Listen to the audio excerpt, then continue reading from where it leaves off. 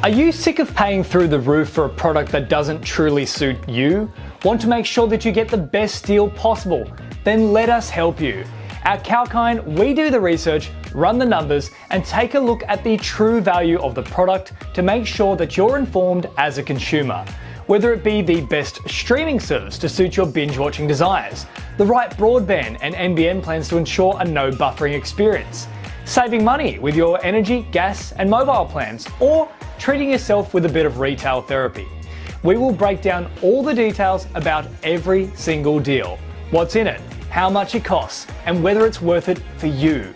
If you want to save money and stay informed, then subscribe to the channel and press the bell icon as we will be rolling out a stack of content to keep you in the know.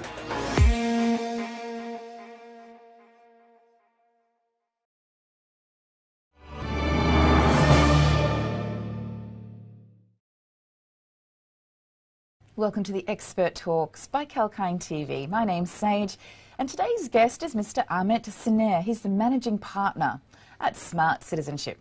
Getting a second passport these days can be complex and very time consuming. Today's guest will help us to understand the new paradigms of gaining a second citizenship. I so want to find out more from Ahmet, who will help us understand this subject better. So, bringing you live today, we have Mr. Ahmet Saner, founder and managing partner from Smart Citizenship. Welcome to the show, Ahmet. Hello, it's really nice to uh, be here. It's fantastic to have you join us today. And you have so much knowledge to share. So let's get started. You created Smart Choice, a simple investing methodology that lets your clients protect their wealth and get a plan B efficiently. So, can we find out more, please? Of course. Uh, smart citizenship and the smart investment algorithm, it's all about leveling the, the playing field. Uh, residency and citizenship by investment. So let's get uh, how this works first. So technically, this is retail or individual FDI uh, foreign direct investment, it's usually made extremely easy for institutional investors. But uh, what we are out to do is to provide similar support systems, giving them cold hard data on investments, evaluating and comparing investments for individual investors within a singular algorithm. So uh, technically, individuals, when investing overseas, are able to act and uh, invest like institutional uh, investors. So giving the data, we help making sense of the data. And after the investment is done, acquiring the attached documents, be it a passport or a residency card, it's it's uh, extremely easy. It, it, becomes an operation after you get the investment right. That's fantastic. So you're giving the retail investor the same opportunities that perhaps are usually open to institutional investors. Is that correct? That sounds exactly. great. Exactly. And what about the minimum investment amount? Does that um, change as well, regardless of whether someone is a market retail investor or institutional? Well, uh, individuals, of course, uh, a little different than institutional investors. They are actually uh, ringing our door to get a second citizenship or a residency permit. so for them, uh, of course, there are minimums. So, for example, uh, 250,000 euros gets uh, you a Greek uh, golden visa, or uh, if you want uh, another country in Europe, you can go to Portugal. That gives you 280k golden visa, or if you're feeling adventurous, you can come to Turkey and take advantage of the 250k real estate investment route that gives you a fast-tracked passport. So uh, it, it depends on what the individual is looking for. Wow, so you're ringing us from Turkey today. That's fantastic.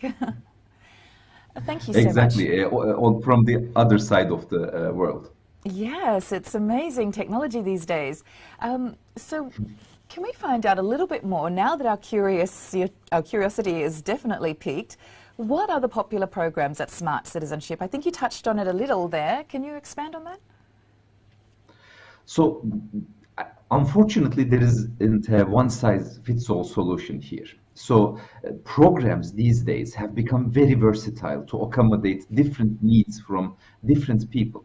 So the first question would be, are you relocating? Are you open to relocating? If yes, you can just uh, get the really uh, simple and straightforward Portuguese D7 visa, which is very uh, popular with digital nomads or people just looking to relocate. Or if you want to, uh, if you're relocating and if you're uh, open to start a company, you can uh, get the innovator visa from the UK, for example. Or if you're a really talented individual, if you have specific skills, you can go to Canada, UK again, who are very accommodating. But let's say you want to stay where you are, but you just want a plan B passport or a second residency. So then the question becomes how uh, big of a investment you're willing to make or how much time you have until you have that uh, passport uh, in your back pocket.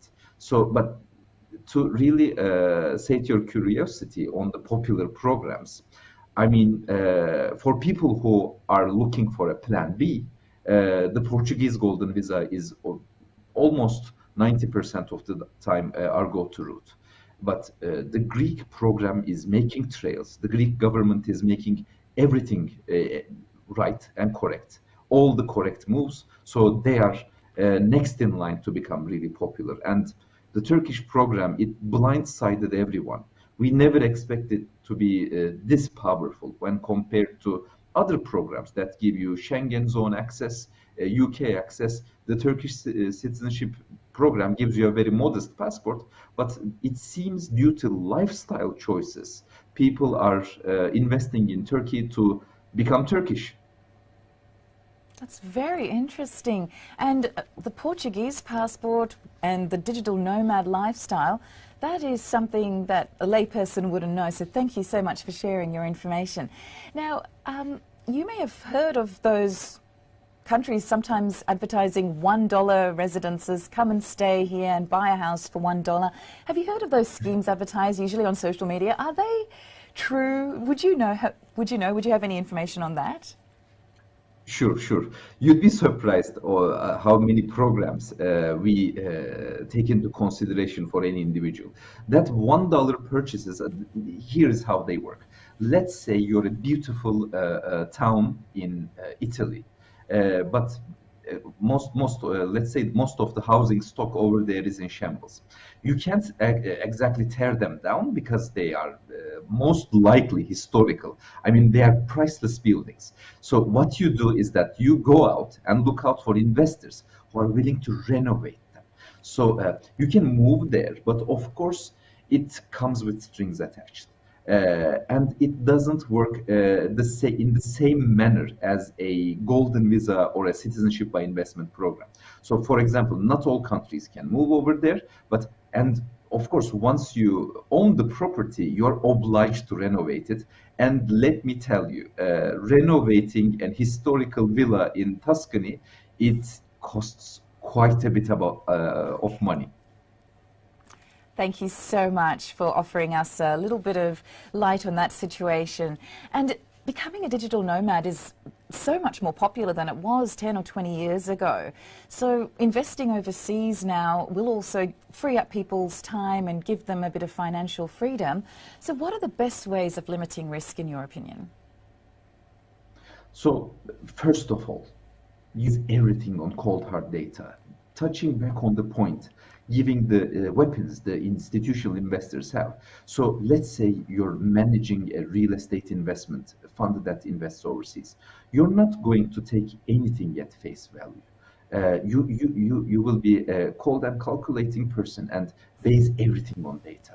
That's, that's the first thing you need to do as an individual because let me tell you, as an individual, you're exposed to more risks because you don't have access to top of the line lawyers like institutional law, uh, investors do.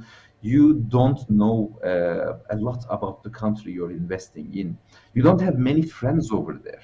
So that's why you don't take anything at face value. For example, if uh, a developer or a seller is giving you a rental guarantee or a buyback guarantee once you're done with the program, you need to dig deep into what sort of a guarantee is it? Is it an SPV guarantee? Is it a bank letter? Is it if, if it's a SPV guarantee, it's more or less the same as me promising to give you back your money. That's it. So, and even on top of that, uh, what I would do if, if I didn't have anyone to count on, I would just follow the local smart money. Just ignore the hypes. Just limit your exposure to uh, the marketing uh, companies like us unfortunately are doing. And you just follow the local money where it's going. And it's going to take you where you need to be 90% of the time.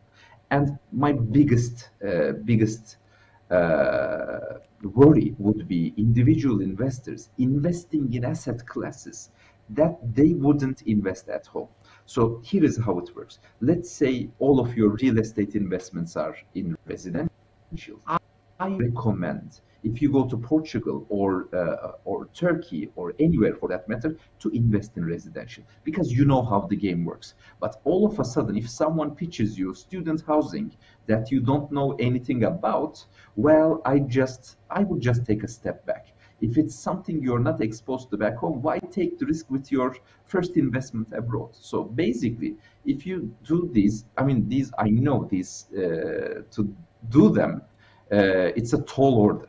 Like saying the, these things uh, over over uh, a call like this, it's it's it's very easy. But actually doing that, following the smart money, these are big things, and that's why Uh, some blatant marketing on my side, you need really good consultants. exactly. Um, so we've noticed that maybe the trends have changed over time with citizenship and immigration. Everyone used to want to go to America, and now I don't know things changed. Perhaps with President Trump's uh, change in immigration policies and things like that. Um, from your perspective, how has the availing or gaining of citizenships transformed over the years? Have you noticed any particular trends? The USA example you've given, it's the perfect example. Uh, thank you for just uh, giving that to me on a silver platter, because I wasn't going to name names uh, of countries, uh, but a very surprising thing is happening in the USA. Uh, people, as you said, uh, people from countries like uh, mine, uh, and even all around the world for that matter, people were looking to go to USA. The trend is still continuing. Uh, don't get me wrong, people want to relocate to USA. But the big news is US citizens are looking to relocate elsewhere uh, because uh, the cat is out of the bag now. with, with the previous president, they have seen how prejudiced people can become overnight uh, I'm playing it, but there was a civil coup attempt at the Capitol. These aren't small things. And on top of that, there's this tax the rich trend. Uh, I'm all for social justice, but tax the rich with the pitchforks and the flames, that's not nice. So because of this, USA citizens are looking to relocate to greener pastures, if you uh, if you can believe that. So uh, lower taxes are attracting them, lower uh, social friction is attracting them. But in terms of transformation, there is, uh, of course, the biggest trend is from the developing world. Here is how it works over there. Uh, people from the developing world, they no longer want to be judged by the mistakes of their governments. They want options. They want to be treated better. Uh, they want their kids to be able to uh, attend top of the line education without pulling strings. So that's why uh, uh, citizenship paradigm is shifting. People want to choose their citizenship now. Uh, but of course, there is the uh, social friction and disgust, if I may say, from most countries, including Turkey. this passport for the rich uh, as they put it, uh, campaigns. They don't want these, but imagine this. I, I always use the institutional investor and institutional FDI example. When a big company is looking to relocate, they get zero taxes, all sorts of privileges. These huge companies have been paying zero taxes in Ireland for a while, uh, until, of course, it changed. But when we give individuals residencies or even passports for their hard-earned money to be countries, people lose their minds. This is the biggest challenge in uh, that is stopping this paradigm shift. Uh, the paradigm shift, to put it uh, as a summary, is that you're no longer a prisoner to your current citizenship. countries out there want you to be on their team, and they are going the extra mile for in exchange for a uh, small investment in most cases. 250k it used to be a lot of money but in, but inflation and everything it's becoming more of a middle class thing these days so can i just confirm or just clarify one thing with your services you help people um, to gain a second passport in many cases but also through the process help them to gain knowledge and opportunities for international investment. Is that correct? That's a, a very astute observation. Uh, the different thing about smart citizenship, most uh, companies like us, and there are many by the way, uh, they just beeline to the citizenship privileges attached to investments or the residencies attached to these investments. We're more focused on the investment side. So a, a, a very interesting thing uh, that struck us was no single investor we have has only invested uh, for the citizenship with us. They kept investing uh, because I think we give that extra punch when picking the investments. But uh, I mean, so mo most people see the uh, residencies as the main course for us, the residency and the passport that come with the investment is just the cherry on the top. The investment has to be very solid, very sound. And if we get a passport out of it, that's awesome. Uh, and I mean, it's an end-to-end service, but uh, I think it's because of the DNA of the company. I mean, we have an investment banker, we have a lawyer on board in-house. Me, I come from a real estate investment background. I mean, we can't sort of uh, stop ourselves from being very aggressive on making a good investment. Thank you. And I guess part and parcel with investment comes taxation. Does your company also help with uh, international tax and, and how to get started with that? Exactly as you said, we help with how to get started. Uh, taxation is a, a heavily regulated uh, industry. I mean, tax consulting anywhere. So we have a network of uh, very solid advisors anywhere you go. It could be Dominica, it could be Turkey, it could be Portugal. Uh, we just point you and make uh, play matchmaker with uh, investor and tax advisors because some investors move everything for example, their companies, their uh, entire residencies, their uh, disposable income, everything. Uh, so for that kind of person, you need a different kind of tax advisor. But for the guy who's looking to just buy a flat in Athens, uh, you don't need a lot of uh, taxation consulting firepower. I mean, it's not cheap, so we are uh, a little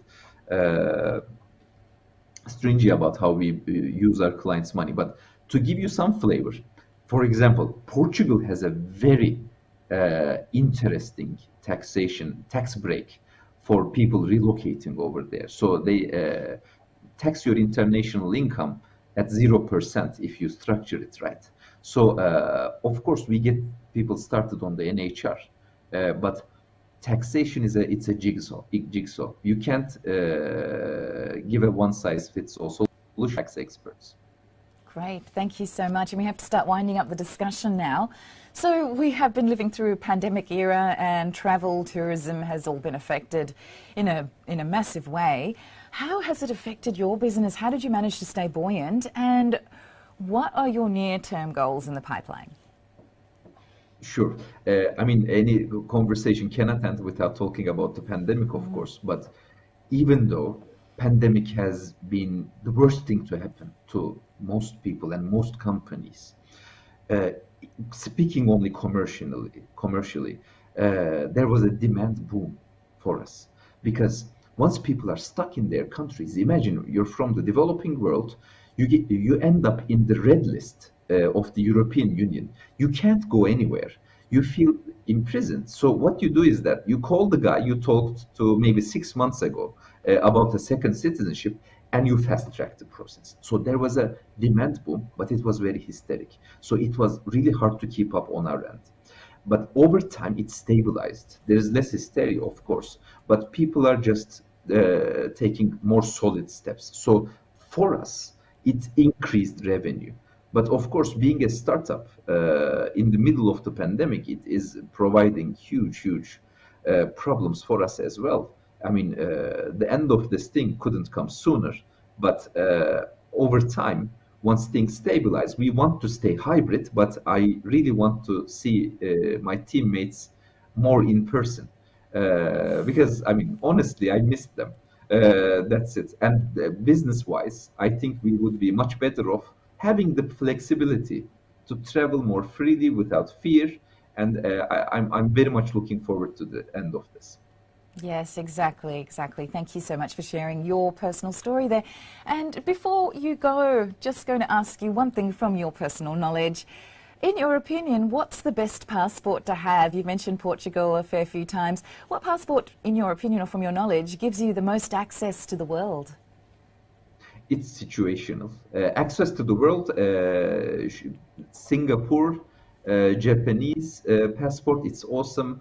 Uh, I mean, Portuguese uh, on the passport is on the top five, but I really, I think you may have noticed, but I try avoiding naming uh, a best option all the time.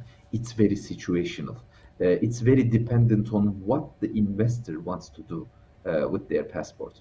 I mean, some passports are very modest in itself. So I, I think it we have to go invest case by case on this. But I mean, if if I wanted to magically receive a passport, uh, it would probably be the Singaporean passport. Oh, very interesting. Well, it's an emerging economy with some great um, tax uh, exactly. infrastructure for crypto, I believe.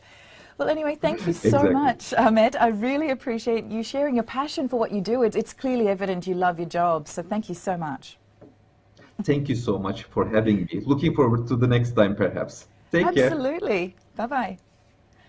So today, guess, uh, viewers, if you have just joined us, we had a very informative discussion there with Mr. Ahmet Saner. He's the founder and managing partner from Smart Citizenship.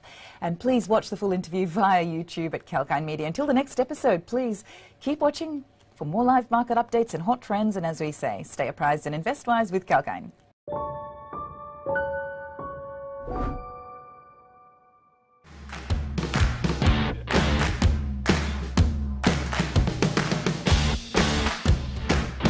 Tune in to stay updated while on the move. We will tell you where the crypto craze has reached, where the property market is headed next, what the world is doing to become more environmentally friendly, apart from tracking the daily market charter. Be on top of the latest news and announcements with Kalkine TV.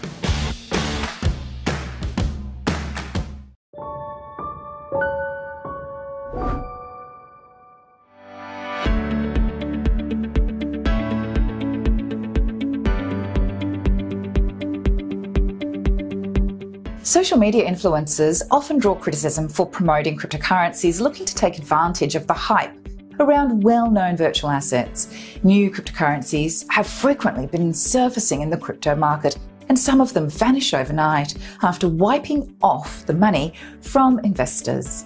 Please subscribe to the channel. This article has been written by the team of Kalkine writers. I'm happy to present it for you on behalf of Kalkine Media. My name is Sage.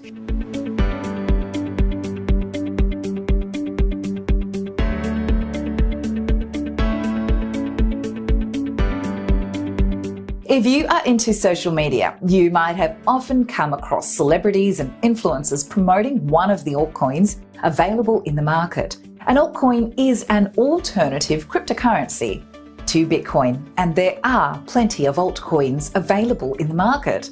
At the beginning of this year, celebrity Kim Kardashian, you may have heard of her, and professional boxer Floyd Mayweather were sued over allegations that they misled investors while promoting a lesser known cryptocurrency called Ethereum Max. Now, a social media influencer named Ice Poseidon is under fire after it was alleged that he stole US $500,000 from fans through his crypto project, which is now abandoned.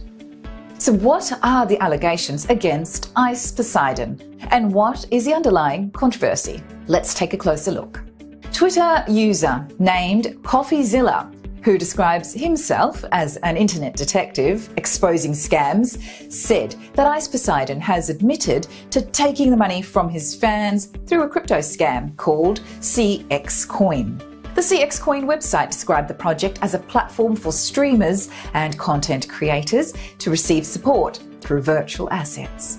The Twitter user wrote, Ice Poseidon claimed that the cryptocurrency project was a long term play and promised supporters that he would not pull the rug on this project. However, it now remains abandoned. And CoffeeZilla claims to have confronted the social media influencer who admitted taking the money from his fans and has no intention of giving that back, as he will look out for himself. The Twitter user is reportedly asking people who have been duped of their money to report the scam with the Internet Crime Complaint Centre, IC3, a Federal Bureau of Investigation website for online criminal activities. In conclusion, the cryptocurrency market is highly volatile, and those indulging in making investments in virtual assets must be aware of the ups and downs of the market. It appears that investing in the newer cryptocurrencies is a high risk job, and it is essential to be cautious before investing. Thanks for joining us on the report. And if you do like the information, let us know by liking, sharing, commenting on the video below, and subscribe to the channel. If you press the bell icon, you'll be notified of the latest videos by Kalkine. But for more articles like this, head to kalkinemedia.com. My name's Sage for Kalkine Media.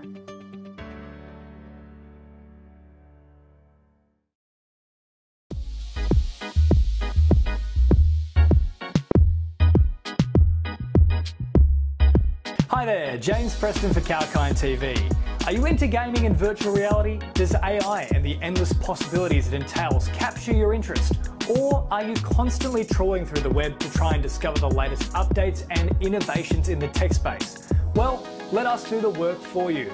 From the latest product launches to shocking affairs on the World Wide Web, exclusive interviews and information about the top companies like Apple and Google to brand new tech startups vying for your attention. Kalkine's TechBeat has the latest in what matters in the world of technology. Join me every single Thursday on The TechBeat, exclusive to Kalkine TV.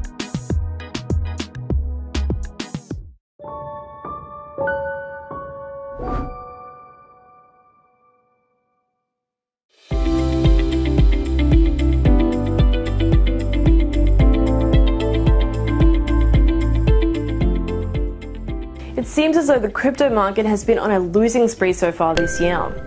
However, the gains of Bitcoin and Ether are less compared to some metaverse and NFT cryptos like Mana and Sand. And thanks for tuning in. I'm Holly Shields reporting for Kalkine Media.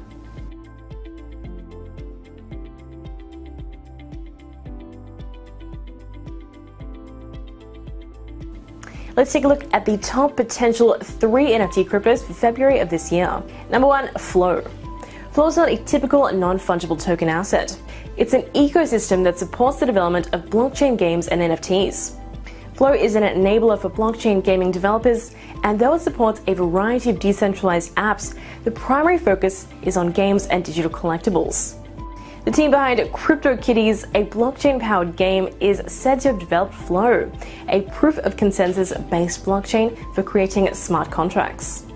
Flow's token of the same name has gone up almost 50% over the past seven days. Number two, Enjin Coin. Enjin is another diverse ecosystem with blockchain gaming at its heart. The network's primary function is to allow developers to use Ethereum's blockchain and create in game tokens. Enjin claims that every NFT minted on the network comes with an ENG token, and this token is used to back the value of minted digital assets. And as of now, Enjin has a market cap of nearly 1.5 billion US dollars. Number 3, Decentraland. Mana is a top metaverse token popular in its use of NFTs for digital real estate. the Decentraland market cap is the highest among all these cryptos. What makes it popular is the high price of its virtual real estate, which has stunned market watchers. A piece of land on Decentraland's metaverse can sell for millions of dollars. In fact, Samsung recently launched its virtual reality store there not too long ago. In November of last year, the crypto hit a 5.5 US dollars, but the rally was short lived. The high market cap and real estate NFTs make Mana a close watch in the near term. Now to up to speed, check out some of our other videos to stay up to date. This has been Holly Shields for Kalkine Media.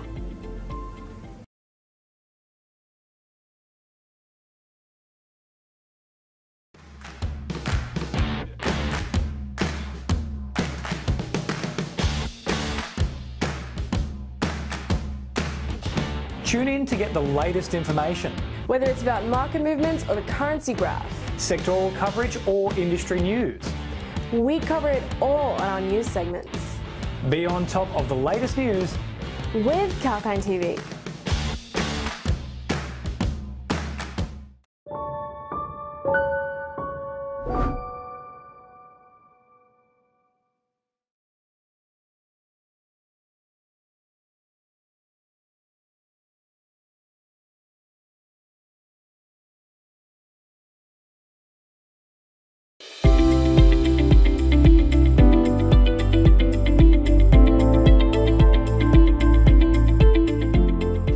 Three crypto predictions for February 2022.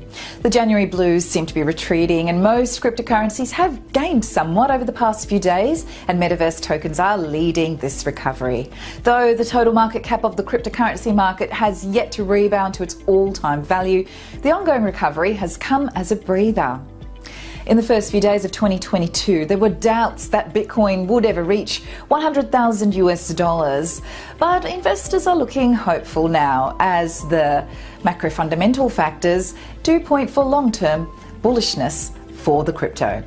But what are the major predictions for cryptocurrencies? What are some of the factors that may shape crypto prices in February? Let's have a look. Please subscribe to the channel. I'm Sage for Kalkine Media, and this article has been kindly written by Kalkine's writing team.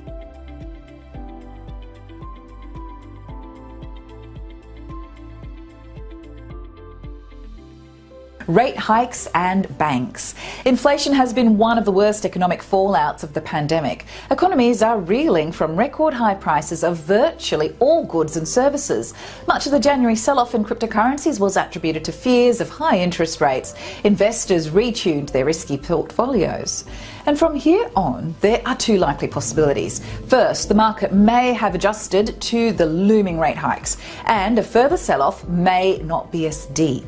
Secondly, actual rate hikes may again trigger a wider sell off in all the risky asset classes, including the volatile cryptocurrencies. Rebound in the stocks. The S&P 500 index has shown signs of rebound over the past few days and after last year's impressive gains, the global stock markets remained subdued in the initial weeks of January. Tech stocks suffered a rout, but things may get better in the coming weeks. Cryptos are often clubbed with stocks in the riskier asset category. The price movement in stocks and cryptos has been comparable so far in 2022. Investors may now look favourably at stocks and cryptos after having adjusted their portfolios. But a few experts are also warning of a deep correction in the market, and only stocks with strong fundamentals may emerge as winners. Regulators on cryptos. Different regulators in the world have different stances on cryptocurrencies. The emerging economy of India introduced a range of aspects, including taxing of virtual and digital assets and levies on cryptocurrency gifts, while presenting the National Budget 2022. In February, a few other countries, like India, may come up with their plans to regulate cryptos or even ban their trade. Any move, negative or positive, would have a profound impact on crypto prices. In conclusion, to sum it all up, it's important to note that predicting anything about cryptocurrencies and their linked blockchain projects is a difficult exercise. Uncertainty grips the market a lot more when the macroeconomic indicators like inflation and growth are not exactly favourable, as they are this February. That said, cryptos are on the rise of late, and this limited rally could translate into gains for investors that buy and sell cryptos at the opportune time. Thanks for joining us on the report. And if you do like this information, let us know by liking, sharing, commenting on the video below. Subscribe to the channel and press that bell icon. You'll be notified of the latest videos by Kalkine. For more articles like this, head to the website kalkinemedia.com. I'm Sage for Kalkine Media.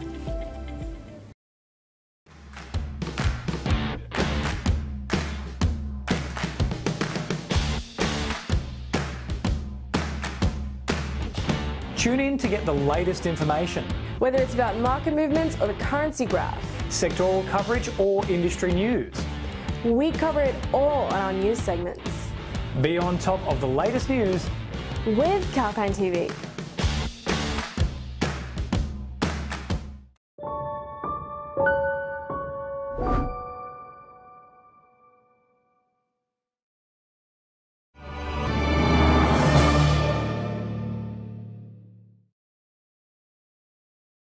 Welcome to the Expert Talks by Kalkine TV. I'm Sage.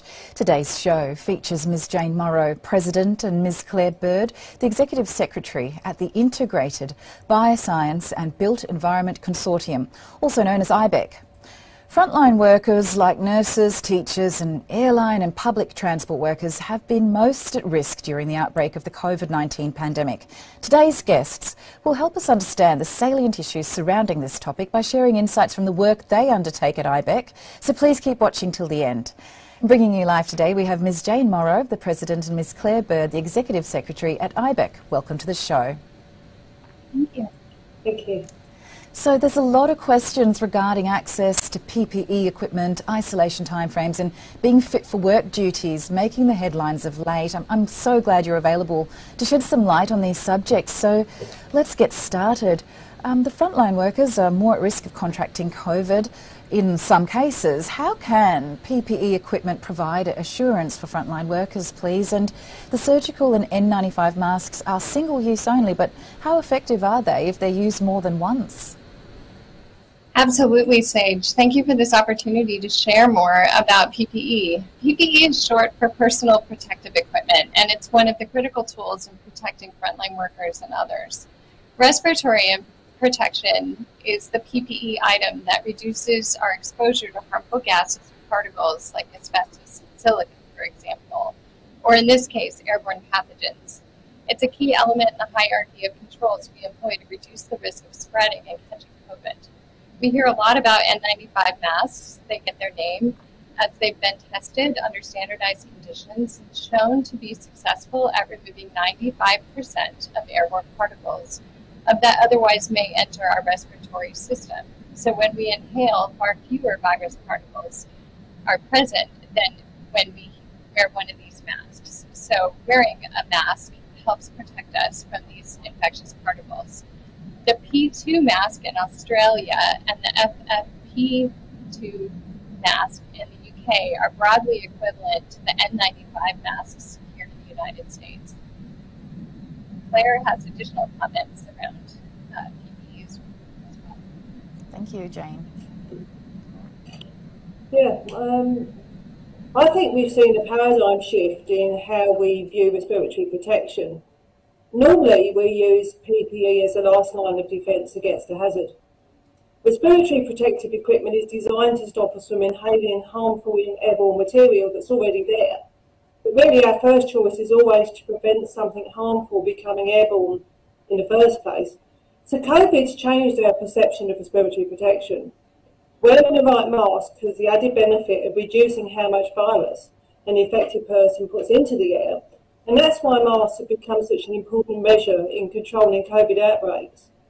So to decide how important personal protection is for a given situation, we really need to think about our exposure risks and use what we know about our immediate surroundings. You know, who are we considering protecting? How many people are there? How long are they there for? And what type of activities are they undertaking? Thank you for clarifying that for us because I know a lot of people seem to think that an N95 mask means that you can wear it for 95 hours. So I, I, think there's a lot of misinformation and misunderstanding circulating about the PPE equipment and how it should be used. So thank you so much for clarifying that.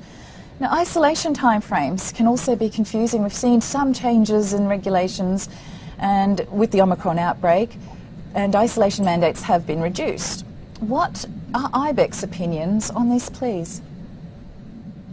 Yes, we agree. Um, the change in guidance and our definitions of close contact, for instance, is confusing. There's also great variation in these requirements in different countries. Traveling internationally has become a minefield when you're trying to respect all of these different guidances. So restrictions keep changing in part because the transmissibility and the severity of symptoms caused by the virus keeps changing. When we see shifts in rates of hospitalization, serious illness, and death, the goalposts must move. The impact of some of the changes to our economies has not always been predicted accurately as well, and it's hard to forecast because we don't know what the next variant will be. Great concern to IBEC and the wider scientific community has been reluctance to accept COVID as an airborne disease. Following uh, the 4Ds, which is a, a principle that we deploy at IBEC and have facilitated in our Commit to Care program to help folks understand the risk and the vulnerability and what they can do to keep each other safe has been a big, uh, a big effort in helping to slow the rate of spread and reduce exposure of frontline and vulnerable workers. Thank you. Thank you for, for letting us find that out because I think some people are being pushed back to work when they're asymptomatic but are still perhaps testing positive for COVID. Um, where do you stand on that? Have you heard of that occurring? It's, it's very important that we think about um, the number of viral particles that we're exhaling as a function of sneezing or coughing and how we can reduce that exposure by the time that we spend together as well as um, time that we and the distance that we are from each other. So um, when we're together in spaces and we exchange enough viral particles to make us sick, um, it's going to that's going to change depending on the variants themselves. So really, how you protect yourself is, is in direct response to how long you're around other people and being very cognizant of what those guidelines suggest about exposure and exposure times is dependent on the number of viral particles you're, you're emitting and of course that's changing for the different variants. Okay, thank you. And sorry, Claire, did you want to add something as well? Yeah, I'm actually, um, yeah, I was just um, saying there's sort of some of the work, I guess, that's going on in Australia at the moment. Um, a lot of what um, has been happening has been happening around the, the building industry, the medical community, um, and that's why IBEC connects people, pathogens, and places. And we've been buildings together with building science, with medical science, with indoor air quality science, because we really want to improve the understanding of how infection spreads and sending people, I guess, back to work when they're still testing positive um, really is a decision that's, that's been made because we haven't controlled necessarily airborne transmission as we hoped we would. And there's an Australian um, science group, OzSAGE, that's been working very strongly um, in trying to provide material to government and to bodies who are responsible for making decisions on how to reduce airborne transmission so that we don't end up with staff shortages and problems with our supply chain. So there's a lot of information out there, and IBEC's hoping to bring all of that information together. Um, we'll be having a knowledge repository that people can access to find out what the latest understanding is. Um, so that's how we do it and how we've approached it. Right, thank you for that. Yes, and I think they have been implementing the use of some air sanitisers as well in some cases, which will hopefully protect the people in that environment. And well, we'll just keep moving on. Um, third booster shots are being encouraged. Is there a chance that COVID 19 will reach an endemic stage where it becomes like the seasonal flu? Do you think a yearly booster shot could become the norm? So I'm not a medical expert, Sage, but one of the things that we feel qualified to address in this question is that we can learn from past pandemics to better understand what our future response to this virus will be. So, for example, if you look at flu, you can see how the science community works on an annual cycle to share data and information on the emerging flu strains. This is how we know which strains should be covered in vaccines and develop vaccines appropriately.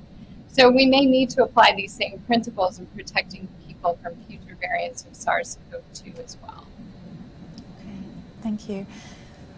And how effective can antibody tests be? You've mentioned it a little bit about um, the earlier uh, topic of people going back to work when being tested positive. Is it possible that people may have built up an immunity through exposure?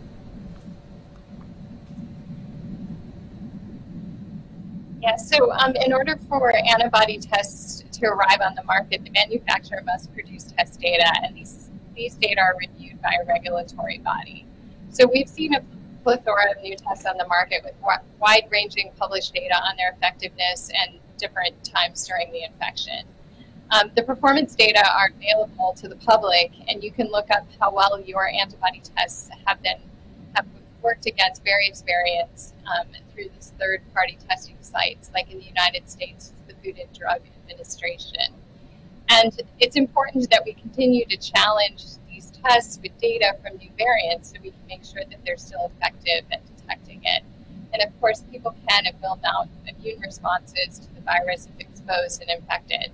So how long immunity lasts is likely varies between individuals and the strain of the virus. Um, the immune response is indeed the science that underpins measuring the extent of a person's response to having been infected with COVID.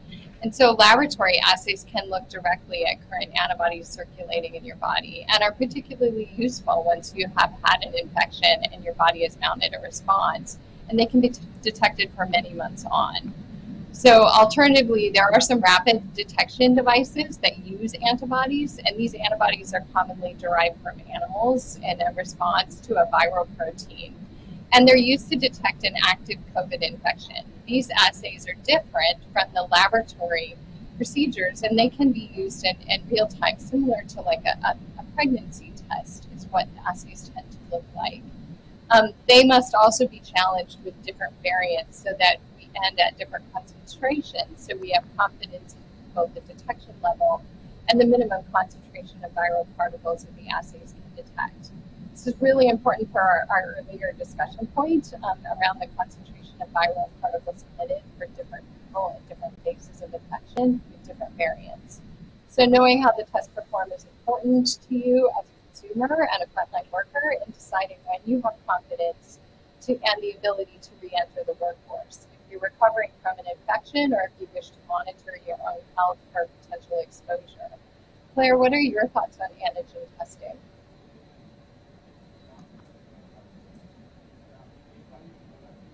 Claire, did you have anything to add on that topic? To follow on from Jane? Um, yeah, I mean, I don't know. Um, actually, can't hear Jane, unfortunately, so I'm not sure what she's covered.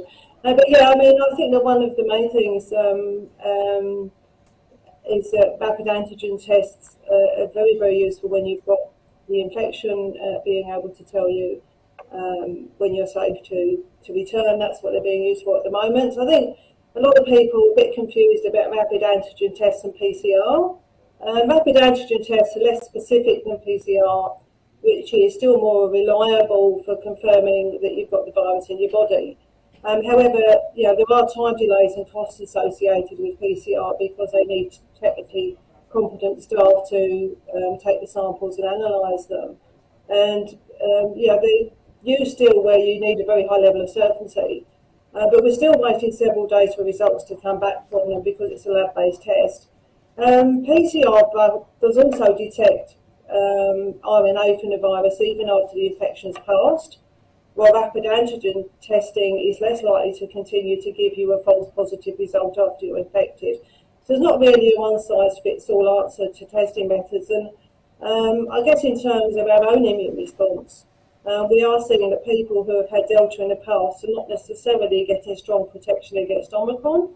Um, so we still would always be saying that vaccinations are really important. And even when we have got that response ourselves, it's still very important that people continue to follow the recommended vaccination programs. Thank you. Yes, it is important to follow the guidelines. And I've noticed that with the emergence of this pandemic, there's been so many technological advances in medtech, which is actually making it um, better for the um, identification of other viruses and other ailments. For example, STDs are a bit of a hidden pandemic across many global geographies, and these sort of testing kits can be used, these rapid testing kits can now be used for things like sexually transmittable diseases as well. So it's one good thing that's come out of um, quite a severe situation. And as we start to wind up the discussion now, thank you again for your insights today. It's really been valuable.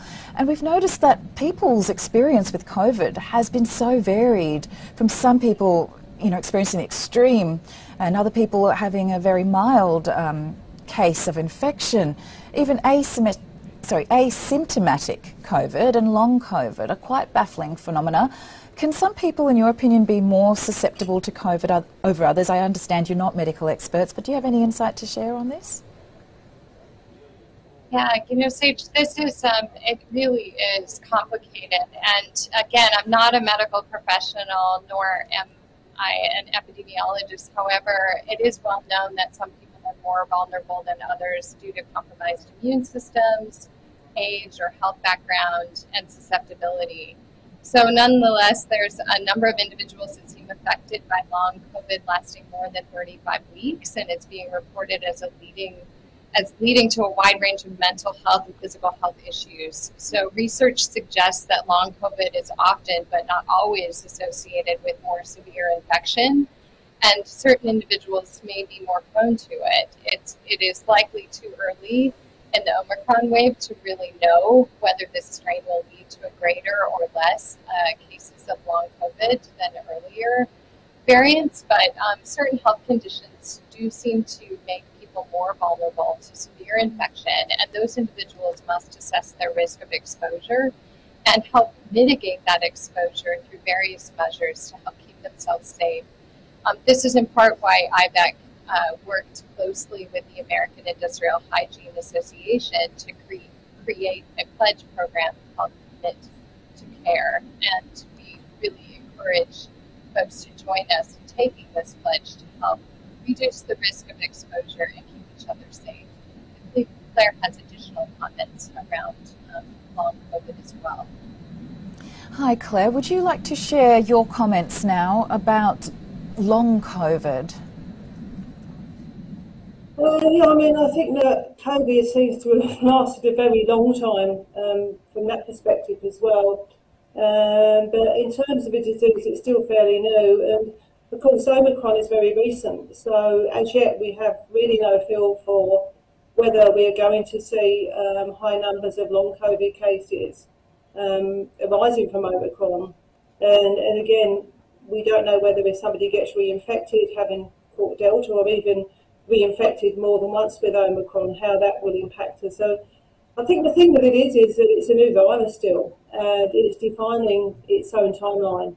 And it's kind of superimposing that over our attempts to stop it, which is why things keep changing in governments and all their guidelines keep altering. So I think there's certainly a very strong case for more research being conducted into long COVID and I think we're, we're seeing significant, from what I've seen in the literature, again, I'm not a medical expert, but we're certainly seeing, certainly seeing significant impacts on mental health as well as physical health from long COVID. And I think it is definitely taking a toll. Um, but again, unfortunately, we're still learning as we go. Um, and I think there's an awful lot more work ahead of us. And that's, I guess, why IBEC exists, is to bring those experts together and get them to speak to each other so that we can reach his end goal sooner. Thank you so much for your time today. It must be such a challenge to find the right patients to run the tests and find the data and evidence to be able to uh, complete the studies that are required. And, and your work is so valuable and appreciated. Thank you so much for your time today. Thank you. Thank you very much for having us. Thanks. And if you've just joined us, we had a very interesting discussion on a very difficult subject today. And if you'd like to watch the full interview with Ms. Jane Morrow, President, and Ms. Claire Bird, the Executive Strategy at IBEC, the Integrated Bioscience and Built Environment Consortium, please head to Kalkine Media's YouTube channel to check it out or revisit it. And please keep watching Kalkine Media for more live expert talks and market updates. Stay apprised and invest wise with Kalkine.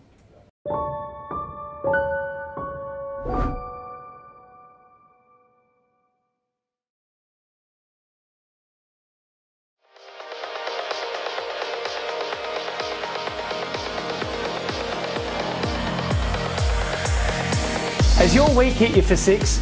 Barely had time to breathe, let alone throw a flick pass? Well, don't worry, Kalkine has all your sporting action covered. Each episode, I'll bring you the biggest sports news of the week. Exclusive interviews with athletes, sports commentators, and journalists. Plus, we'll also look at the finances off the field from new broadcast deals, sports commercial partnerships, and more with sports business. So, for a sports show that tackles all the big issues, ball and all, Join me, James Preston, for Game On every Friday, exclusive to Kalkine TV.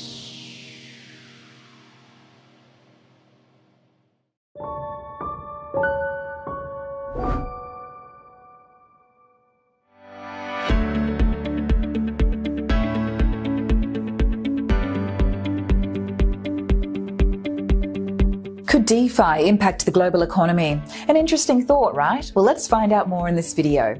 Please subscribe to the channel. I'm Sage for Kalkine Media.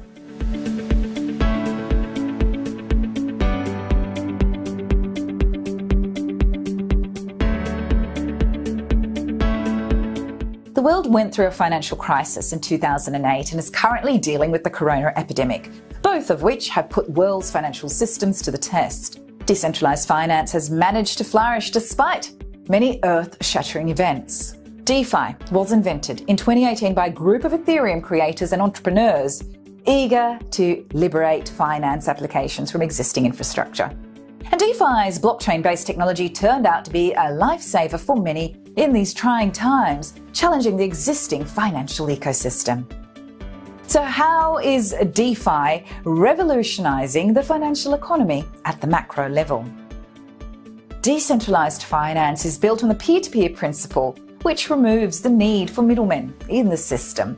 And DeFi democratizes finance. They're replacing traditional centralized institutions like non banking financial companies, brokerages, and banks by relying on self executing smart contracts on the blockchain network peer to peer philosophies. Smart contracts govern the transactions, which are almost instantaneous and nearly free. In addition, other financial organizations and banks impose fees for using their services, but DeFi eliminates them. And rather than keeping money at a bank, it is possible to retain it in a secure digital wallet. And anyone with an internet connection will be able to use it without the requirement for approval, and funds will be transferred within seconds.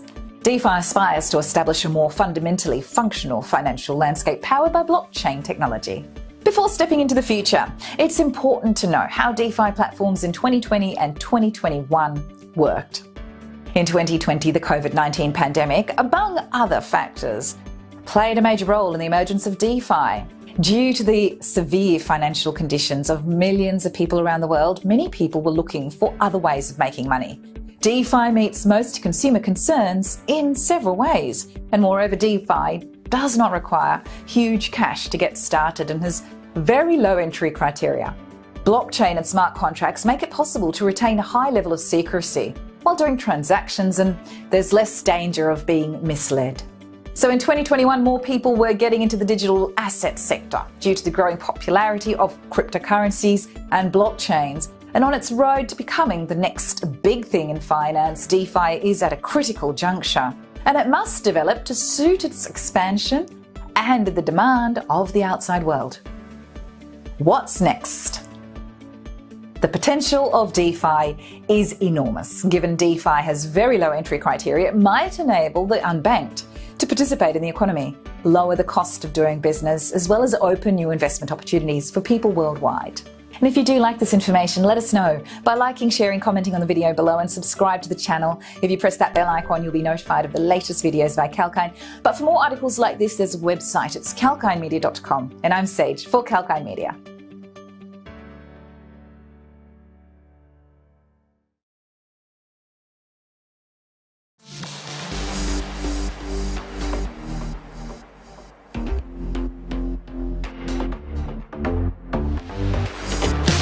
Sage, and get ready to take the crypto ride with me on Kalkine TV. Watch the crypto buzz every Tuesday and join the excitement at Kalkine TV from Bitcoins to NFTs to Dogecoin and DeFi. We have updates about everything around these digital currencies. Understand the investing rationale and the risks involved in the space with me, Sage, on Crypto Buzz. Keep watching Kalkine TV.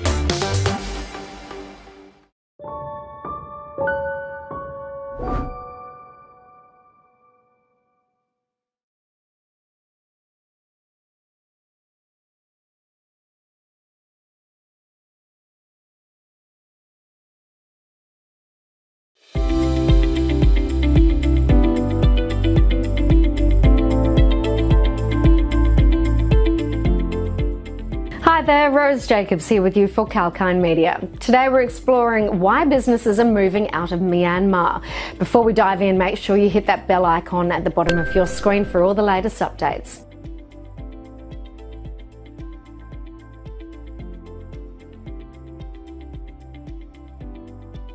Since Feb of 21, a lot has been happening in Myanmar as the world collectively fights the COVID 19 pandemic. This third world country has another life threatening war going on. Last year in February, the military took over the country, causing civil, economic, and political unrest. The military junta took over Myanmar in Feb of 2021, and this political, economic, and civil disruption is likely to be continued for years. The world powers and international organisations are against this military takeover. Therefore, Myanmar is isolated amid the pandemic. The organised rival government, the National Unity Government, is fighting against the military and thankfully, it has the full support of the other ASEAN and Western countries. The business environment is at risk in Myanmar. The US has passed an act that legitimises and supports NUG and stands against the military rule and the businesses running under it. Thus, the businesses functioning under military rule are now at risk. Additionally, international communities would impose penalties on businesses dealing with the military. There is a high propensity that the conflict will escalate in the coming months. So businesses are becoming more and more hesitant about continuing their services in the country. Now let's take a glance at Myanmar's economic monitor for January 2022 released by the World Bank. The World Bank released the Myanmar Economic Monitor report on 25th of January. The report summarises that the civilians of Myanmar are being severely tested by the ongoing pandemic and the military takeover. The report projects growth of 1% in Myanmar in the current year till September of 2022. Additionally, the economy will continue to contract about 30% smaller than it would have been without the pandemic and the military clash. Sectors like finance, electricity, logistics, and digital connections face significant issues. The country is also undergoing foreign exchange constraints. Conflicts are escalating in Myanmar, firstly because of humanitarian constraints, and secondly because of a fall in economic activities. The supply and demand chain in the country is severely disrupted. However, output and employment seems to have stabilised in recent months. So the conclusion for now because of these problems, most firms in the country have gone through significant losses, mostly facing a financial crunch and cash flow shortages. Because of disruptions in the economic activities, businesses are moving out of Myanmar, which poses weak growth prospects for the country. So do continue to watch this space, but that's a wrap for now. Be sure to check out the website for more, kalkinemedia.com, and make sure that you do like, comment, and subscribe to the channel. I'm Rose Jacobs. Thank you again for joining me.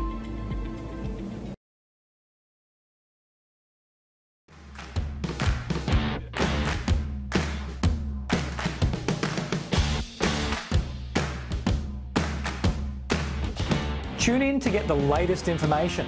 Whether it's about market movements or the currency graph, sectoral coverage or industry news.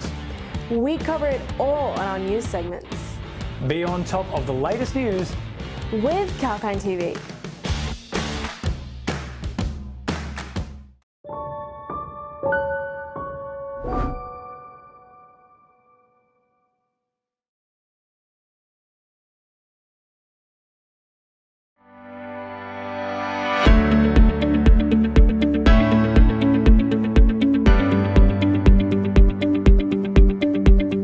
Wonderland scandal is rocking the crypto world right now. But who is Michael Patryn and what's he accused of? Hey, and thanks for tuning in. I'm Holly Shields here reporting for Kalkine Media.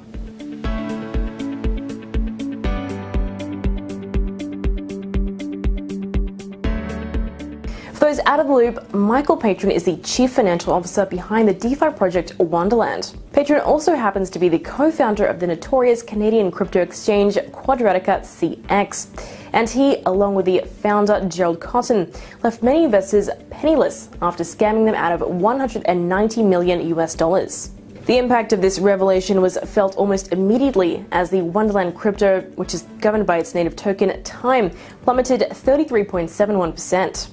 Twitter user ZachXBT shared a screenshot of the conversation between himself and Daniel Sestagalli, the founder of Wonderland, discussing the identity of the mysterious Twitter user 0xSifu, who was eventually revealed to be Patryn.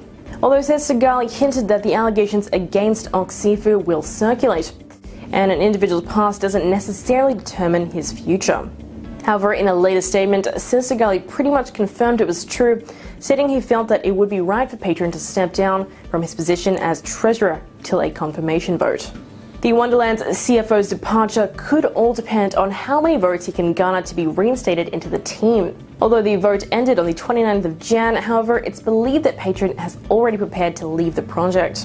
Informing the community about it on Wonderland's Discord channel, Patryn said he's not confident that the vote will pass and is heartbroken over leaving the Wonderland project. Although more disturbing still, prior to both Wonderland and QuadrigaCX, he was also sentenced to 18 months in a US prison in connection with a case of identity theft via bank and credit card fraud in 2005 when he was just 22.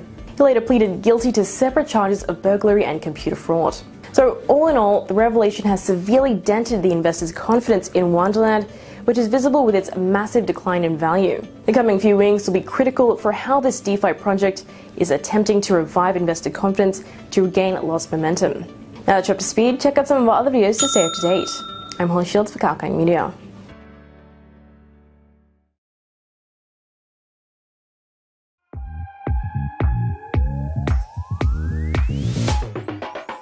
Are you sick of paying through the roof for a product that doesn't truly suit you? Want to make sure that you get the best deal possible? Then let us help you. At Kalkine, we do the research, run the numbers, and take a look at the true value of the product to make sure that you're informed as a consumer.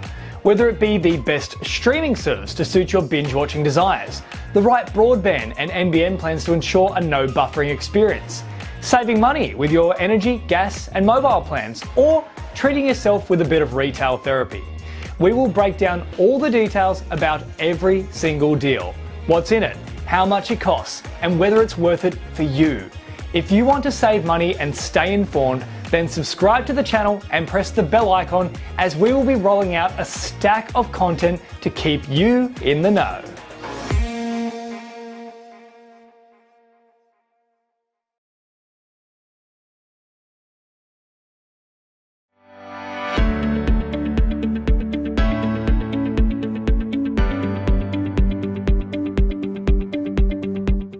Teenager tracking Elon Musk's private jet has asked him for $50,000 to stop. Well, let's take a closer look. I'm Rachel Jones, and this is Kalkine Media. A 19 year old student and aviation enthusiast from Florida in the US has caused a stir with Tesla billionaire Elon Musk around the existence of a Twitter bot whose purpose it is to track Musk's Gulfstream private jet and post real time updates of its location. Jack Sweeney is the creator of the bot at ElonJet, and it seems Musk is not too happy about it. After discovering the existence of the bot, Musk direct messaged Sweeney asking him to take the bot down as it poses a security risk to him. As the SpaceX founder put it, I don't love the idea of being shot by a nutcase. Following some back and forth between Musk and Sweeney, Musk offered the teenager $5,000 to take the bot down, to which Sweeney made a counteroffer. He replied back, Any chance to up that to 50k? It would be great supporting college and would possibly allow me to get a car, maybe even a Tesla Model 3. Now, Musk ultimately turned the offer down, saying he felt uneasy about paying to shut down a bot which he sees as a threat to his security. Sweeney later released the private conversation through Twitter's direct message service to the public in the hope it would pull Musk back to reconsider the offer. Sweeney added that he'd worked hard on the project and that $5,000 was not sufficient compensation for the time and effort he'd put into the project. The Florida student later offered to delete the account if Musk gave him an internship at one of his companies. The eccentric billionaire and innovator is yet to respond. Now, if you like this video, you can like, share, and comment on it, and you can also subscribe to our YouTube channel. You can press the bell icon to get notifications for our latest videos. I'm Rachel, signing off for now.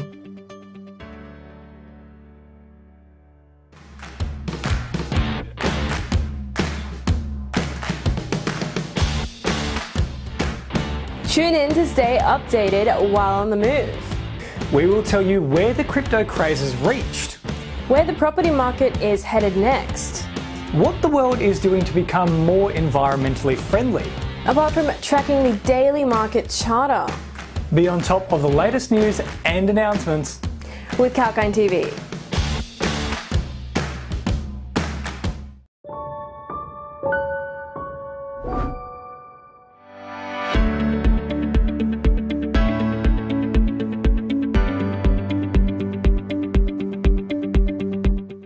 There, I'm Rose Jacobs here with you for Kalkine Media. Now, before we dive in, make sure you do hit that bell icon at the bottom of your screen for all the hottest updates. Christophe de Beukelaer, a Belgian member of parliament, recently announced on his blog post that he would be receiving his 2022 salary in Bitcoin, therefore making him the first European politician to do so.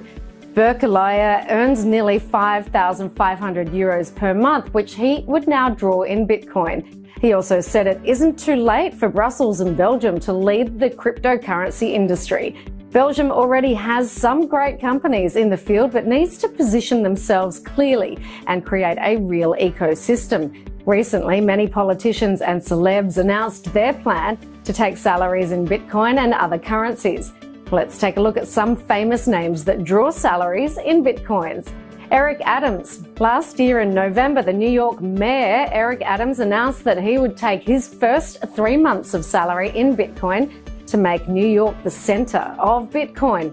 Adams decided to take the first three paychecks in Bitcoin after his Twitter exchange with Miami Mayor Francis Suarez, who said that he would receive his coming salary in Bitcoin also.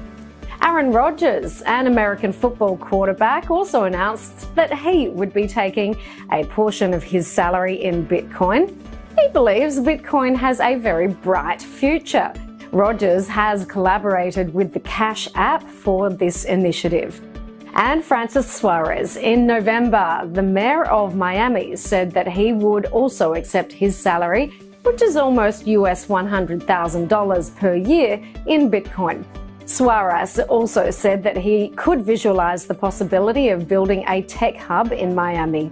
He said that he thought it would send a message to the world that their government is one of the most innovative governments globally. So, watch this space. And that's a wrap for now, but please check out the website for more, kalkinemedia.com, and make sure you like, comment, and subscribe to the channel. I'm Rose Jacobs. Thank you for joining me.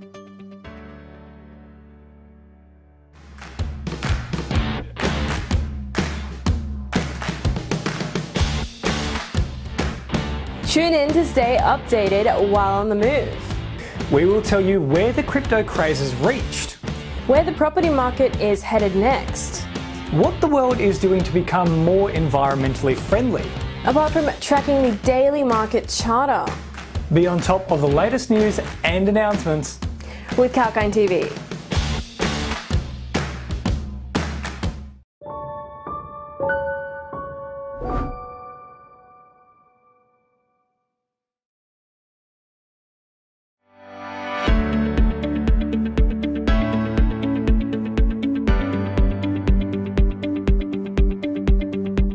Known in the crypto world simply as CZ Changpeng Zhao is a Chinese Canadian business executive who has a net worth of $68 billion. Zhao is best known for co founding the world's largest cryptocurrency exchange, Binance. So let's take a closer look.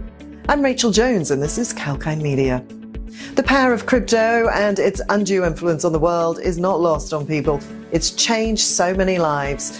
One of the great examples of crypto taking someone from rags to riches is of Changpeng Zhao. Recently, the Bloomberg Billionaires Index revealed that the CEO of the cryptocurrency exchange platform Binance has a net worth close to 100 billion US dollars. He's currently the richest crypto entrepreneur in the world and also the wealthiest Canadian. He was born in China's Jingzhou province. His family moved to Vancouver in Canada when he was 12. He took many different jobs to help support his family, even working at McDonald's. He now ranks as the 11th wealthiest person in the world now, just a little behind familiar names such as Elon Musk, Jeff Bezos, and Bill Gates.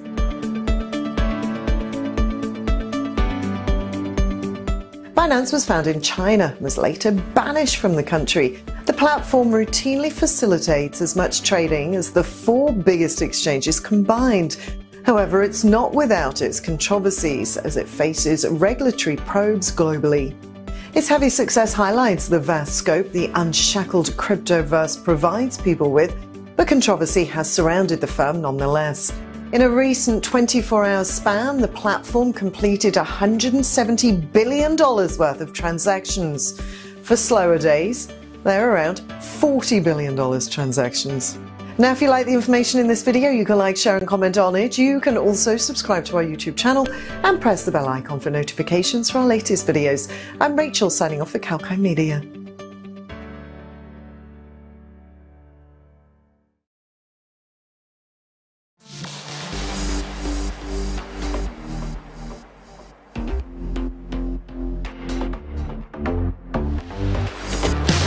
Sage, and get ready to take the crypto ride with me on Kalkine TV. Watch the crypto buzz every Tuesday and join the excitement at Kalkine TV from Bitcoins to NFTs to Dogecoin and DeFi.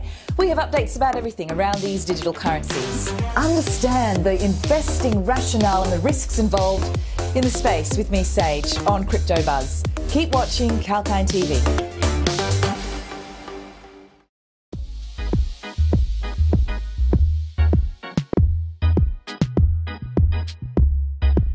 There, James Preston for Kalkine TV.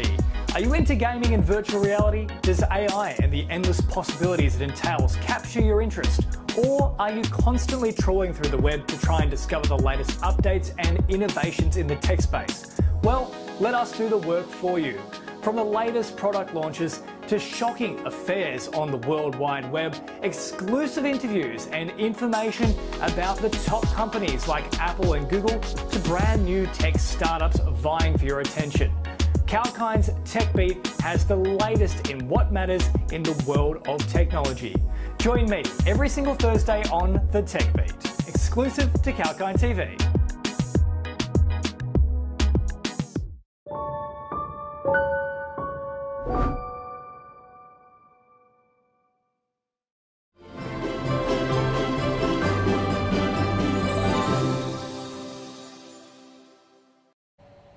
Very good morning to you and welcome to the Morning Outlook Report. I'm Rachel Jones reporting live from Kalkine TV Sydney studios. Now, the Australian share market is expected to begin the week on a muted note. According to the latest SPI futures, the ASX 200 may open 41 points or 0.6% lower. At the closing bell on Friday, the S&P ASX 200 was 0.6% higher at 7,120. And over the past week, it closed 1.9% or 131 points higher. The best performing sector on Friday was industrials. They were up 1.2%. The worst performing sector was communication services, down 0.01%. The best performing stock on Friday was Liontown Resources. Their shares closed 6.2% higher at $1.46. The worst performing stock was Seek. Their shares closed 3.8% lower at $28.31. Moving on to some news from this morning now, and fibre cement maker James Hardie are reporting global net sales are up 22% to 900 million US dollars for their third quarter. The company raised its annual profit forecast for the fourth time this fiscal year, driven by a massive boom in the housing sector in North America. Now, new home sales in the US make up 70% of the company's revenue, and they rose every month of the December quarter. They're expecting to be robust despite the prospect of potential higher mortgage rates driving up demand for building materials. And the CIMIC Group's UGL has been named by Snowy Hydro as the principal contractor for the construction of a 660 megawatt power generation plant at the Hunter Power Project in Kurri Kurri in New South Wales. The contract will generate revenue to UGL of $185 million over the next two years. And the board of Magellan Financial Group has reported that now, after a period of intense pressure and also focus on both his professional and personal life, Hamish Douglass, Magellan's chairman and chief investment officer, has requested a period of medical leave to prioritise his health. Chris Mackay will oversee the portfolio management of Magellan's global equity retail funds and also global equity institutional mandates. Well, now it's time for a very short break, but stay tuned for more news set to affect your trading day.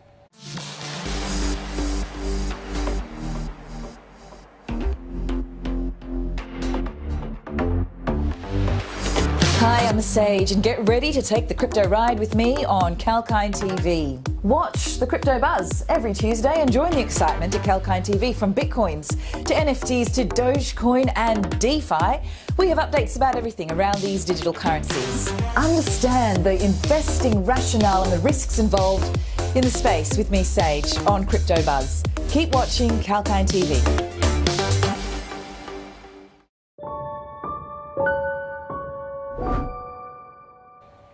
And welcome back to the Morning Outlook Report. Let's look to America now. And on Wall Street, the Dow Jones fell 0.05%. The S&P 500 closed up 0.5% and the Nasdaq stormed 1.6% higher.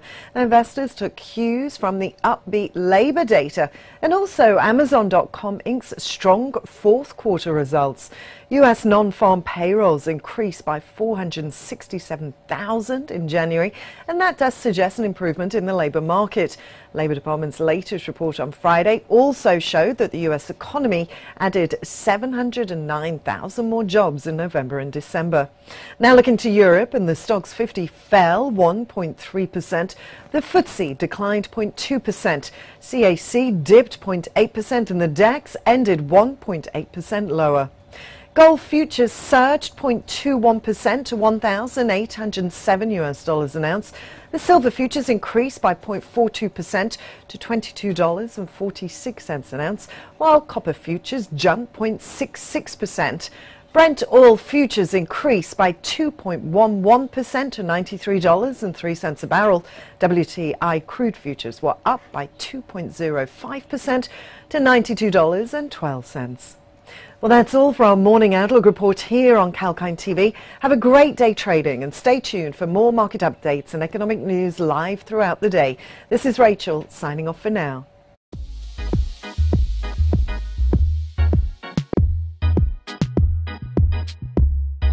Hi there, James Preston for Kalkine TV. Are you into gaming and virtual reality? Does AI and the endless possibilities it entails capture your interest? Or are you constantly trawling through the web to try and discover the latest updates and innovations in the tech space? Well, let us do the work for you. From the latest product launches to shocking affairs on the World Wide Web, exclusive interviews, and information about the top companies like Apple and Google to brand new tech startups vying for your attention. Kalkine's Tech Beat has the latest in what matters in the world of technology. Join me every single Thursday on The Tech Beat, exclusive to Kalkine TV.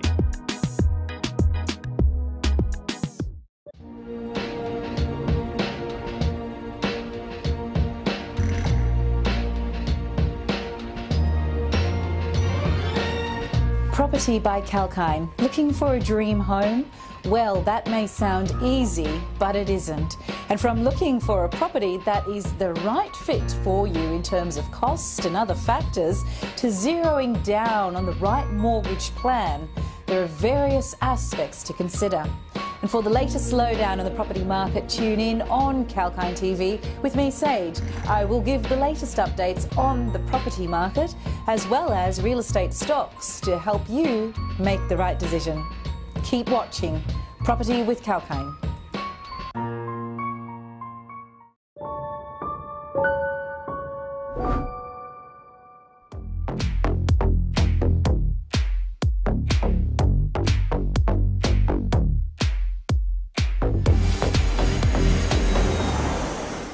Boarding pass, please.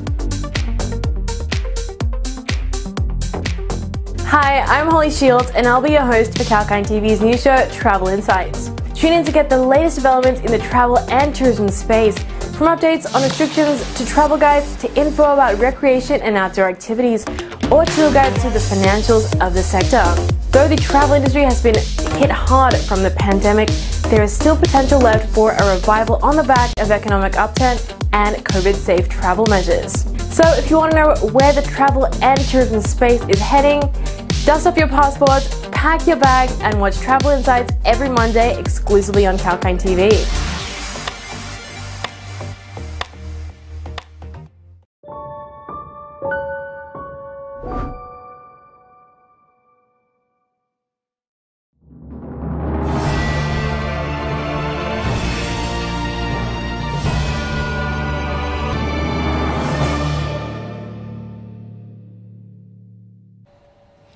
Everyone. I'm Rachel, and I welcome you all to Executive Corner Expert Talks.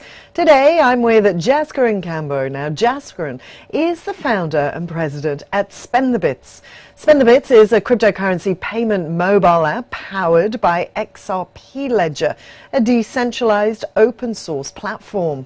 Now, here at Kalkine, we bring you industry leaders, successful business owners, market and equity advocates all under one roof to help you discover the insights of the stock market and help you understand how you can create multiple passive income streams.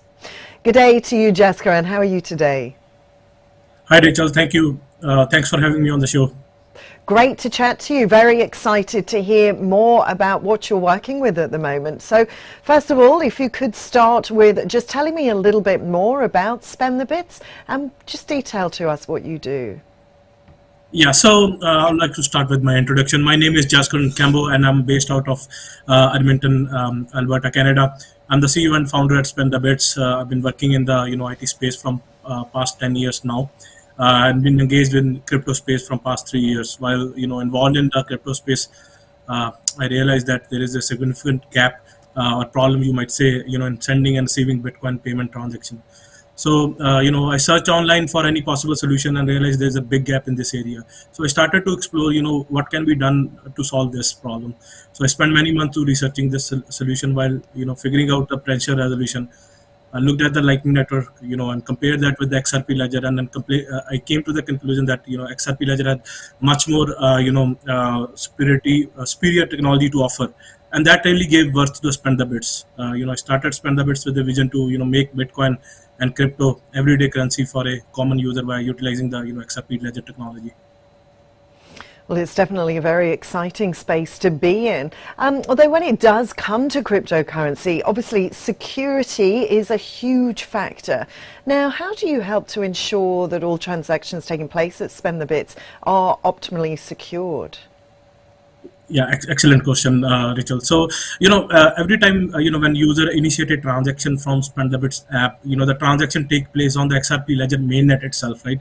And the XRP Ledger uses proof of consensus mechanism to settle the transaction uh, versus a proof of work or proof of stake, which is, you know, uh, heavily dependent on the network uh, activities.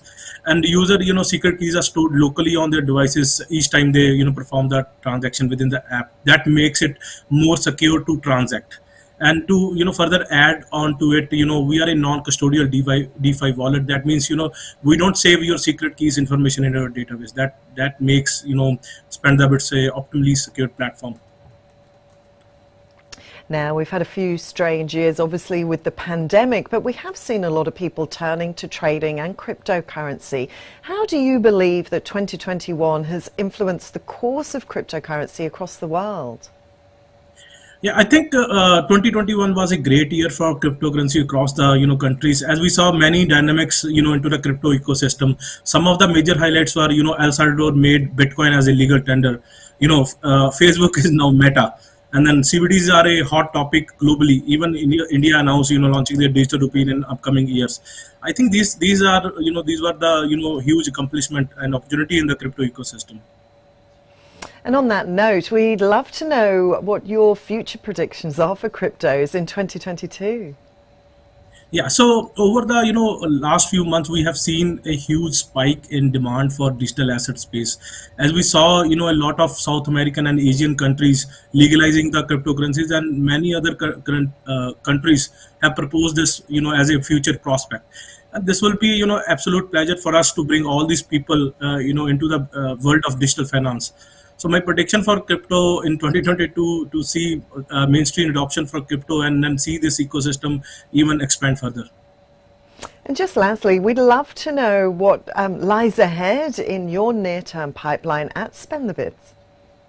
Yeah, so for SpendTheBits, you know, we are a P2P payment system right now, and then uh, you know, our near future, we are planning to roll out the Spanish version of the app in El Salvador, which is next in our milestone uh, followed by the launching merchant portal Apple uh, merchant portal app where user will be able to you know pay for goods and services using the STB app and merchant around the world will be able to accept cryptocurrency using the STB merchant portal.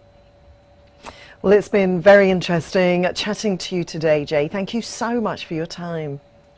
Thank you so much, Rachel, for having me on the show. Thank you and have a good day. And with that, I will sign off for today, but watch this space for more. Till then, stay apprised and invest wise with Kalkine.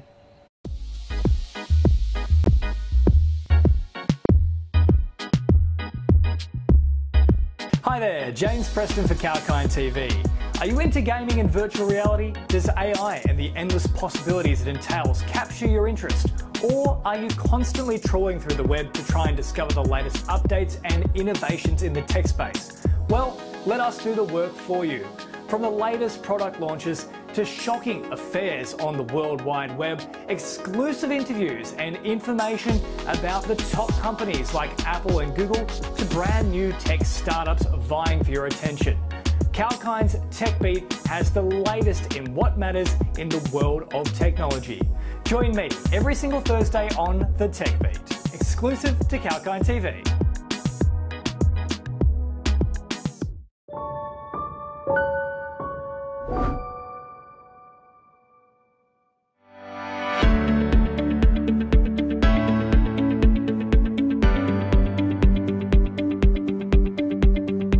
It's likely Australians could be paying more for tap beer if a new tax increase is passed on to the drinker. From the 1st of February 2022, the Australian Tax Office increased the excise duty rate per litre of alcohol by a factor of 1.021 to keep up with inflation.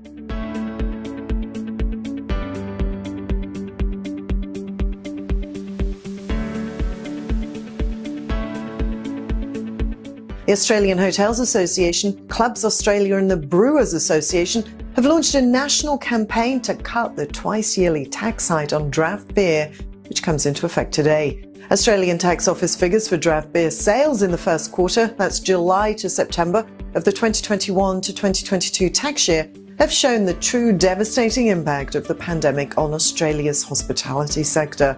The figures show that pubs and clubs sold 40 million fewer pints of beer in July to September 2021 than they did for the same period in 2019 before the pandemic hit.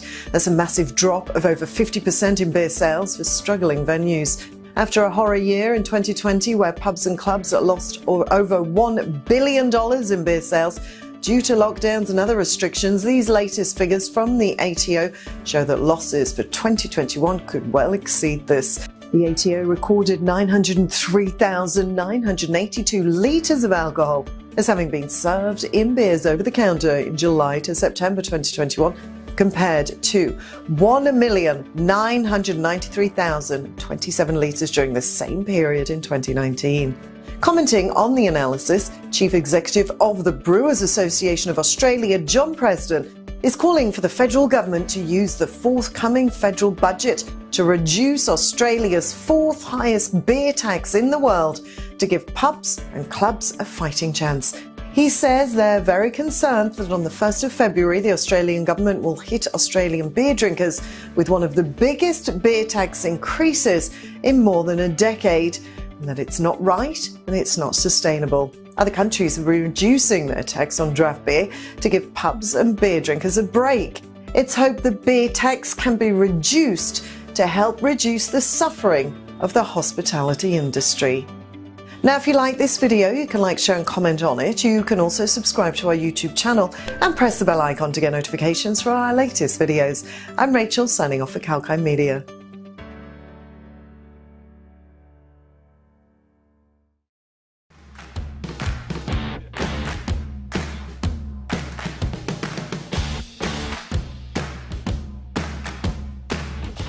Tune in to get the latest information.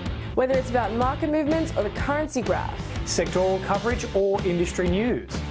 We cover it all on our news segments. Be on top of the latest news with Kalkine TV.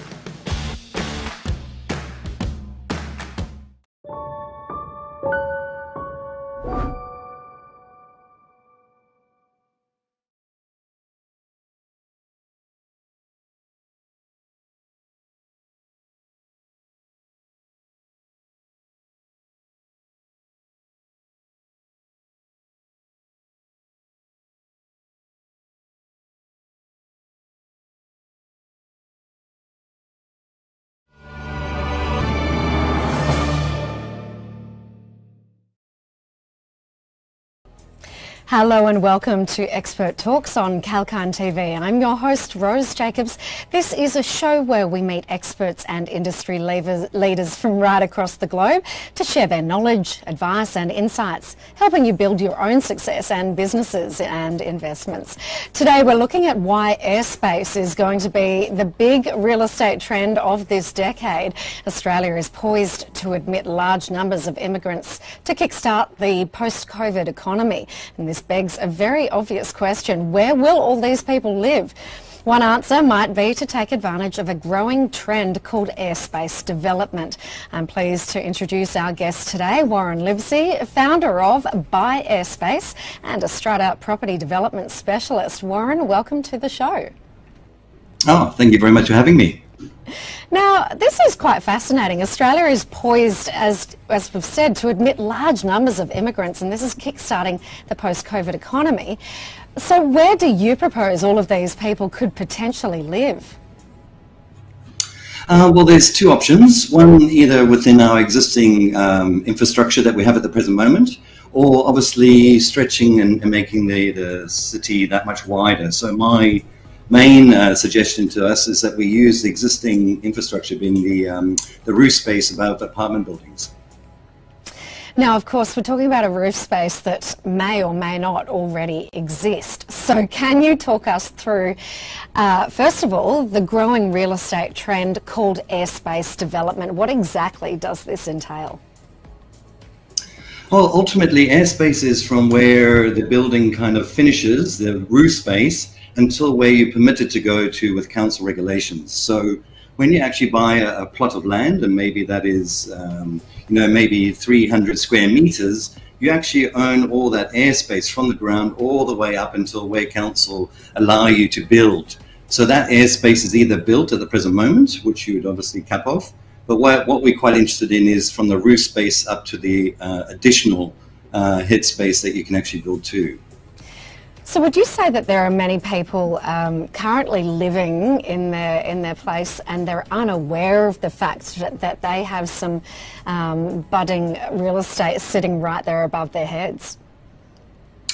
Uh, Rosie, I'd say pretty much everyone I've really ever spoken to. Um, people do when they buy a top floor apartment, they uh, generally do so with the understanding that they may extend into the roof.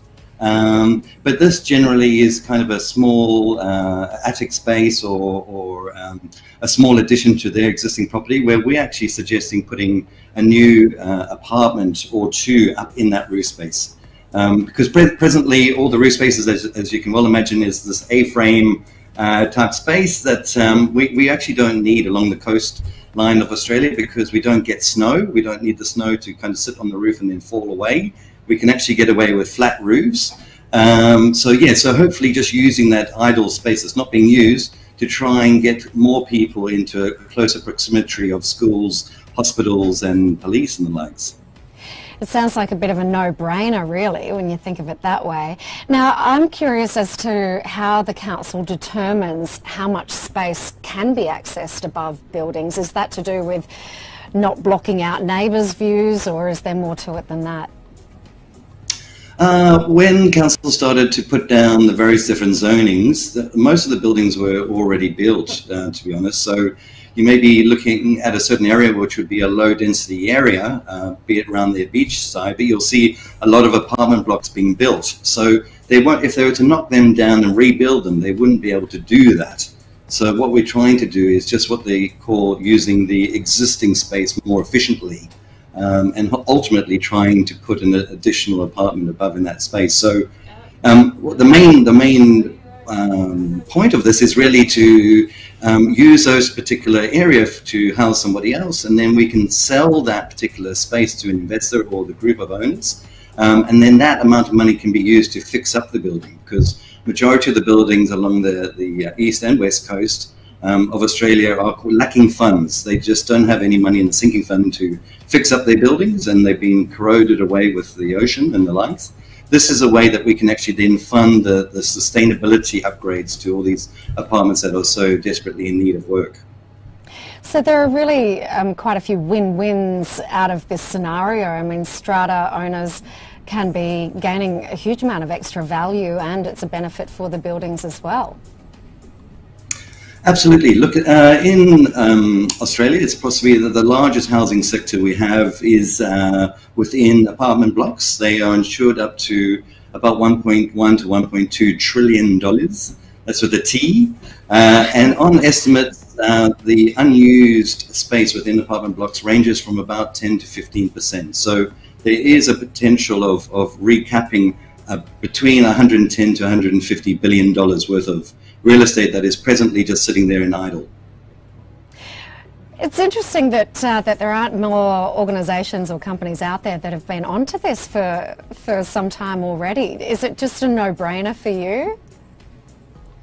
Uh, it's very common in Europe, uh, the US, the UK. Um, they literally put modular homes on top of roofs. It's quite um, apart. Uh, in the UK, they are automatically um, guaranteeing that people can go up another level. It just hasn't been needed in Australia. Australia has so much land, and you have 28 million people in around. We've been able to fit in, uh, um, in amongst that, but when we start looking at growing the population by, you know, five, 10%, where are we going to be able to put these people? Um, as well as, you know, we have the hospitals and the schools and already set up in these particular areas. So if we are to stretch out the, the, the, um, the town in order to facilitate for these new people, then we're going to have to build all those facilities as well, which is going to be very, very expensive. I've also um, heard that penthouses or very brand new top level apartments here can be typically a lot cheaper to build than to start from scratch with a new build. Is that right? Absolutely. The, the, the joys of the apartment blocks is that you've got the foundations already there. Um, your electricity, water and gas are already plugged in. So you are constructing up in the roof space is primarily wood and, and glazing, glass work that can be done by predominantly um, uh, carpenters. So it's the cheapest form of construction um, and obviously the most affordable to reach for the maximum amount of of uh, return because obviously up in the roof space you have a large amount of light and privacy and obviously um, uh, space for those issues. It really is a win-win and I guess as well, you know, any extra income that comes from building these new builds and the strata owners can then use the proceeds from the sale of these new spaces uh, to potentially pay for repairs or maintenance of the existing building. That's absolutely right. Um, really, it, it's where um, a lot of people along the, the coast they've, they've spent their last dollar trying to get into this property market, which is going absolutely through the roof, uh, pardon the pun, but um, you know, they, they don't actually have the additional funds that are needed to fix a building. So this may be plumbing, fire upgrades, electrical, you know, outer skin starting to need be replacement, and they sit there going, you know, am I going to have to sell this apartment in order to be able to fund this? And um, that this is just a, a, a, method or a way to actually find the funds for the building in order for them to actually um, stay in their residence and obviously make some money because where a top floor apartment may be worth, um, say, two to three uh, million odd dollars once it's been built, um, and most of that, say two million of that, can go back to the apartment owners, and they can use a million dollars to fix up their building and make it more sustainable. You know, get us more off the grid, but then obviously there's a million left over, which can actually be divided equally amongst the owners uh, based on their unit entitlement. And if that space is on their own personal name, as in they own their apartment, it's a it's a tax free. So it's not just a win-win where on one side people see it as a huge expense of fixing the building. This is actually a way of making money and making their building more sustainable, which I think we need to do with climate change happening around the corner. Indeed, a very valid point there. I can't imagine why anyone would say no to such a proposal. So I'd like to know, you know, is, is it quite a difficult process for strata owners to gain the approval? Uh, what's involved in, in that process? Uh, it's it, it's incredible uh, because you, are looking at fractional ownership. Uh, you know, so many people owning. Everyone has their own financial goals, settings. Uh, your neighbour's possibly not the first person you would consider going uh, into a financial relationship with. Um, but in, in saying all that, you know, we are all uh, apartment blocks are having this 10 year kind of um, what they call capital works plan of how they're going to fund fixing their building. Um, and a lot of them are at a loss of how they're going to do it. They ultimately are either increasing their quarterly um, levies or they do a, uh, a once off payment that ultimately getting funds into the strata from the owners to then fix it up. So what we're trying to do is is that the, the the process kind of generally falls over with the owners doing it themselves because there's so many approval stages. So the, the suggestion that I have after doing 75 developments and spe speaking to over a thousand apartments is is to try and, and um, get the um, the owners out of the decision making process sooner than later. And the fact that if they are comfortable with selling that particular roof space for a million dollars or a million and a half, then the investor or the group of owners can then take that particular space and design it accordingly uh, without it through all the various levels of uh, approvals, which generally stop and, and get everyone into this death roll, sadly. It sounds like it's quite vital to have somebody like you involved in that process, that's for sure. So, if people are actually interested in finding out more about this, um, what's the best way for people to learn more? Uh, I have general uh, information on my website, uh, buyairspace.com.au.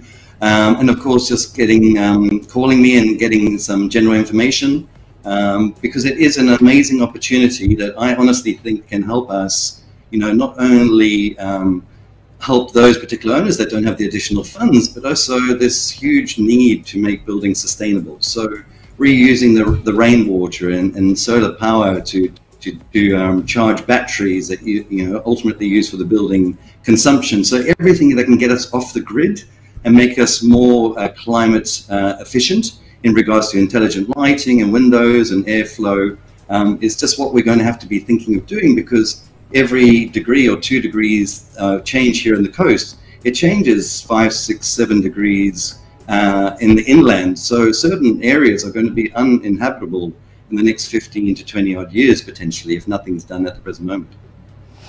It, sounds, it certainly sounds like it's a very exciting time in terms of uh, real estate and, and where we're going over the next decade or so. And it certainly sounds like you're the man for the job.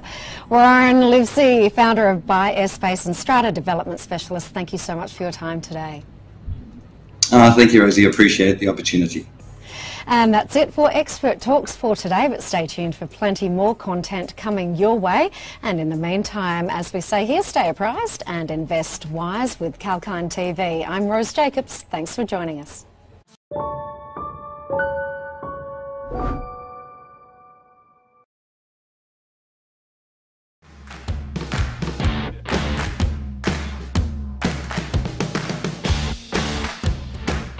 Tune in to stay updated while on the move. We will tell you where the crypto craze has reached, where the property market is headed next, what the world is doing to become more environmentally friendly, apart from tracking the daily market charter.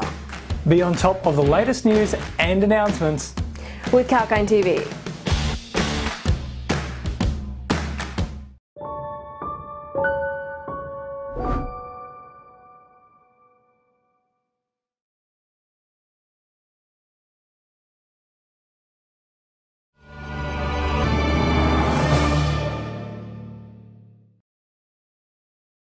Hello, everyone. I'm Rachel, and I welcome you all to Executive Corner Expert Talks. Today, I'm speaking with Joe Foster. Now, Joe is the CEO of Close the Loop.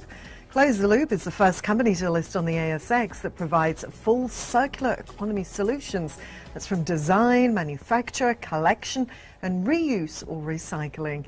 Here at Kalkine, we bring you industry leaders, successful business owners, market and equity advocates, all under one roof to help you discover the insights of the stock market and help you understand how you can create multiple passive income streams.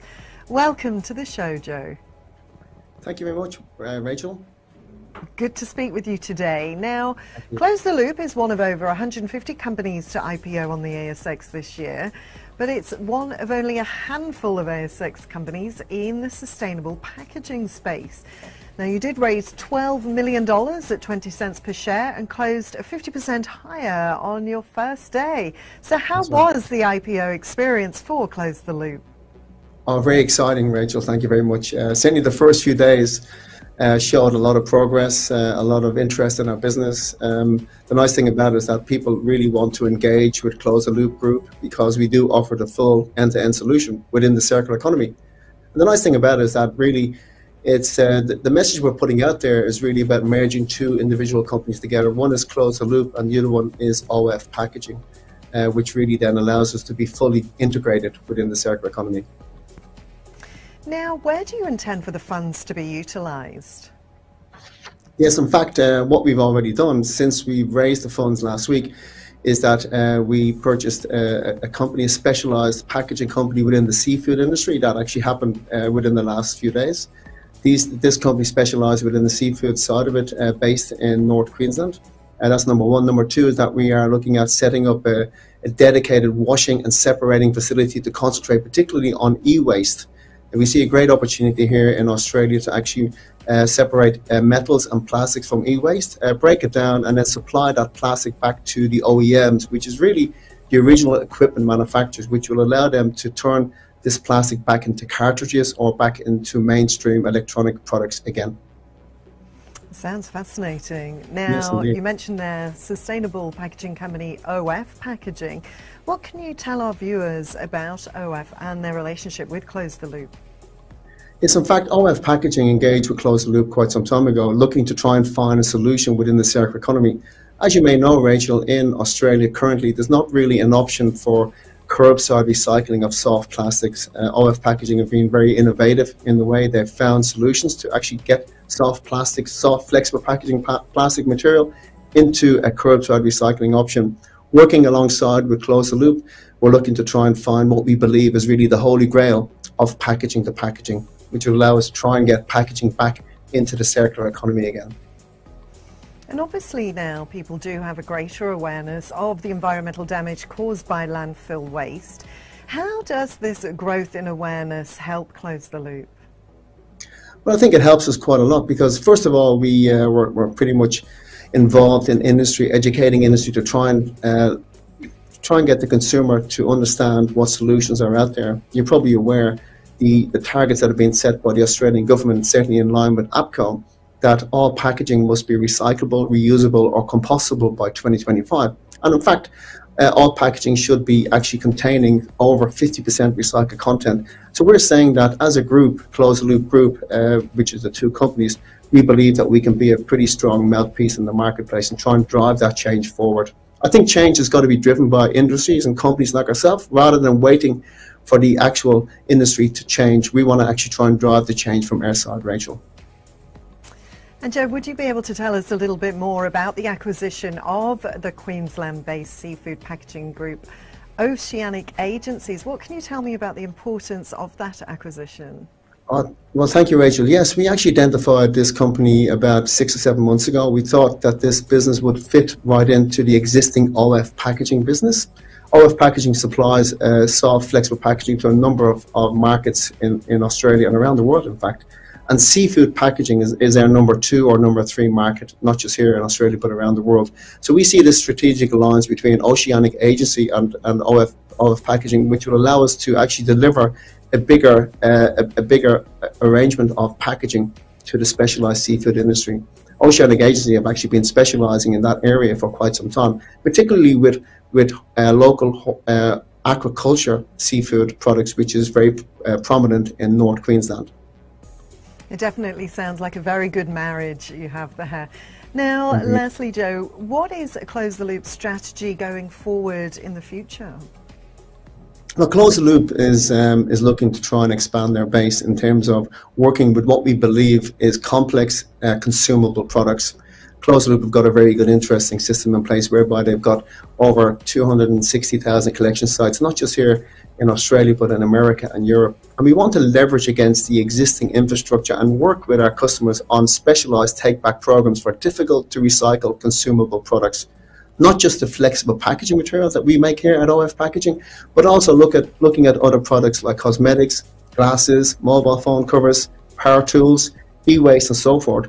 We want to become the leaders in that market where other other companies are not willing to look at recycling these products. We actually want to take these challenges on and put them through our, our existing infrastructure and be really the leaders in that area. And as I said, we do see, we do see ourselves really as the most advanced uh, in this particular space here in Australia and particularly listed on the ASX. So it's been a great journey and it's very exciting to say the least, you know.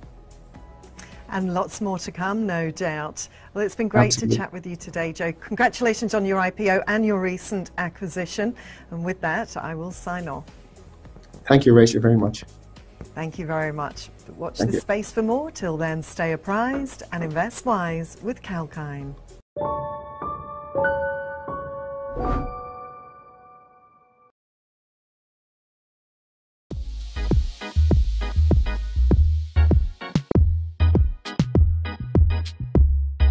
Hi there, James Preston for Kalkine TV. Are you into gaming and virtual reality? Does AI and the endless possibilities it entails capture your interest? Or are you constantly trawling through the web to try and discover the latest updates and innovations in the tech space? Well, let us do the work for you. From the latest product launches to shocking affairs on the World Wide Web, exclusive interviews and information about the top companies like Apple and Google to brand new tech startups vying for your attention. Kalkine's TechBeat has the latest in what matters in the world of technology. Join me every single Thursday on the TechBeat, exclusive to Kalkine TV.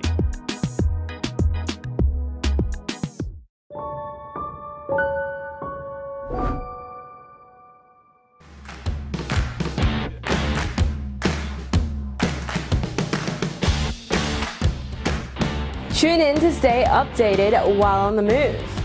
We will tell you where the crypto craze has reached, where the property market is headed next, what the world is doing to become more environmentally friendly, apart from tracking the daily market charter. Be on top of the latest news and announcements with Kalkine TV.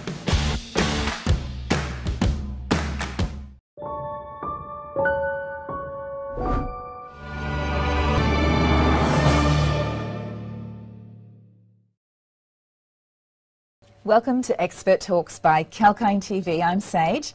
Today's guest is Mr. Jonathan DeCarteret, CEO of Bumper. And to give you some background, Bumper protects the value of their clients' crypto holdings using an innovative DeFi or decentralized finance protocol. So clients set the price they want to protect at, and if the market crashes, their assets will never fall below that price. Now, importantly, if the market pumps, the asset rises too. Sounds very interesting, especially in the current market conditions that we're witnessing. So keep watching to find out more. Today's show should be very interesting. Bringing you live today, I'm excited to have Mr. Jonathan DeCarteret, CEO of Bumper, a dynamic and entrepreneurial business leader. Welcome to the show, Jonathan. Hi, Sage. Thank you very much for having me.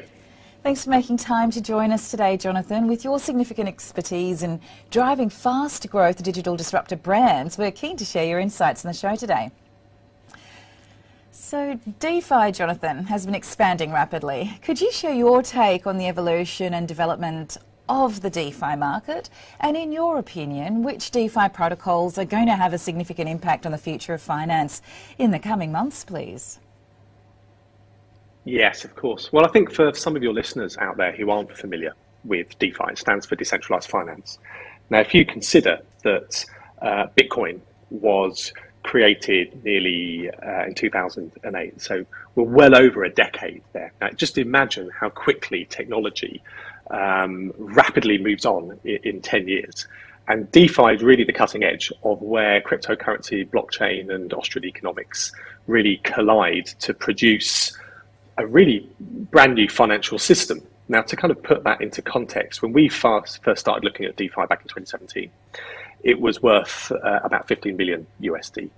We are now within that, that, that space of time up to nearly quarter of a trillion dollars locked in DeFi protocols. And I think what, what your uh, listeners probably need to, to kind of really understand is what DeFi really represents is a total change of the underlying plumbing of how finance can work it's digitally native, it's programmable, it has low latency, it has high frequency. It means money can fly around the ecosystem um, freely and at pace. And that gives rise to all types of financial instruments and structured products that we've never even conceived of in traditional finance.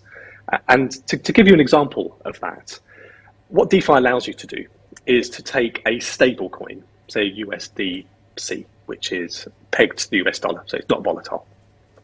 And you can use a service that will deposit that into a savings account. And that digital dollar that you have will start accruing interest, but it will be constantly scanning around for other savings accounts that are offering improved interest rate. And if one of them comes online, it will instantly move itself across. And it may do that a few hundred times a day. And so what we are really seeing is, um, for the first time, is what happens when you make money digitally, digital. What happens when you can make it programmable, and what's the next kind of epoch that we believe is going to happen is that central banks will start to release their own digital currencies. We know that China is leading the furor there with the digital yuan. Um, we are quite certain that other countries will um, follow close behind.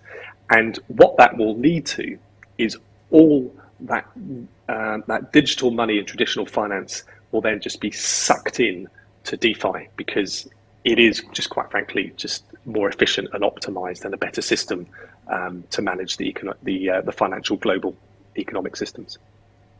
Sounds great. Uh, thank you so much for putting that in a nutshell for us. And theoretically, um, it does sound fantastic, and it's finding the utility for this type of system and, and how it can work across industries, I think that's going to be really exciting and the next few years should really prove to be a window of opportunity for many businesses. So thanks, Jonathan, for that uh, insight. Now, the year 2022 we'll observe the emergence of regulated DeFi is what we're noticing. So what exactly is it and how will it impact the current flow of the crypto world in your opinion, please? Mm regulation and DeFi do not go hand in hand very well. Um, but the reason why DeFi works really well is because it is permissionless, which means um, that anybody can have a digital wallet and start interacting with it. And, and it's that property of DeFi that allows that high velocity, low latency property that I, I, kind of mentioned earlier, which is the kind of key property that allows the whole thing to to kind of operate um, so efficiently. And, and where FATF, which is the global regulatory body that advises other uh, individual country regulators, they have some, released some guidelines uh, a, a, few weeks ago. But reading between the lines, you can tell that it, they are finding it extremely difficult on how to regulate um, these individual protocols. And I'll give you, for instance, um, there are protocols out there which um, are launched by founders. Some of those founders are anonymous, so all you'll have is a, a Twitter tag. Those protocols then um, see success. They grow their TVLs, which is the, the amount of money that's locked into the protocol, into the billions of dollars. And they then move across to something called a DAO, a decentralized autonomous organization. And a DAO is really a community run protocol. So there's no longer a board of directors, there is no entity, there is no country it is domiciled in. And that makes it virtually impossible for regulators to make those protocols accountable and to essentially kind of use their, their regulatory tools and instruments that they would normally um, dispatch. So we feel that really that where regulators are started to kind of concentrate on is how can they regulate the um, the money that's flowing in to crypto. So that gateway between what we call fiat, which is like just your normal dollar or yen or sterling, and when that is then transferred into cryptocurrency, that is where the regulation is coalescing because there there can be um, you know, your customer checks and anti-money laundering checks, but once it's actually within DeFi, um, we are at a bit of a loss about how regulators can meaningfully regulate that in a way that you know stops nefarious actors from participating. Exactly, exactly. I think that's what the, the regulators really have at the forefront of their minds, how they can protect the consumers. Um, thank you for your insights on, on DeFi regulations. So, how was the impact of the pandemic and the emergence of new variants, in particular, um, affecting the crypto market? Interestingly, remote work seems to work uh, well with crypto businesses and DAOs, which is the way we seem to be evolving. Um, also, how do tools like your bumper help in such drastic scenarios like we're seeing at the moment? Mm. Well, the pandemic, you know, you kind of look back now and see a little bit of hindsight of, you know, what the what the um, the consequences were. I think the first thing was that by by its very nature, by its very design, cryptocurrency is distributed, right? It's like a kind of um, an underlying principle of cryptocurrency. So there's no single point of failure.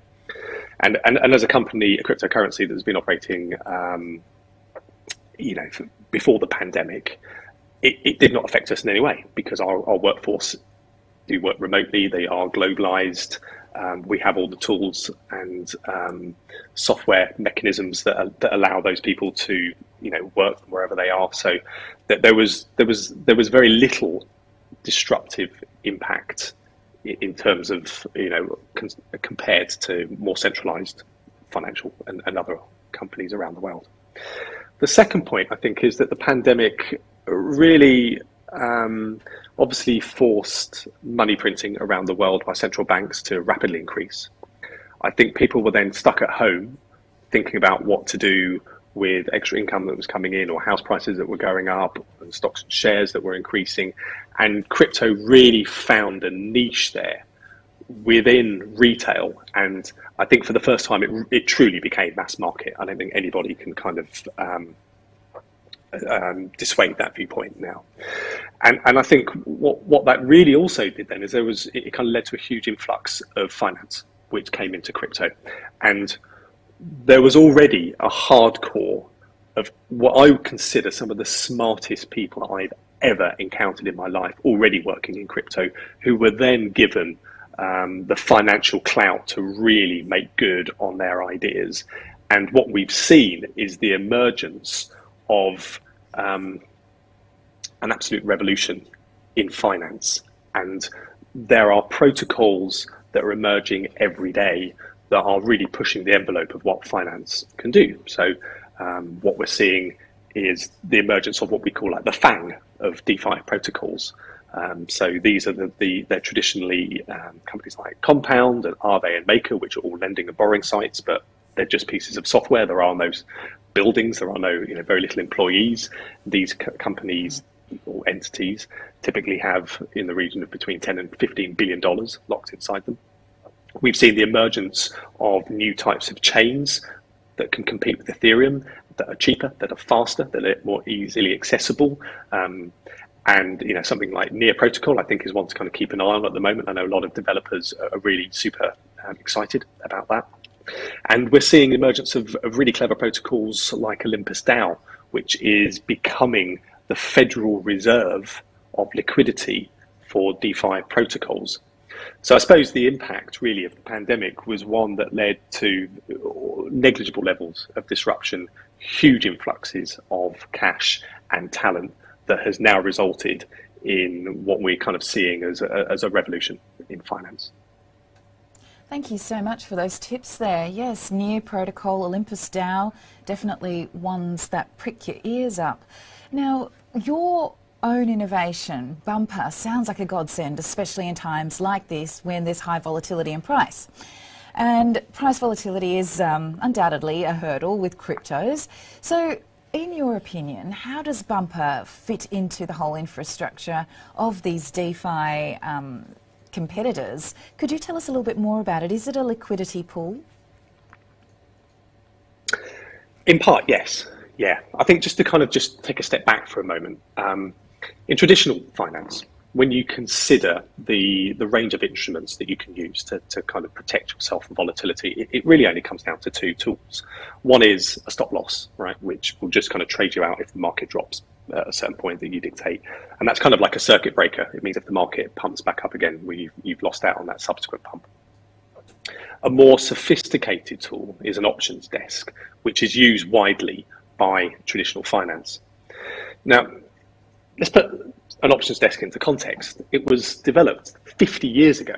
So we're talking about a 50 year old piece of technology that is still being brought out today to protect against volatility.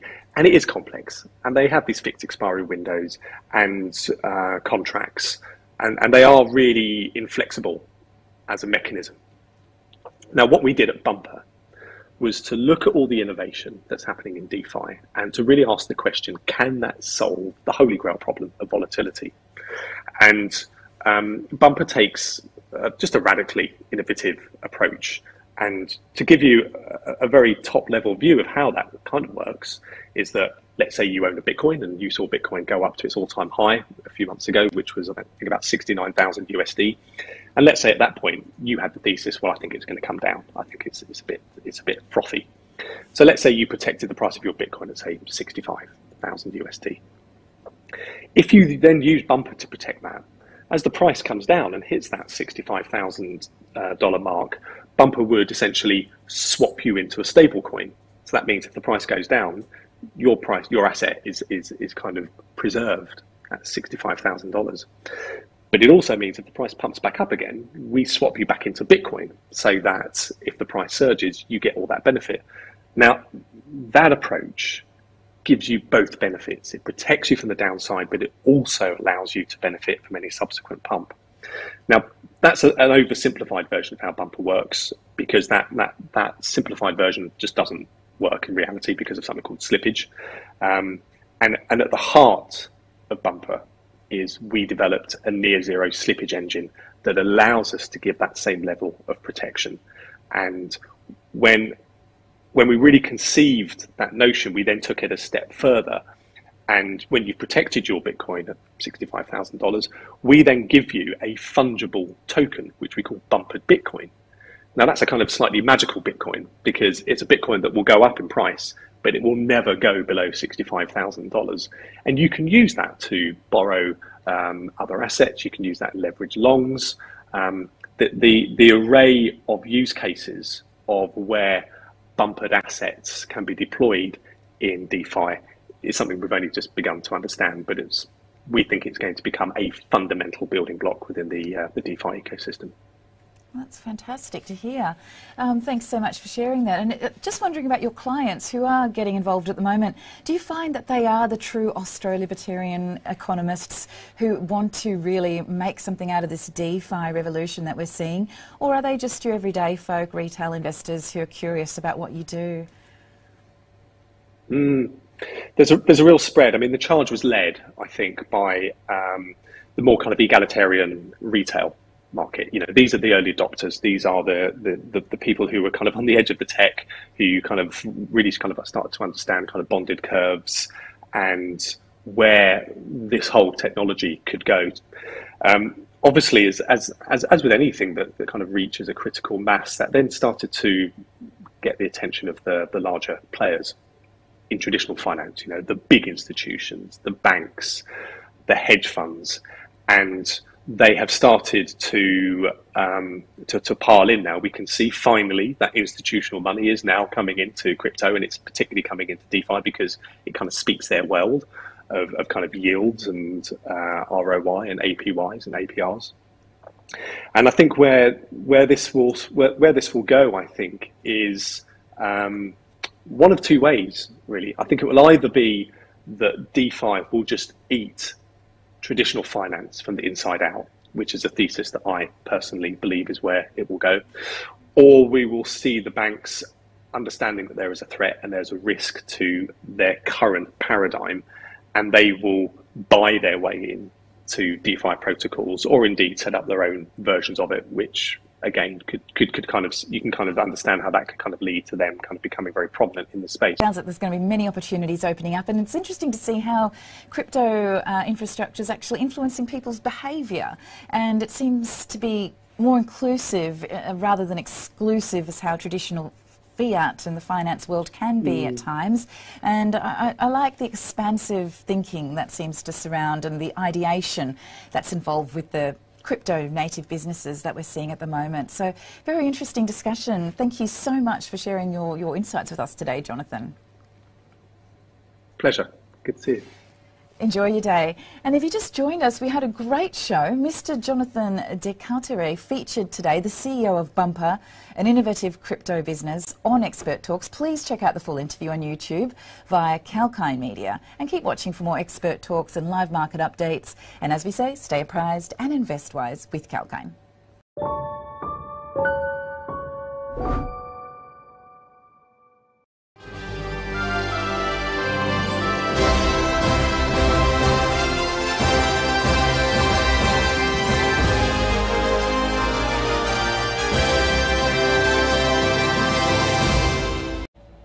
Hello, I'm Rachel Jones, and this is Kalkine's breaking business news. Now, the board of Magellan Financial Group reports that after a period of intense pressure and focus on his personal and professional life, Hamish Douglass, Magellan's chairman and chief investment officer, has requested a period of medical leave to prioritise his health.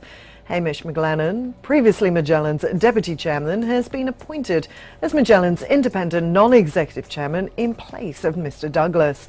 He says the board wholeheartedly supports Hamish's decision to prioritise his health and Magellan is committed to providing him the time and support he requires. Robert Fraser has been appointed as Deputy Chairman of Magellan in place of Mr McLennan. Mr Fraser will continue as the independent non-executive Chairman of Magellan Asset Management. That's Magellan's responsible entity and main operating subsidiary.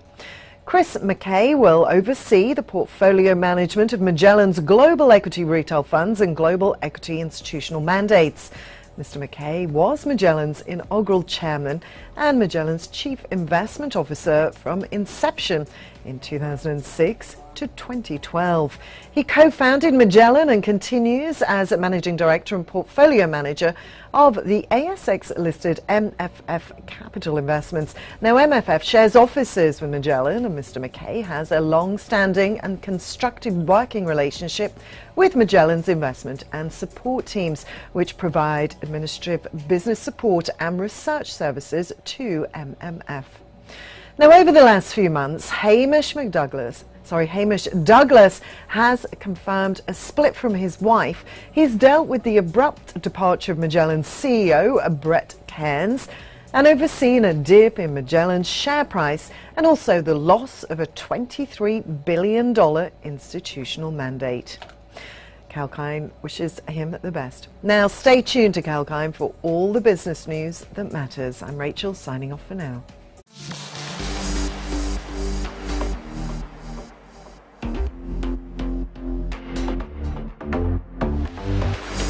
Hi, I'm Sage, and get ready to take the crypto ride with me on Kalkine TV. Watch the crypto buzz every Tuesday and join the excitement at Kalkine TV from Bitcoins to NFTs to Dogecoin and DeFi. We have updates about everything around these digital currencies. Understand the investing rationale and the risks involved in the space with me, Sage, on Crypto Buzz. Keep watching Kalkine TV.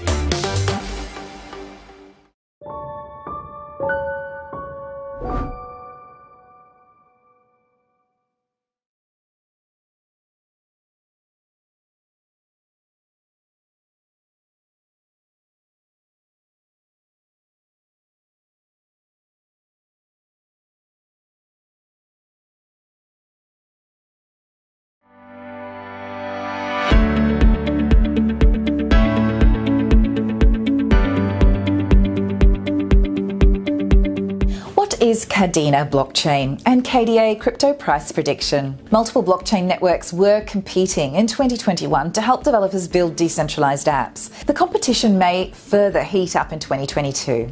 Solana emerged as the most significant rival to Ethereum last year, making Solana Sol Crypto one of the best performing assets. While Cardano, Polkadot, and other high market cap blockchain networks usually make the news headlines, it's time to look beyond that. And one blockchain network, Is claiming to be like no other. Let's find out more about this protocol. Please subscribe to the channel. I'm Sage for Kalkine Media.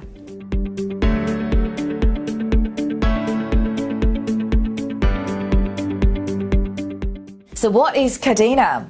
Well, Kadena allows developers to build smart contracts and other blockchain based solutions like NFTs. They launched the platform in 2016, claiming to provide virtually free transactions. Kadena boasts of its clever contract language, Pact, which it claims can weed out bugs.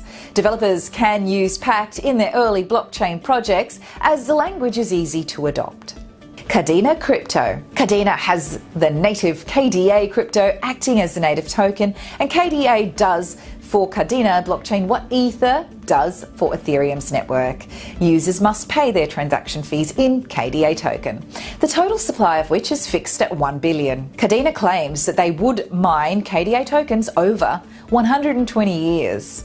KDA crypto's price. KDA has a high market cap of nearly 930 million US dollars, which makes it one of the top 100 cryptos by market cap. The price of the KDA token is approximately $5.50 after having plunged over 10%. KDA's crypto price prediction. Solana, a major Ethereum rival, rose substantially in 2021, and developers are using the network to build D apps. If Kadena's blockchain can show similar promise, KDA crypto may have a fair chance to rise in the near to medium term. Kadena cryptos experienced a sharp rally in November 2021, along with many other cryptos on the market, and the price peaked at almost 25 US dollars. In 2022, so far, Kadena has continuously lost value the price might enter a double digit trajectory by the end of the first quarter, but for a sustained rally, the Kadena blockchain will have to be adopted by more developers. The bottom line Ethereum's dominance in blockchain and as the leading provider of DApp services is under threat. Like Ethereum, all other networks have a native token used for fee payment. It is claimed that the gas fees in Ethereum is relatively high, and Kadena is one of the networks claiming to be very affordable in comparison. KDA's coin has usage within Kadena, and the price movement will essentially be a product of demand. If you like this information, please let us know by liking, sharing, commenting on the video below and subscribe to the channel. If you do press the bell icon, you'll be notified of the latest videos by Kalkine. For more articles like this, please head to the website kalkinemedia.com. I'm Sage for Kalkine Media.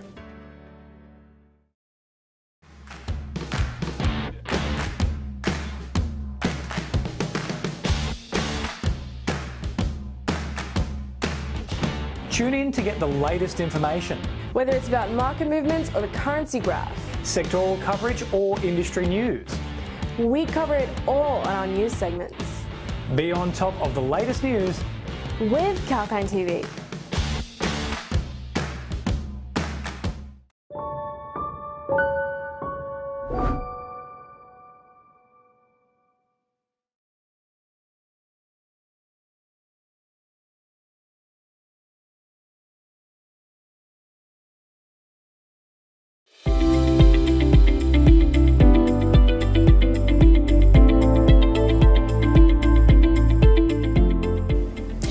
Is Titano crypto?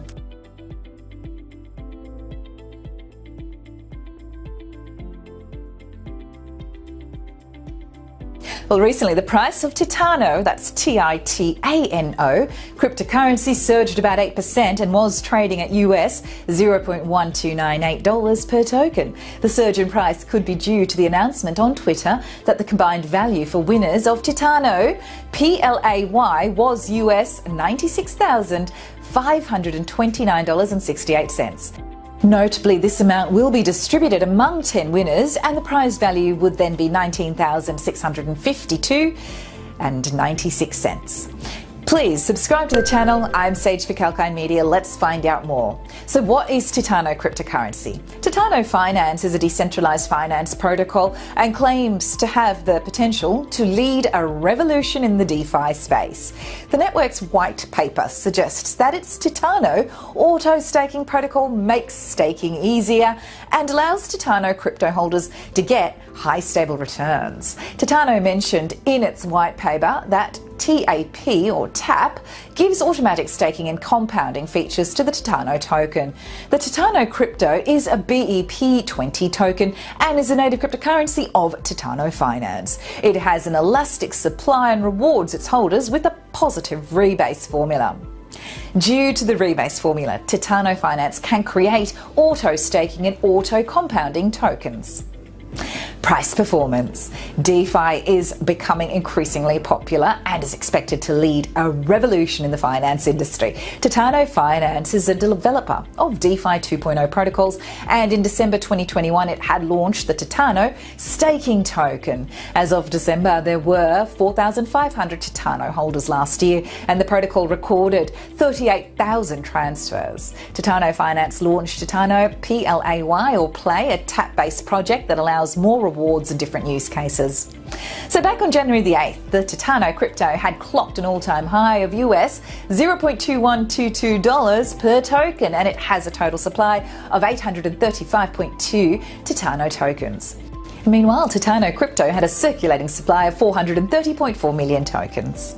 Thanks for joining us on the report, and if you do like the info, let us know by liking, sharing, commenting on the video below. Subscribe to the channel and press that bell icon. You'll be notified of the latest videos by Kalkine. For more articles like this, there is a website, it's kalkinemedia.com. I'm Sage for Kalkine Media.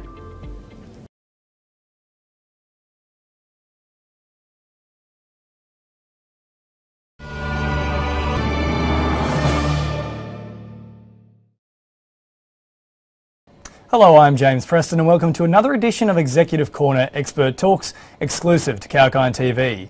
In this episode, I'll be shining a light on Pledger Giving. Pledger is a social impact platform that allows for e commerce brands to fundraise for charities. And to talk us through how it all works, Weston McIntosh, the CMO of Pledger, joins me live now. Weston, great to have you here with us on Kalkine. Nice to meet you. Thank you very much for inviting me. Now, great to have you here. Weston, first and foremost, how exactly does Pledger work?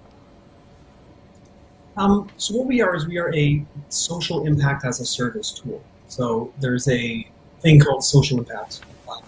Basically, what it is is trying to make a difference in your community. So this is up to you. It can be your household, your local town, your city, or the world. So what we do is we try and help online retailers take the community they choose, making it. So this can be environmental, trees, removing plastic, or it can be helping homeless off the streets, choose. Yeah, wonderful. Now, there's obviously things as well, such as GoFundMe, Donor, Crowdfunder. How does Pledger differ from those platforms, though, for people who might not be 100% across it?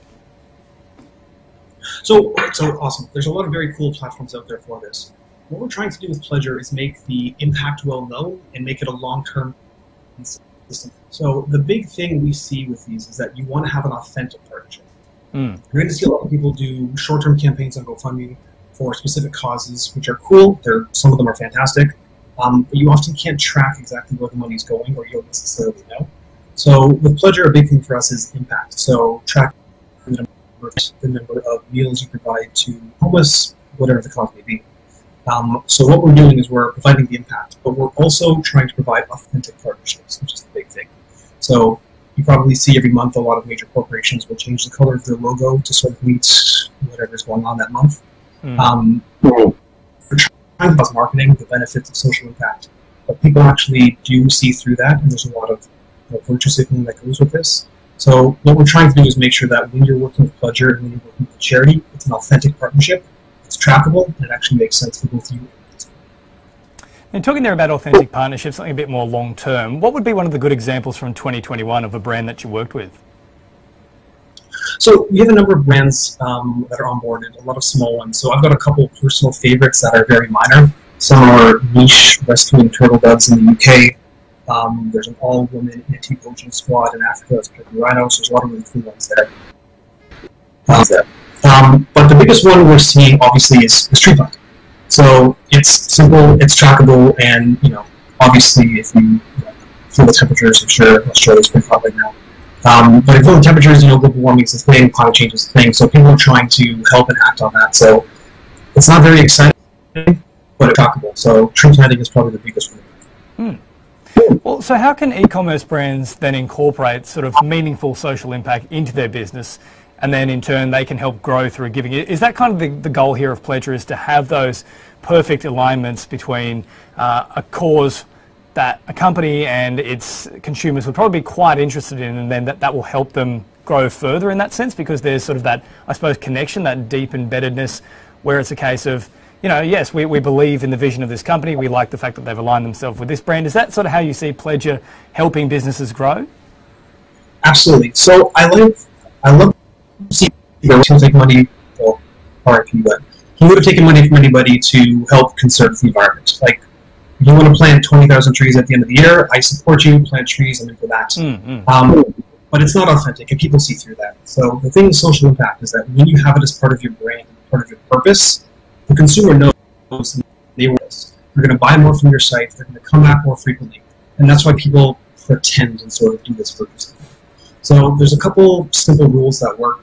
Um, try and have something that's consistent with what your company is selling.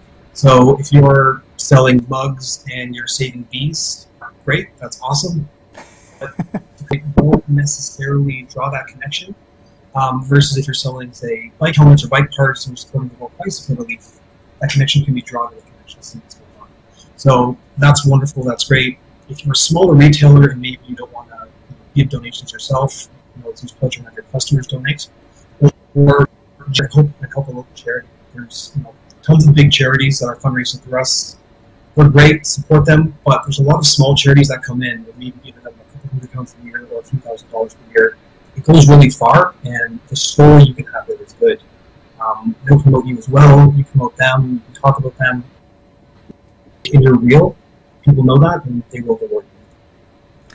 Now, as part of the, um, the Shopify function within Pledger, uh, what I want to break down is, for example, if someone buys, say, a $20 shirt, for example, how much will be then given across to the charity that they're affiliated with? Is there a way that you can adjust the parameters to say, hey, 5% of every sale goes to this, or is it 1%, is it 10%? How does that work? It's up to the retailer in terms of what they want to do. So We've got some larger companies that are giving, say, a half percent, but they're you know maybe selling ovens and stuff where they can't afford. The margins are a little bit thinner for a lot of projects, for a lot of mm. products. Um, so we'll give a half percent, or we'll give a few pounds per, per order. Um, but we have some really cool companies that are straight up giving 20, 30 percent of the revenue to niche charities. Wow. Um, it's almost like they don't want to make money; they really just want to help. you see with the talk about talk about authentic partnerships, but a lot of these uh, these founders have personal experience with charities, whether it's cancer research or who may have benefited from these charities in the past, and they truly just want to give back. And what we see, because we track all the orders, they perform very well. Like they're trying to give their money away, but it's coming back with people love them. They're, they're great people. So you can give one percent, you can give five percent, or you can ask your consumers to donate. If, uh, Now, you're also talking just a little while ago about smaller retailers being involved as well. Is there a minimum size that there needs to be to get involved with Pledger, or can any company theoretically do it? Um, any company can do it. We don't want to gatekeep it. We, you know, you see companies like Amazon and the Climate Pledge where they're billion dollars to you know, fight the good fight. But we know where the money comes from, obviously. If a small brand wants to come in and you know, donate one pound a month because they're selling again mugs to support these, we're all for that, and we want to make sure everybody has the opportunity to. Well, I think a big thing for me and many others is that I'm only comfortable giving if I know where my money is actually going to go to. Uh, so, with that in mind, how does Pledge actually keep things transparent and, and I suppose simple so it's easy to follow the entire process? So when it comes to, say, the customer journey, um, you can see the money's going somewhere. That's cool. Are they telling the truth? Are they lying? We don't know. So what we do with our purchase is that when you make your purchase through Pledger, um, you get a few different options. So the consumer can actually pick which charity they want to support. Um, so if you have a few that you love, tree planting, bees once again, because it's stuff in my head right now, and homeless, um, you give your consumers the option to pick. What we try and do with as many of these charities is hard impact for money. So if you know buying that twenty dollar T-shirt, uh, two pounds or two dollars is going to be for charity, you know that's going to be two trees planted. You know that's going to be a meal, whatever that uh, equates out to. It's really tracking. It's, if you can show what the impact is, that's what we try to be transparent. Well, Weston, what's in the pipeline for Pledger in 2022? Um, we've got some pretty cool partnerships that are opening up. So as we've been sort of growing and developing, a lot of our charity onboarding is coming through through shops. People come in and we have our sort of our favorite charities, our the charities that we started with, ones. Um, we're trying to onboard tens of thousands of charities at once because anytime a new store comes on, we want to find new charities, but they want to support specific ones. So we're trying to really grow and develop that. Um, and we're also adding a lot of sort of impact tracking features. What you're seeing in a lot of countries, especially the UK, with companies based in Germany, um, ESG reporting is not, not just a anymore. You have to do it. Um, there's legal obligations that are coming the pipeline. You have to be showing Hmm. your environmental impact, but uh, track your social impact as well. So what we're trying to do is provide all the information, all the tools to make this easy for players. I did this for years. It was the most soul job numbers and data to governments. It's not fun. I don't want anybody to have to do it if they don't have to. So we're trying to give people all the tools and all the resources to, to, to do it for us. Yeah, wonderful. And just before I let you go, Weston, how can we find Pledger, whether you be a business looking to get involved or a consumer who wants to find who is actually being supported with Pledger's uh, application? How, how can we find you?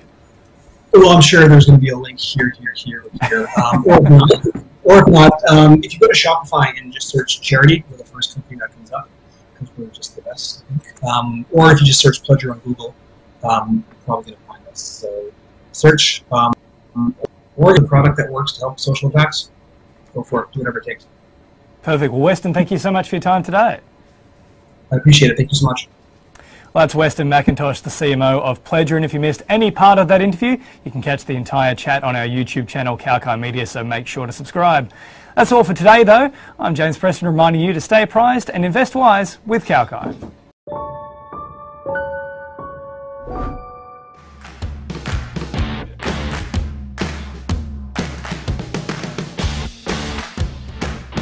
Tune in to stay updated while on the move. We will tell you where the crypto craze has reached, Where the property market is headed next.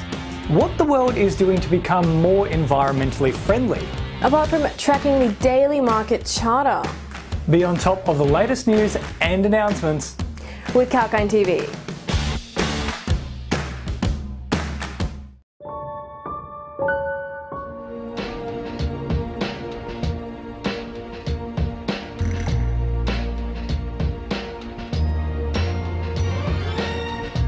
By Kalkine. Looking for a dream home?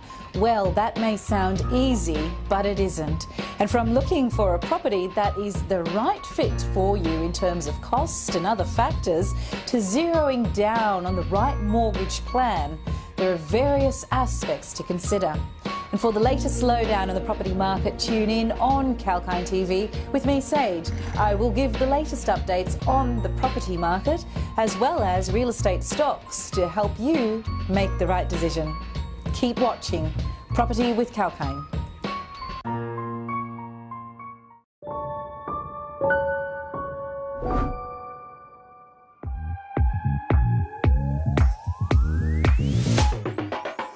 Are you sick of paying through the roof for a product that doesn't truly suit you?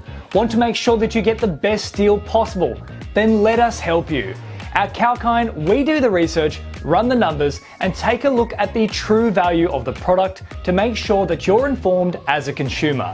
Whether it be the best streaming service to suit your binge watching desires, the right broadband and NBN plans to ensure a no buffering experience, saving money with your energy, gas, and mobile plans, or treating yourself with a bit of retail therapy.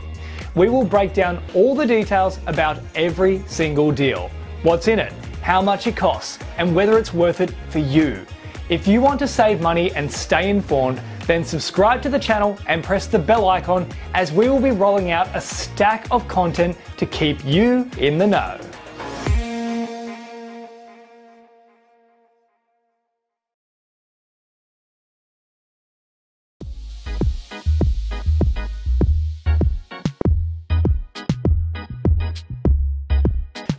James Preston for Kalkine TV.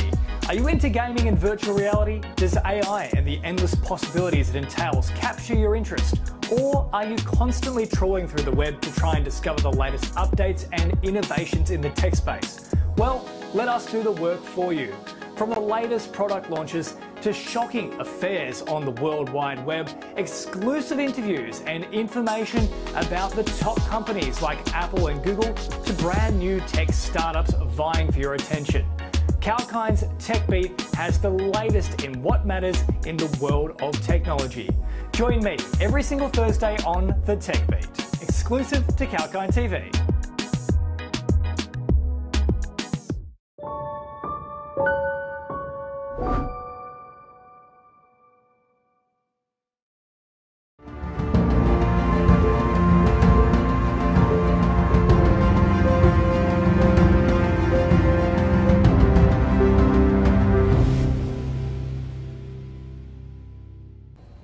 Hello, everyone. Welcome to the Smart Market Insights here on Kalkine TV. I'm Sage, and today we'll be shining some light on the impact the crypto market is having on the economy. Many are saying crypto is currently in a bear market, and to be fair, it's hard to tell with crypto. The inherent volatility of digital assets means that the direction of the market can change very quickly. And having said that, the crypto market has been in decline for close to three months now, led by Bitcoin, which in November reached a new all-time high of 68,500 US dollars. Today, it's worth around US $42,000. Now, meanwhile, countries around the world are grappling with the potential impact crypto will have on their wider economies. Some look upon this more favourably, while others see it as a threat to economic stability. And at a time when the global economy is dealing with the fallout of the pandemic, which has caused lockdowns all over the world throughout the past two years, never has the determination of crypto's impact on the wider economy been more important.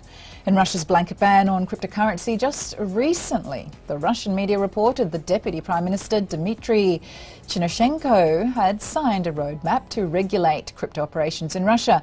And this followed a report by Russia's central bank, which proposed a blanket ban on crypto related activity in the country. The paper titled Cryptocurrencies, Trends, Risks and Regulation argues the adoption of cryptocurrencies poses sizable risks for the Russian financial market and particularly to the well-being of the Russian citizens due to market volatility, scams and cyber attacks, which they believe will lead to a loss of investment in traditional assets threat to central banks. Several countries have expressed their concerns regarding the threat posed to central banks by decentralized digital currencies. And China is another country which throughout 2021 put a blanket ban on both the trading as well as mining of digital currencies. Migration of Bitcoin mining. And before China imposed a ban on crypto mining, the majority of the world's Bitcoin occurred there. And this meant that following the ban, miners were forced to find other venues to execute the mining of various crypto coins. And those miners headed to places like Kazakhstan, where electricity is cheap. And bear in mind, the mining of Bitcoin alone has been reported to use as much electricity on an annual basis than smaller countries like Sweden, Malaysia, and Egypt. The migration of miners to Kazakhstan has put pressure on the nation's power grid, causing regular power outages, resulting in authorities being forced to ration electricity away from crypto miners, which consequently has forced those miners to migrate again to more electronically fruitful locations. And this loss of economic activity has reportedly resulted in losses of around 1.5 billion US dollars times Kazakhstan's economy. Policy and levels of regulation in Australia. Australia is one of the more friendly destinations and believes its economy will benefit from crypto in the long run, provided there is proper regulation put in place. A report published in October by the Senate Select Committee on Australia proposes licences for crypto exchanges as well as streamlined taxation legislation. Australia has conveyed a relatively optimistic attitude to the future that decentralised digital currencies and blockchain technology can provide. So the bottom line, cryptocurrency is still a relatively new asset class. Its popularity, which has accelerated its status to the point where governments are now scrambling to either incorporate or reject it from participating within their larger economies, is even more recent. And for those countries like Australia who have chosen to incorporate rather than reject crypto assets, its effect on the wider economy remains to be seen. And thanks for your company on that report. And that's all for now. We will be back again with the exclusive Smart Market Insights show. But till then, keep watching Kalkine TV for the latest market updates and related insights. Sage here, signing off for now.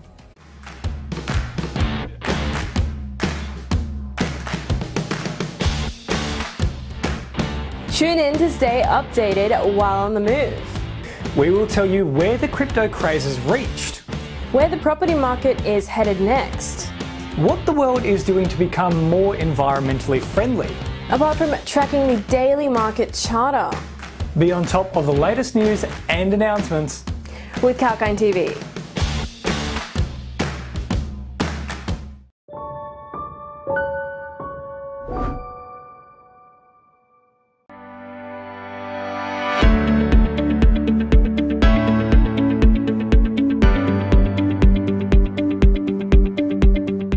Of Saber Crypto? Hey, and thanks for tuning in. I'm Holly Shields reporting for Kalkine Media.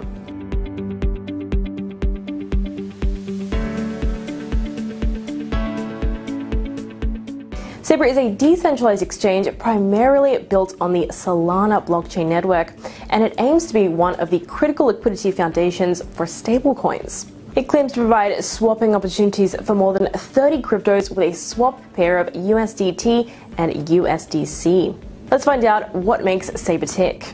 Well, one of the advantages of this crypto is its ability to offer services at a low transaction fee and faster transaction speed as well. Saber can do this thanks to Solana's faster throughput ability, which offers low transaction costs as against the likes of Ethereum.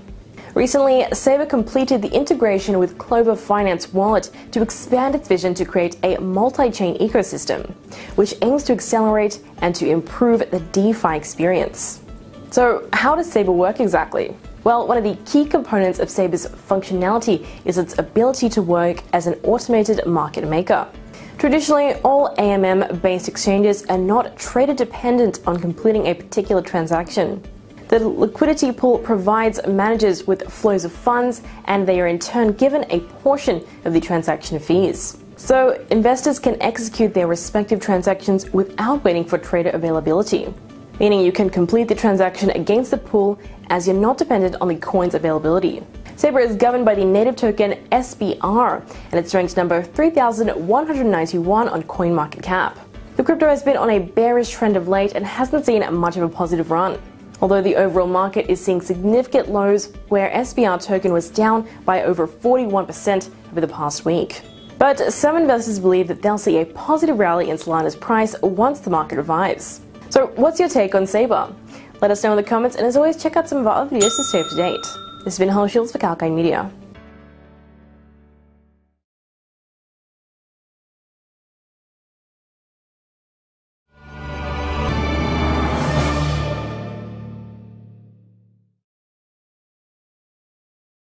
Hello, everyone. I'm Rachel, and I welcome you all to Executive Corner Expert Talks. Today, I'm with Benjamin Lai. Now, Ben is Savvy SME's top influencer in sales strategy.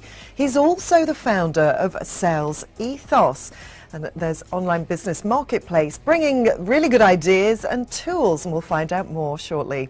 Here at Kalkine we bring you industry leaders, successful business owners, market and equity advocates all under one roof to help you discover the insights of the stock market and help you understand how you can create multiple passive income streams. Welcome to you today Ben. It's a pleasure to be here. Thank you. Now, first of all, could you just explain for our viewers what you do and help how you help businesses and entrepreneurs? Absolutely. Um, I'm a sales trainer and coach. Uh, in short, I help clients to convert more conversations into clients. Excellent. And you work extensively with emotional communication methods. Can you tell us how businesses can use emotional intelligence to help boost new sales? Absolutely. Look, I, th I think with the, the, way that the market is moving at the moment, we are more moving towards a human side of business. So people generally want to build relationships before they do business with you. So a, a very important part of sales and uh, understanding emotional intelligence is understanding our nature, but also the nature of other people. And one of those fundamental things is that people make decisions emotionally and then they justify it with logic. And if you ever uh, question this, uh, think of an example of when you've received a telemarketing call.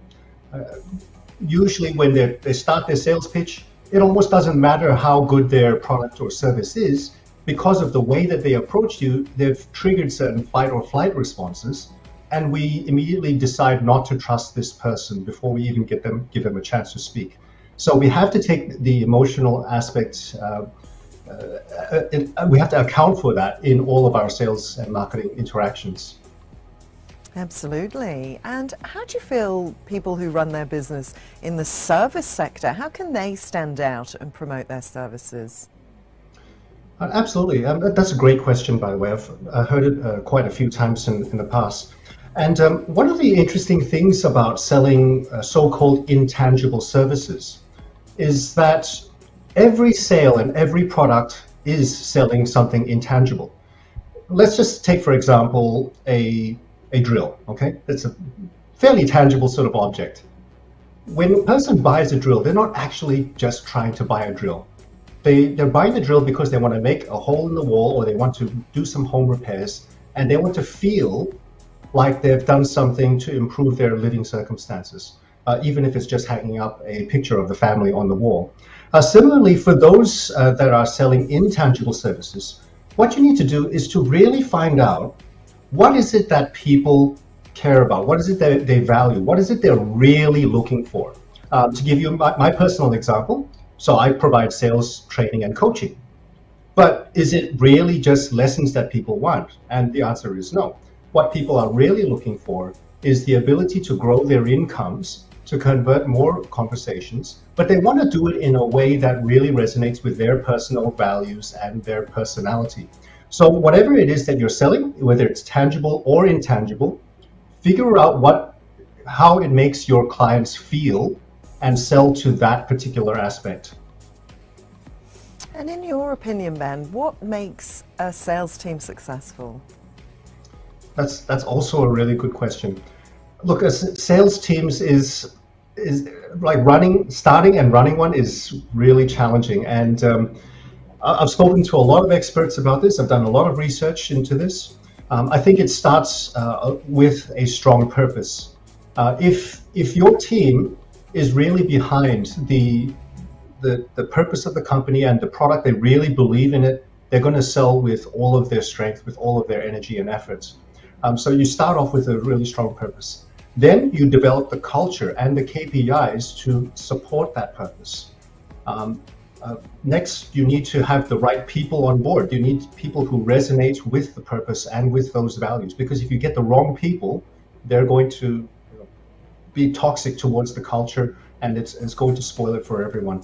Um, on the more superficial level, it's very important to have sales systems. Uh, so what I mean by that is having step by step processes for them to follow uh, and the skills development to back that up.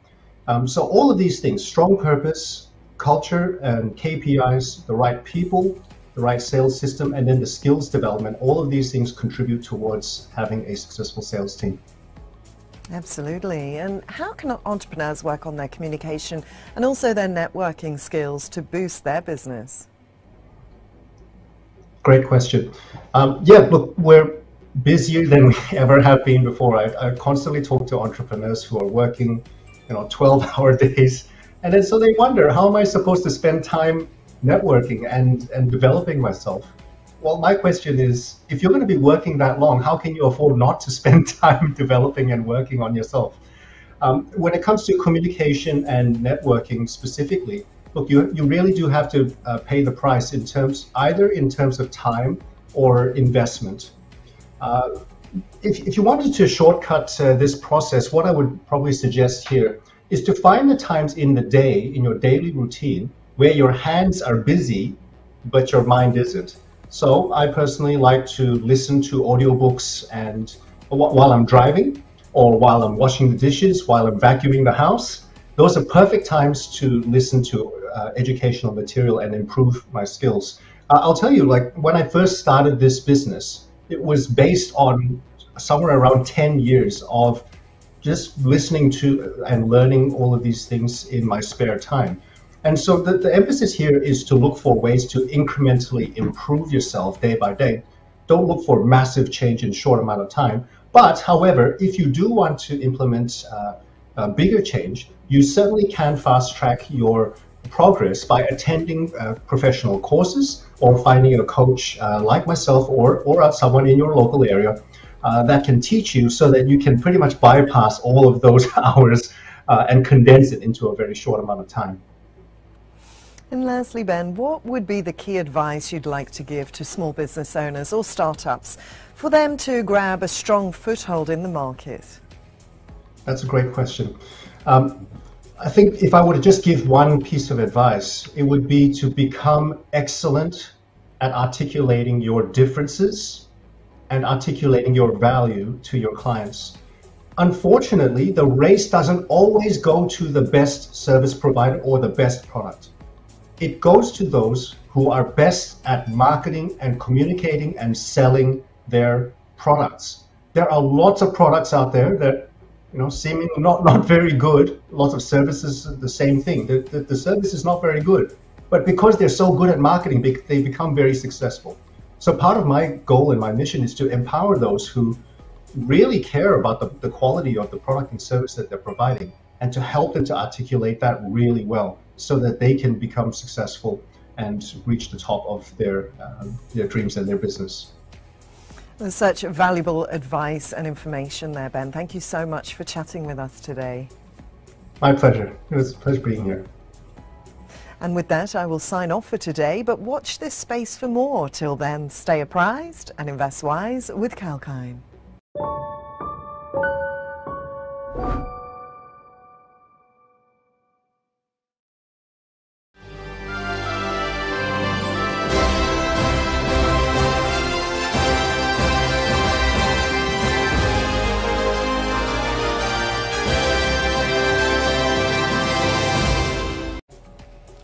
Rachel Jones and this is Kalkine's breaking business news. Fibre cement maker James Hardie report global net sales are up 22% to 900 million US dollars for the third quarter. Now, the company has raised its annual profit forecast for the fourth time this fiscal year, driven by a boom in the housing sector in North America.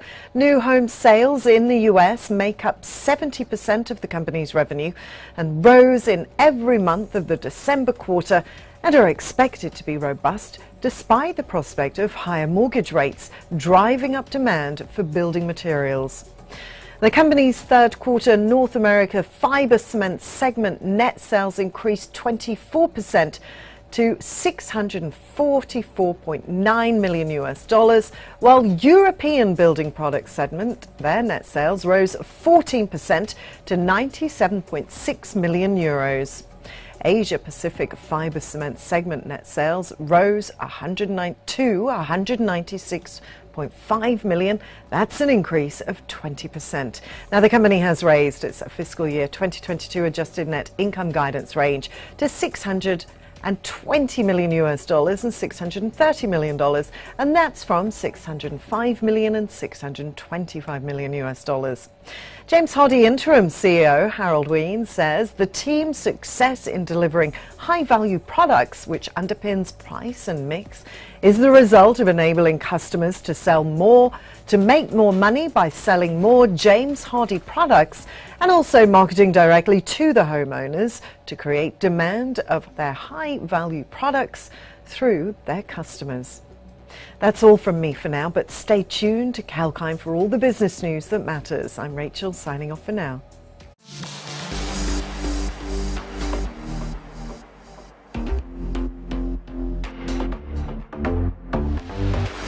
Hi, I'm Sage, and get ready to take the crypto ride with me on Kalkine TV. Watch the crypto buzz every Tuesday and join the excitement at Kalkine TV from Bitcoins to NFTs to Dogecoin and DeFi. We have updates about everything around these digital currencies. Understand the investing rationale and the risks involved in the space with me, Sage, on Crypto Buzz. Keep watching Kalkine TV.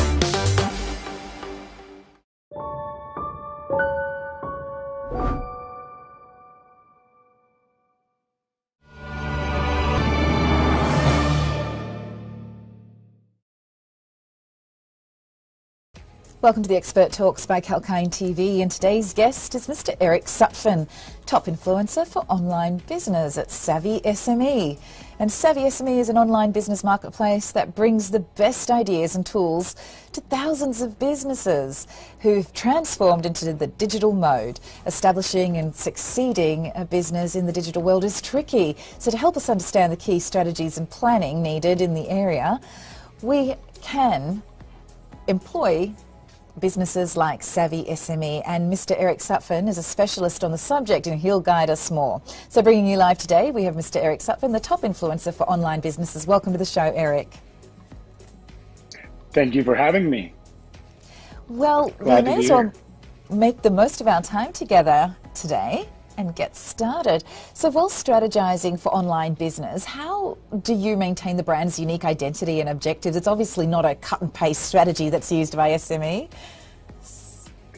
No, it is a blend of an art and a science, and really it comes down to being able and the personality of the brand that you're wanting to represent. Just like our own character, we all are able to come across uh, in different mechanisms to our friends, family, and, and those voices uh, are able to translate through a brand as well. So, understanding the goals and the personality, we can back into how can you convey that message meet each audience where they're at. And that's the simple premise of marketing meet your customers where they're at and with a message that is going to resonate and identify with them.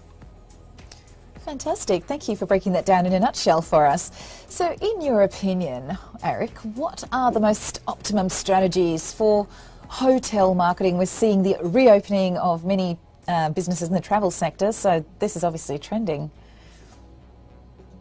Yeah, globally, uh, you know, some are opening, others are shutting down. It is a very dynamic marketplace right now. But regardless of where you're at in that business cycle, the important on your customer base that you've already garnered influence, you've already gained loyalty and trust with is going to be critical. So, social media, email, how do you provide offers and incentives to bring them in and influence a, a longer stay or bringing others with them um, to be able to increase their influence. So social media and, and leverage can be a great way to be able to have evergreen content and even use your customers as advocates to curate that on your behalf uh, and further deepen that with their audience and their network. Thank you um, for sharing your information there. So, there are active and passive marketing strategies. How do they differ and how should brands employ these, please?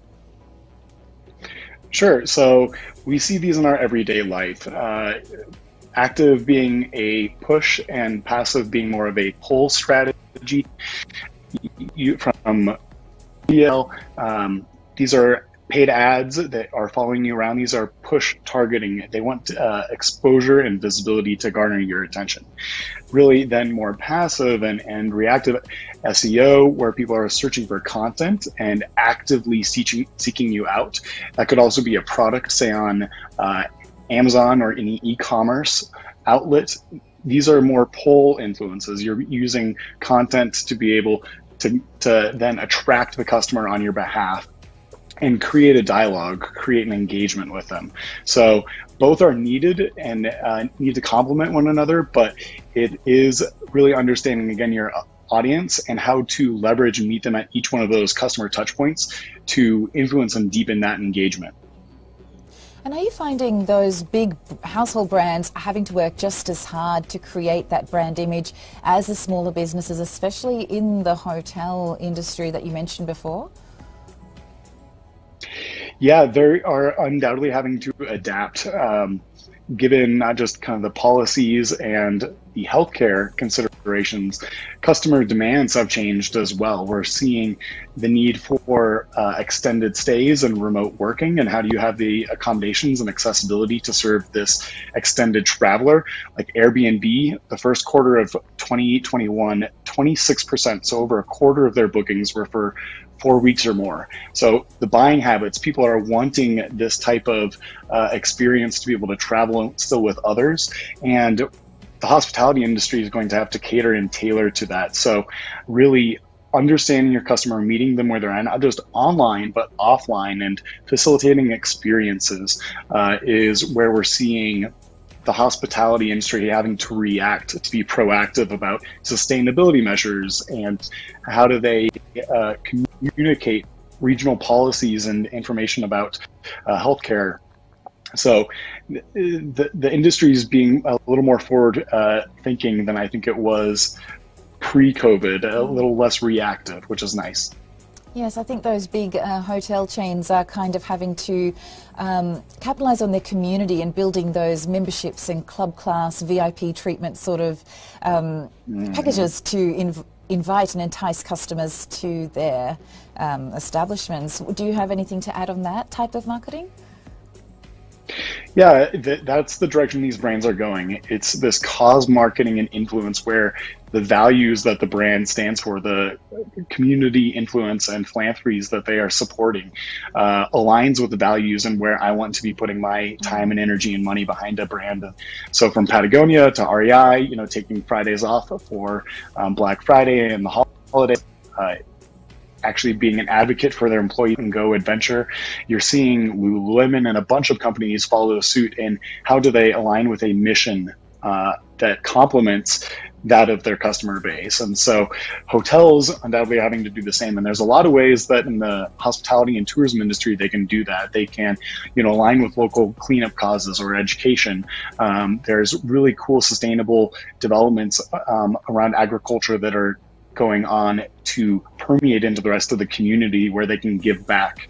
So we're seeing uh, some really positive impacts actually as a, a, result of COVID, where the these bigger hotels are having to curate that community in uh, more local and concentric ways. Wow, thanks so much for sharing that. And funny you mentioned the Black Friday um, sales because they can present to be a, a great opportunity for a, a shopping um, safari, for example, where people who live maybe far away from the the city centres where all the discounted shops are, the best quality clothes, etc., they may all flock on a bus to together, to stay, stay in a hotel together, to share the experience, to then go shopping together on, on their bus expeditions. That, that would be a great uh, way to um, aggressively almost uh, get a few businesses involved with the Black Friday sales.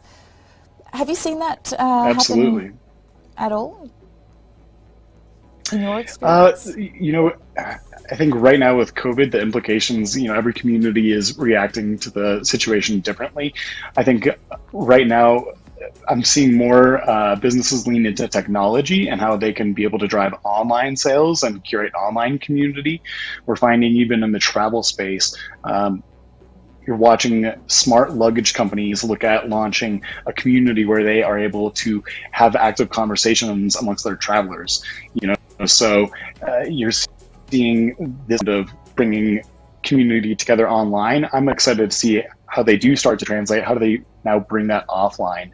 Um, Zero Remote is a, a, company that we're watching evolve the remote working space that is looking to curate that online community and facilitate that, you know, in destination experience amongst travelers as well, which will be fun to watch evolve.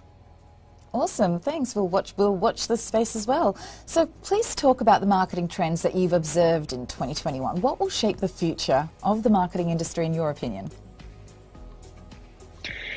So technology it has taken leaps and bounds over the last year. Uh, the metaverse and what Facebook is launching, um, augmented reality and virtual reality, now far transcend just the QR code and being able to pull up a menu and order food. We can have interactive experiences where walking around will use a, hotel. You could be able to use your phone and not just a QR code, but an icon or a logo that would populate a call to action, a video, um, a menu, uh, a booking of an activity. You could be able to reserve, you know, a timer or something like a cooking class and that is going to be able to happen in real time. And so we're seeing not just that uh, ability but through oculus and virtual reality the ability for companies to employ um, really proactive engagement in the metaverse to show what an experience will be like not only in the destination but perhaps the suite that they're going to be looking to book. Um, and you'll be able to at home see the landscape of where you're going and have it uh, be like a 360 environment for you to be able to then know where you're going and, and have a more seamless experience um, with the staff and with the destination uh, when you arrive. You know what, the metaverse really does excite me. I think about 10 to 12 years ago, the prospect of smell-o-vision or interactive television sort of came up. But the metaverse, that's try before you buy, you know, put to the limit basically. So that, that's going to be very exciting. So, Eric, lastly, what are the strategic, technical, and creative avenues that businesses should focus on while they transform? Well, one of the things we've been talking about, the, un, the under uh, of all this is an experience, right? Whether online or offline, brands are needing to lean into how do they create not only experiences for their customers, but for their employees. Uh, undoubtedly COVID has created a lot of uh, impact in the workspace as well, and not just this hybrid environment of in office and at home, but uh, how are you facilitating a deeper engagement on both sides of that that um, commercial landscape? So, undoubtedly, we're seeing businesses take a step back in COVID and really re their marketing strategies and tactics. We're seeing them really uh, be competitive and collaborate across the industry to find innovative solutions where they can really serve and put the customers and their employees first. Excellent. Thank you so much for sharing your passion for what you do with us today and also your insights. It's greatly appreciated. Thank you for having me. You can find us on Savvy SME and yes. we'll find you there. Savvy SME is your website? Savvy SME is uh, the content uh, provider here for the conversation around hospitality. Fantastic. Thank you so much. And if you just joined us, we just had a very interesting in, in discussion with Mr. Um, Eric Sutphin, the top influencer for online business at Savvy SME. And the full interview can be watched today at YouTube via Kalkine Media, so please check it out. But keep watching Kalkine for more expert talks, live market updates, and as we say, stay apprised and invest wise with Kalkine.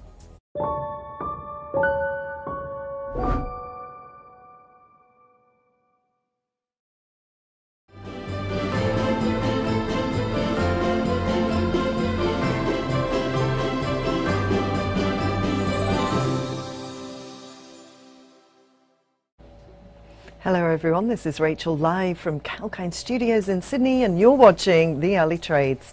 Now, the Australian share market did open lower, weighed by losses from Magellan and the ANZ. The S&P ASX 200 index was down 0.7%. Magellan Financial Group was down 7.1%, and that was after Chairman Hamish Douglass announced he was taking a medical leave of absence. ANZ shares were trading 4% lower. That was after they unveiled weaker margins in their quarterly update. Unibail Rodamco Westfield, their shares were down 4.8% so far this morning. GrainCorp was trading at 12.6% higher, and that was after providing strong earnings guidance. James Hardie Industries, their shares are currently up 6.4% after they upgraded their guidance and reported a strong third quarter result.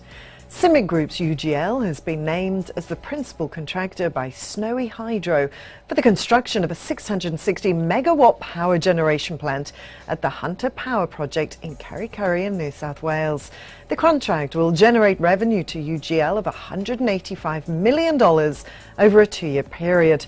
The power generation plant will consist of two heavy duty F class gas turbine generators and the related auxiliaries which operate using dual fuel sources, including provision to operate on a hydrogen fuel mix. Moving on, and the Star Entertainment Group will release its first half of financial year 2022 results on the 17th of February. As previously disclosed, first half financial year 2022 earnings have been materially impacted by COVID 19 related property shutdowns, also operating restrictions, and of course, border closures. The Star Sydney, which was closed from the start of the period to the 11th of October 2021, recording strong revenue growth upon reopening, with revenue up 29% on the prior corresponding period from the 11th of October to the 31st of December 2021. Queensland Casino's total revenue was stable despite border closures and COVID 19 related operating restrictions. Moving on, an ANZ banking group suffered group net interest margin deterioration of 8 basis points over the first quarter, or 5 basis points on an underlying basis. The bank attributed the decline to a lower exit rate at the full year and also a continuation of the structural headwinds impacting the sector. Over the second quarter, ANZ expects these headwinds to be moderate, specifically the result of rising interest rates in New Zealand and changes in deposit pricing. And GrainCorp expects to report financial year 2022 underlying EBITDA in the range of 480 to 540 million dollars and financial year 2022 underlying NPAT of 235 to 280 million dollars. GrainCorp's earnings guidance is subject to several market variables as outlined in the conclusions. Silver Lake Resources has announced the board has approved an on market share buyback for up to 10% of Silver Lake's ordinary shares over the next 12 months. Silver Lake's strong, organically generated balance sheet and forecast free cash flow generation provides a flexibility to consider value accretion, capital management initiatives. Under Silver Lake's capital allocation framework, the company considers capital management and uses for excess capital after allocating and reserving funds to sustain operations through the gold price cycle and internally fund investment in projects and exploration to maximize the value of its existing operations, projects and tenement holdings. Well, that's all from me for the early trades, but stay tuned to Kalkine TV. We've got many more shows lined up for you across the economy, markets and sectors. This is Rachel signing off for now.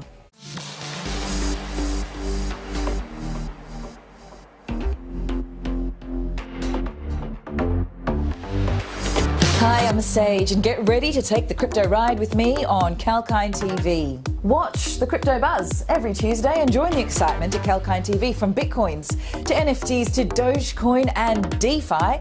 We have updates about everything around these digital currencies. Understand the investing rationale and the risks involved in the space with me, Sage, on Crypto Buzz. Keep watching Kalkine TV.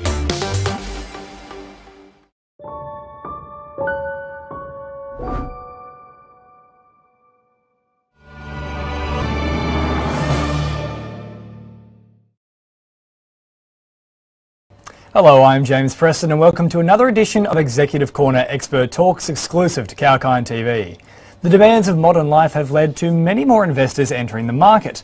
A common trend for many of these new investors, though, is that they are time poor and approach investing from an emotional standpoint. James is a financial services technology that aims to address these issues head on, utilising artificial intelligence to successfully manage a portfolio to maximise profit and minimise emotional biases. The founder and CEO of James is Tui Eduara, and he joins me live now on Kalkine. Tui, a very good afternoon to you. Hi, James. Thanks for having me. Well, Tui, great to have you here. Can you let our audience know exactly how James functions and what was the motivation behind creating the company in the first place? Sure. So James is an automated AI investing app, and we're built for the everyday investor. So the backstory is that um, we've created, we've developed our own technology that the large institutional banks have been using for many years. But for the first time, we've enabled it for the everyday investor on a subscription basis. So it's giving the everyday investor a uh, fighting a chance against institutional banks. So we like to hear taking a bit of power away from those big boys, that's for sure. Now, a key tagline for James is removing the emotion from trading. How important would you say that is when dealing with stocks, and, and how does James help to remove those behavioural biases?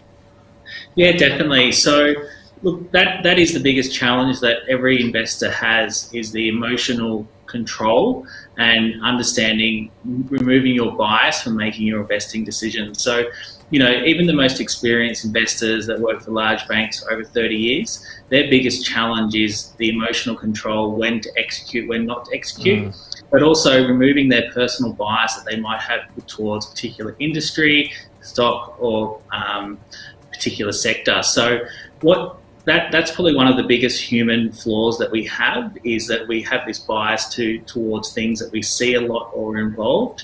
So using technology, um, our AI technology isn't biased to anything because obviously it's technology, it's not a human being. So with our technology, it's just purely looking at data and making an informed decision from the data it has, and then obviously executing when it thinks it's appropriate, again based off key metrics and data. Now it's great. It's very much a case of Gordon Gekko as opposed to your local tree hugger. So I think that's definitely quite useful moving forward for people that are trying to get into the space and perhaps don't have the greatest financial IQ, for example. I, I think yeah, another yeah. big movement that's happened in the last few years, and you've mentioned this as well, talking about big banks just a little while ago. I think especially with the gradual mainstreaming of cryptocurrencies, it's been the concept of decentralization. Would, would you say it's fair to say that the technology James utilizes was traditionally out of reach for most people in, in years gone by? Yeah, definitely, and that's because of the sheer cost to operate the technology. So, um, obviously, institutions they're dealing with large volumes of money, so naturally their commissions and their earnings are much larger than, say, you know, your smaller company. So, this technology isn't uh, cheap by any means to develop or operate because you are using sophisticated um, artificial intelligence technology. And I can tell you that behind the scenes, there's a lot of development and maintenance required to keep that technology running. So, from our point of view, what we've done is that we've developed, we've done the hard yards and obviously incurred the cost to develop the technology. Um, and now it's about obviously mass adoption because the more people adopt, obviously we can offer our technology cheaper over time as well. So it's sort of a, a different approach, but um, what, what it means is that the everyday investor, like that person who might have five, ten, twenty, fifty thousand dollars who they want to get invested in, in equities, they can access, you know, really sophisticated and market leading technology mm. that hmm. just wasn't really accessible to, to them prior to us coming along. And we know often with, uh, I suppose, the um, the older generations, there's a bit of a hesitancy to get involved in these kind of new technologies when traditionally you can go down the path of, say, a, a traditional portfolio manager. Is that where you're seeing a bit of a hesitancy with adopting something like James? Is it more young investors coming to use the platform, or is it a bit of a mix of both? Uh, it's a mix of both. So, you know, I think you've just you've pointed out an interesting topic. You know, there's a big transition happening now in, in investing. Um, it's this it's this battle between talent and technology. Mm. Um, so obviously, the traditional fund asset manager very much based on talent, and firms would hire really talented people that can understand markets. And then now you've got this emergence of technology, which is automating functions, and obviously, you know, being very competitive, especially in financial markets, what we're doing against that individual as, as a talent. So there's this big trend, this big you know crossover happening at the moment of talent versus technology, and I think that that comes down to the everyday person as well. So um, obviously, we I think humanly we tend to fight against technology because naturally we don't think something's better than us. But what, what happens over time is that you'll learn to adopt that part of, as part of your life. So, you know, the biggest thing that I've seen probably in the last three or four years is really the adoption of Siri. Um, and Alexa and those voice devices. And I'm actually even seeing like huge adoption um, with kids, um, obviously starting young. So this adoption's uh, ha- happening naturally, and obviously through our technology, we do have a lot of uptake from that younger generation, um, under 35, etc. However, um, we are now starting to see older people come on board and start to understand the technology. So they don't really, um, they always take a little bit longer and they want to know more about the technology we're developing, which is completely understanding, understandable. So it's all about, you know, education and, you know, making people aware that hey, don't be scared of this technology. This is something that we should be embracing because it's going to help us. It's not going to hinder us. I think you might have hit the nail on the head there, though. I mean, when we're talking about some of these older investors, just remember the first Terminator movie came out in the 80s, mate. That is well more than 40 years old. We've also got Terminator 2 in the early 90s. There is still Skynet fears there. I, I can kind of understand it from their perspective. But let's focus on the, uh, the young investors themselves. Now, in 2022, there is obviously quite a few dilemmas that younger people are facing at the moment. They're looking to get ahead, and that's in the backdrop of a housing crisis. Of course, we've had the pandemic, there's rising inflation, and then by the same token, you've got got them working longer hours for less pay, and ultimately they're just quite time poor. Would you say that James, as a result, is a viable solution for someone facing that scenario? Yeah, uh, definitely, and I think that we're we're seeing, um, especially in Australia, we're getting a lot of people fed up with the housing market.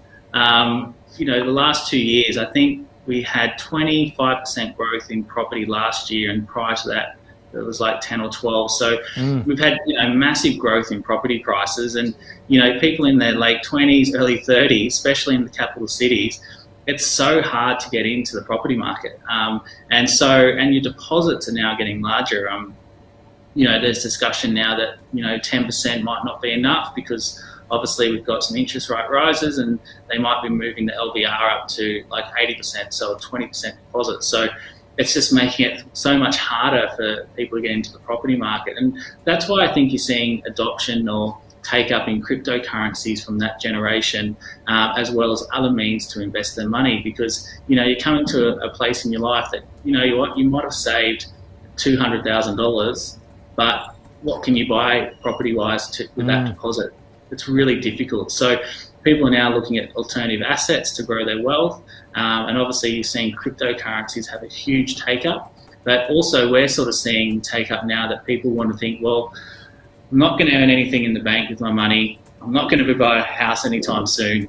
Um, I've got to get this money working for me. So, um, technology like ours is really accessible. They can go online, they can learn about it, and you know you can get your money working for you very quickly. And I think that's one of the strengths of James as well. So you can dial up and down how much money you want working on the algorithm. So say if you have 200,000 and you can have that fully deployed, and then say if an opportunity comes up where you know you might move or you might go on a holiday you need that capital you can just wind that down really quickly withdraw that funds and obviously use that for whatever need you have. So um, yeah definitely seeing this change and we're sort of seeing really a lot of adoption in that bracket especially in capital cities of people who are just fed up with the with the housing market well, you mentioned there that you can sort of wind it up and down, but uh, how frequently does it trade on your behalf? Is it always looking to make those little incre incremental trades to try and gain, uh, I suppose, a fraction of a percent here and there, or is it more uh, a calculated, spaced out process from the AI? Yeah, so it's more, it's definitely um, not high frequency or um, like a frequency trading platform. Uh, it's definitely a bit more longer term, but it's not what we class as medium term. So it's definitely really short to medium term. Our average hold time is anywhere between 16 and 20 days. Uh, but in saying that, you know, we might hold a trade for three days and then close it, or we might hold a trade for 100 days. So it's just depending on what the algorithm's picking up in the market in, in the way of sentiment. Um, but we do know that it does strong perform strongly, definitely around those earnings periods, because the algorithm's able to pick up the sentiment in the market for mm. particular stocks coming into earning period, and then obviously places trades, and you see a lot of short-term trading where Um, it, it, might come in five or six days prior to the earnings call. The earnings will come up, the stock will pump 10, 15%, and then you you have a nice gain just in you know five or six day trade period. Now, look, without revealing your trade secrets, because that's not what we're about here at all, but how much data is getting pulled into this algorithm? Is it looking at things 20, 30 years in the past to try and see like a long-term trend forming, or is it more focusing on, say, a year or the past two or three years? How does it work? Um, so it, it, we do use historical data, um, but it's really what's happening in the moment. So um, we obviously the algorithm we digest around about 10 million pieces of data per day, um, and that's from social media, uh, various news sources, um, analyst reports, um, down to even when a CEO of a company will make an announcement. And then we digest that data to understand um, the sentiment at that time, and then we obviously benchmark those scores against our historic scores as well. Um, and then we obviously analyze stocks based on a fundamental basis and, and you know all those other things. So what our algorithm does, it combines all these types of analysis um, to determine the, the buy and sell rating at that time. So um, the thing with our technology is that it's very difficult to backtest. So the reason you know we do get some questions about backtesting, and we do have um, results back to 2017. Um, however, because we capture news and social in real time, you can't backtest capturing that data, mm. um, and that's that's the key. So that's why we say we analyze in real time because um, you just we can't access historical social feeds as an example and, and news. We're just focusing on the social feed and, and, that metric in terms of pulling it in for data usage. And also, you made mention of cryptocurrencies. Now, obviously, that's quite a volatile asset class. And one thing that does seem to be driving a lot of the movement in that space is, in fact, social media usage, whether it be Elon Musk on Twitter showing a picture of a grape and then all of a sudden Grapecoin goes 10,000% up. Uh, do you have any plans to, to go into the space of cryptocurrency trading? And, and how much do you think? A social media feed, for example, would you be able to get enough data from that alone to try and predict movements within the space? Um, the answer is yes. So if, if, you wanted to move into a sentiment, pure sentiment strategy, yes, you could. Um, I wouldn't know how that would perform. Um, as we know, it is quite volatile in that space. Um, however, I can tell you that we're definitely looking at it. So uh, we started a project about two months ago uh, three months ago where we really started investigating um, our ability to offer cryptocurrencies um, as part of our offering. Um, we hope to sort of have something this year. However, it's quite a um, it's quite a difficult space because ASIC hasn't come out with any sort of regulatory guidelines as, as yeah. such. So um, we we're one company that you know we pride ourselves in being compliant. Um, we held our own Australian financial services license, so we don't use others. So you know it's very important to us that you know we maintain that integrity as a company. Um, however, there's definitely a lot of work going on in the background. So our trading team or our quant team is actually working on um, you know modifying our algorithm, understanding you know traits of cryptocurrencies. Um, but you know we we have a different perspective to crypto. I think to others, we don't really see them as currencies. Uh, we see them as projects or companies. So mm. we believe every project you know has can have some good fundamentals, especially if they're solving a problem or a need. Um, you know we're seeing some some good disruptive DeFi plays come in. Um, you know against the Swift transfer protocol, XRP, and all those. And you know, those do have some really good fundamentals that you can look at compared to what's happening in the market. But you know, we're not. We are well aware though that sentiment is a very strong driver um, in that space, and we really want to understand that influence, and that's probably where all the R&D is happening with us at the moment. But what you'll find, what we think we'll find, is that we're going to keep seeing more uptake in that that that um, asset class. So over the next two years, you know, you have more liquidity, you have more funds in that space, and that will help iron out, you know, the volatility. Because at the moment, it's really only a, I think, four trillion dollar space or two trillion. I'm not sure, um, and you know that that's still that's two trillion, sorry, and that's still not the market value of Apple, as an example. So, you know, that's, that space still has a lot of growth, And the more investment you get into that asset class, you know, the less volatility you'll have over time. Absolutely. Now, look, that's something that you're currently developing, but there is also uh, a few portfolios that you dropped recently, namely six of them, one of which is an ETF, or should I say uh, an ESG. Can you tell us a bit more about these developments James? Yeah, so at the end of last year, we launched um, six new portfolios as part of our standard subscription. Um, and that came from obviously customer feedback that people wanted different options of portfolios to invest in, specifically targeted in different sectors or different areas. So the six portfolios we released is an income portfolio, a growth portfolio, a balanced portfolio, uh, a top 50 ASX portfolio, top 50 US, um, but also a really targeted ESG portfolio, which mm. has been the highest take up portfolio since we've launched.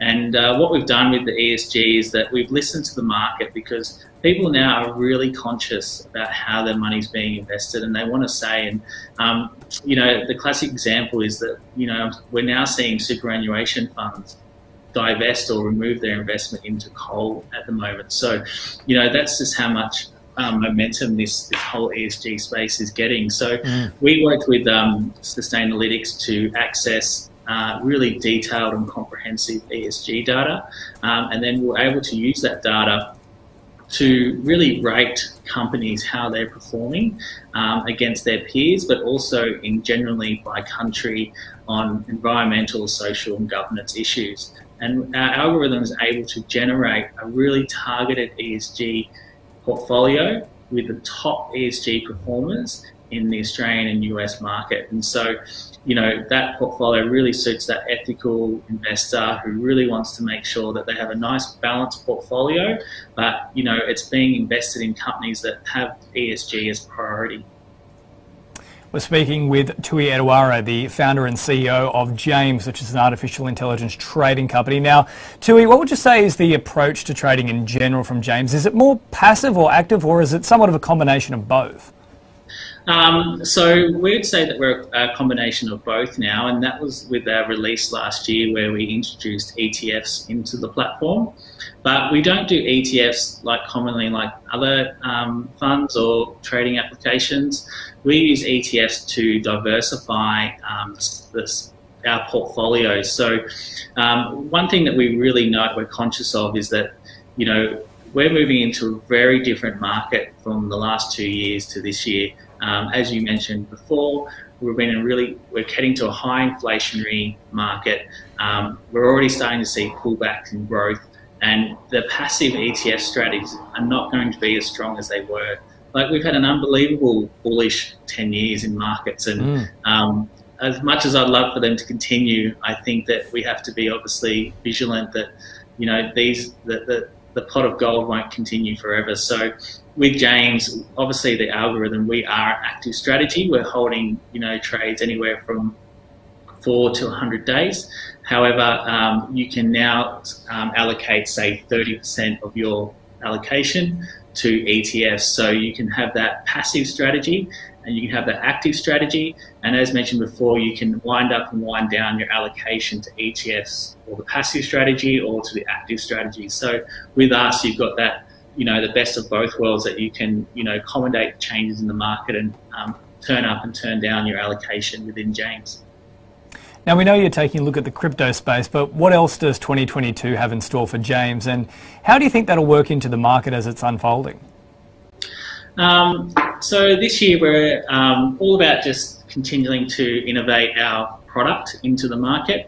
Um, we've just obviously released the Android app and we've obviously had the Apple app out for a while you will see us come to the desktop this year because um, we've just been getting a lot of requests that people do still like a desktop version. Um, we've also, we're looking at cryptocurrencies, as you mentioned. Um, that one is a working project. Um, we might see that towards the end of uh, this year. Um, and then our big project is that we're moving into the UK this year and Europe as well. So using our technology over there and, um, you know, allowing the Brits to uh, to use uh, some good sophisticated technology.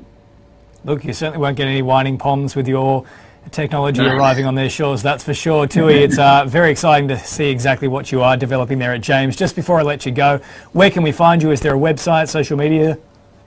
Yeah, definitely. Uh, our website is jamesapp.com.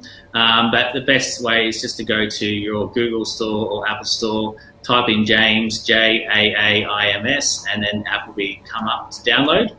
Um, and I should actually just give a quick background on Jaaims, the name. Um, how, how it all started is Jaaims stands for just another artificial intelligence management system, but obviously we've shortened it to Jaaims. So um, that's the background on that. Now, look, it's a great name, and I'm totally not biased about that. Removing all of my emotional trading, that's for sure. But from one James to another, too, it's been great to chat with you today. Thank, yeah, thank you, James, and thanks for having us on the show. Well, that's Tui Edawera, the founder and CEO of Jaaims. And if you missed any part of that interview, you can catch the whole chat on our YouTube channel, Kalkine Media. So make sure to subscribe. That's all for now. I'm James Preston, reminding you to stay apprised and invest wise with Kalkine.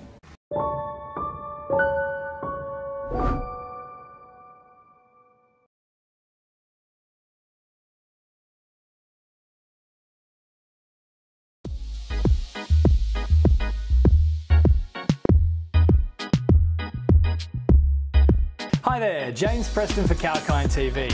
Are you into gaming and virtual reality? Does AI and the endless possibilities it entails capture your interest? Or are you constantly trawling through the web to try and discover the latest updates and innovations in the tech space? Well, let us do the work for you. From the latest product launches to shocking affairs on the World Wide Web, exclusive interviews and information about the top companies like Apple and Google to brand new tech startups vying for your attention. Kalkine's Tech Beat has the latest in what matters in the world of technology. Join me every single Thursday on The Tech Beat, exclusive to Kalkine TV.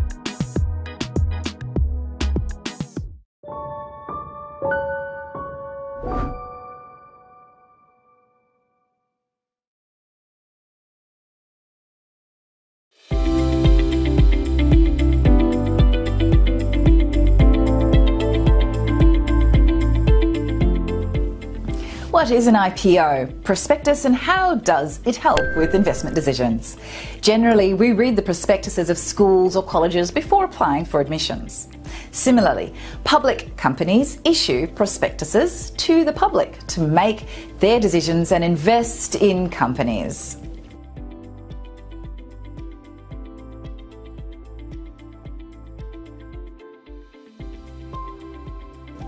IPO Prospectus Explained. It is a legal document that provides information about the company to make its investment decisions.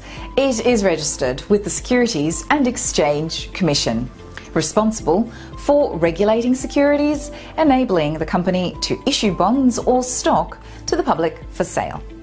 A prospectus contains all the company's details, including facts, objectives, financial statements, management information, goals, type of securities, number of shares, the company's background, and all the other necessary details. All these factors help potential investors. IPO prospectus.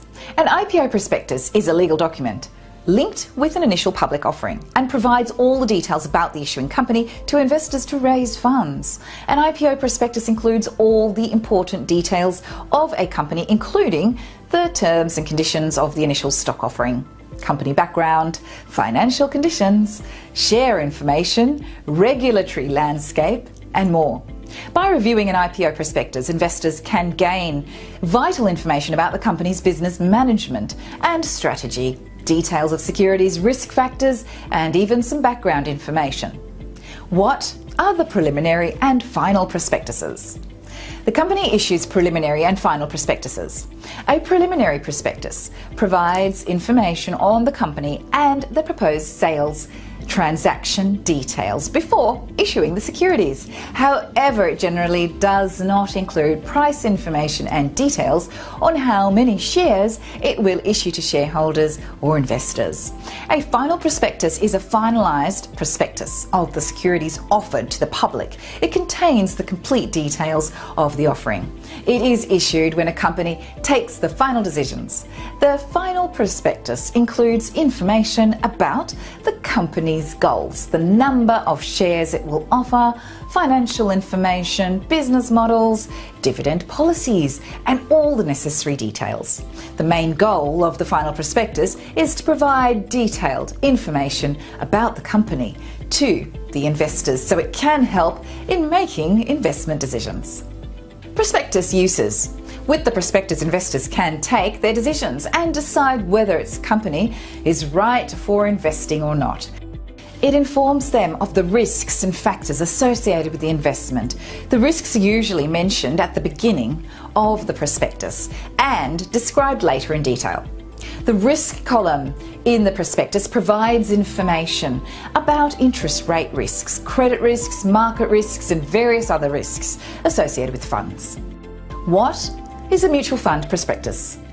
A mutual fund prospectus is a document that includes information about the objectives of investments, investment strategies, risks, fees, expenses, fund managers, and financial details, and all the other information about the mutual fund. Mutual fund companies are responsible for issuing prospectus copies to the public before they buy the company's stocks. An investor can get the documents directly from the funding company through mails and the company's website, or a financial planner or even an advisor. These types of documents help investors to make the right decision before investing in mutual funds.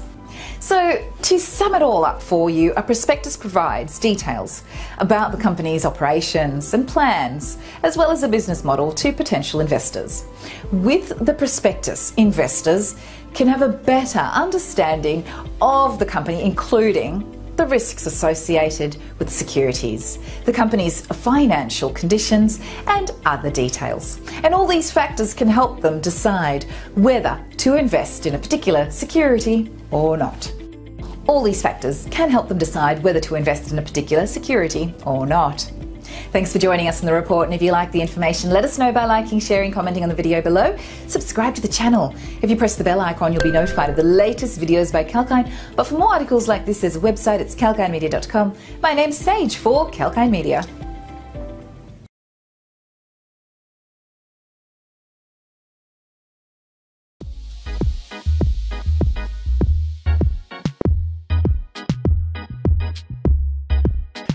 James Preston for Kalkine TV. Are you into gaming and virtual reality? Does AI and the endless possibilities it entails capture your interest? Or are you constantly trawling through the web to try and discover the latest updates and innovations in the tech space? Well, let us do the work for you. From the latest product launches to shocking affairs on the World Wide Web, exclusive interviews and information about the top companies like Apple and Google to brand new tech startups vying for your attention. Kalkine's Tech Beat has the latest in what matters in the world of technology. Join me every single Thursday on the Tech Beat, exclusive to Kalkine TV.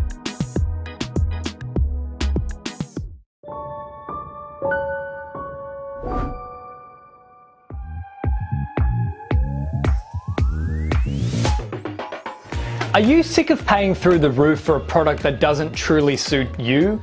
Want to make sure that you get the best deal possible? Then let us help you. At Kalkine, we do the research, run the numbers, and take a look at the true value of the product to make sure that you're informed as a consumer. Whether it be the best streaming service to suit your binge watching desires, the right broadband and NBN plans to ensure a no buffering experience, saving money with your energy, gas, and mobile plans, or treating yourself with a bit of retail therapy. We will break down all the details about every single deal what's in it, how much it costs, and whether it's worth it for you. If you want to save money and stay informed, then subscribe to the channel and press the bell icon as we will be rolling out a stack of content to keep you in the know.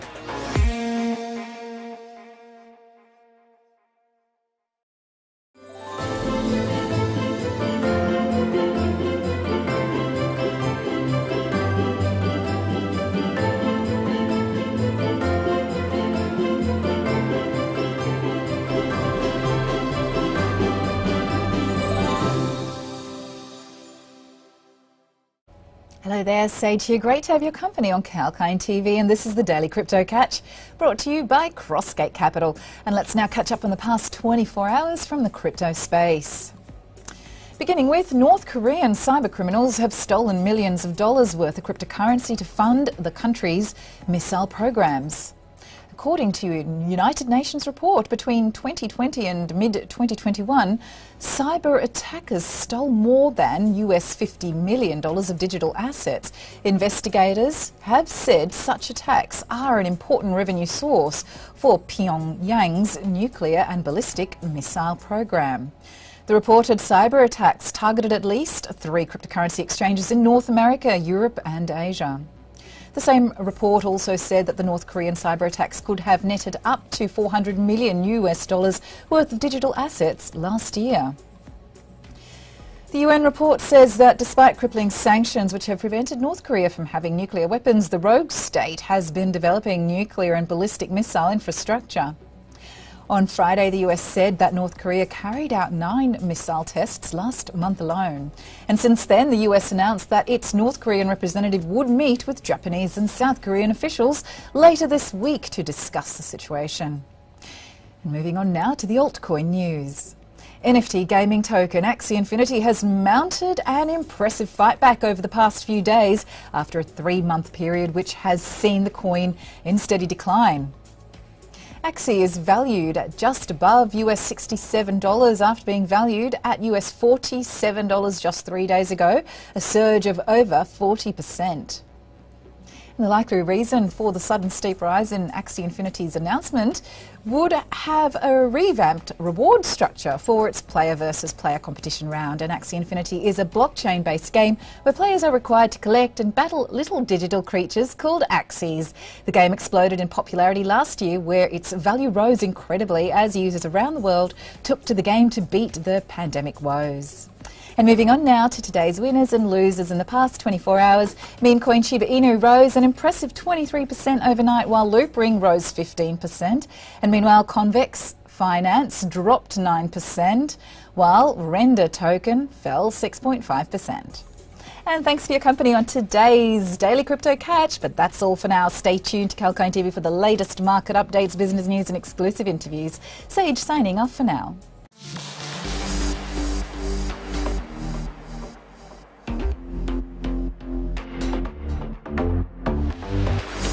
Hi, I'm Sage, and get ready to take the crypto ride with me on Kalkine TV. Watch the crypto buzz every Tuesday and join the excitement at Kalkine TV from Bitcoins to NFTs to Dogecoin and DeFi. We have updates about everything around these digital currencies. Understand the investing rationale and the risks involved in the space with me, Sage, on Crypto Buzz. Keep watching Kalkine TV.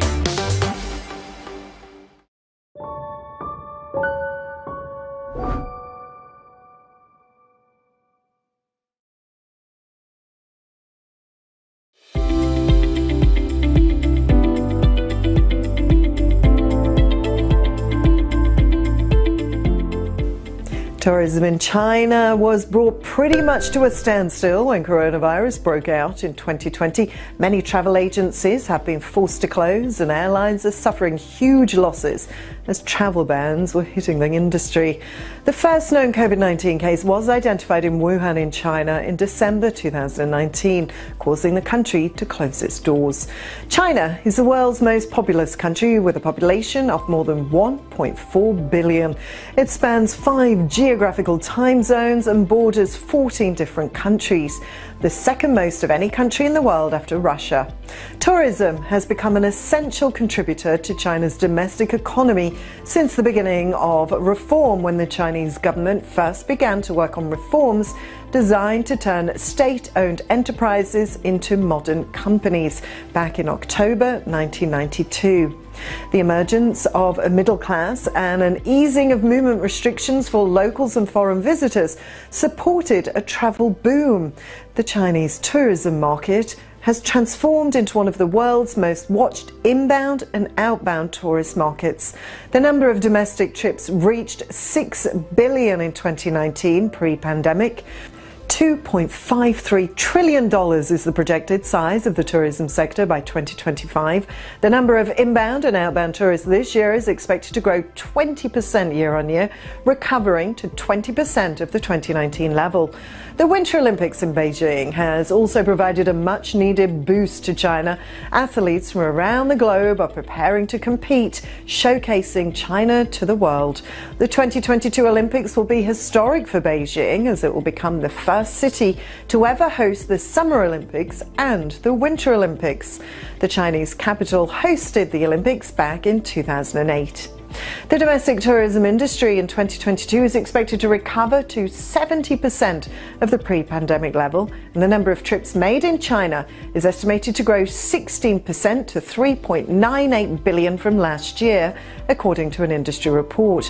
With forecasted sector GDP share expected to be 10.93% by 2025. Now, if you like the information in this video, please like, share, and comment on it. You can also subscribe to our YouTube channel and press the bell icon, and you'll get notifications for our latest videos. I'm Rachel, signing off for Kalkine Media.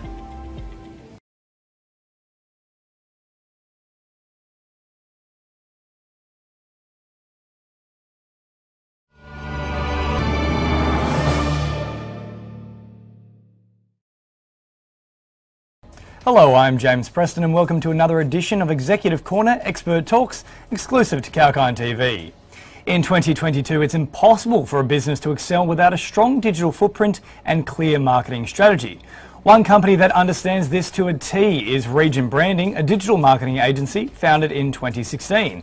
At the core of their branding strategy is the concept of emotional resonance, and to explain exactly what that is, Managing Director Hamza Malik joins me live. Hamza, great to have you here this morning. Thanks for inviting me. Look, lovely to have you here with us. Let's start with that simple question. What exactly is emotional resonance in the world of marketing? Emotional resonance is a term that um, I kind of came up with uh, a couple of years ago it stems from the point that marketing nowadays has gone to numbers based. It's all about um, you know like metrics and ROI and KPI, and I really think that how someone feels is the most important thing in marketing. How did you make your customer feel or your client? Did they smile? Did they scoff? Did they widen their eyes? Did they show a friend? And emotional resonance to me is the best way to grow a campaign because whether we like it or not, specifically with social media, uh, the biggest thing are elicit, you know, it's eliciting what they call instant emotions. Mm. Whether that's on one end of the scale or another, you have to make someone feel something, and then that's how your campaign resonates outwards. But ideally, it should be something positive because when you're putting something out in the world as a piece of content, uh, you know, you shouldn't go for sort of quick clicks and uh, inflammatory articles. You should try and put something out that helps people.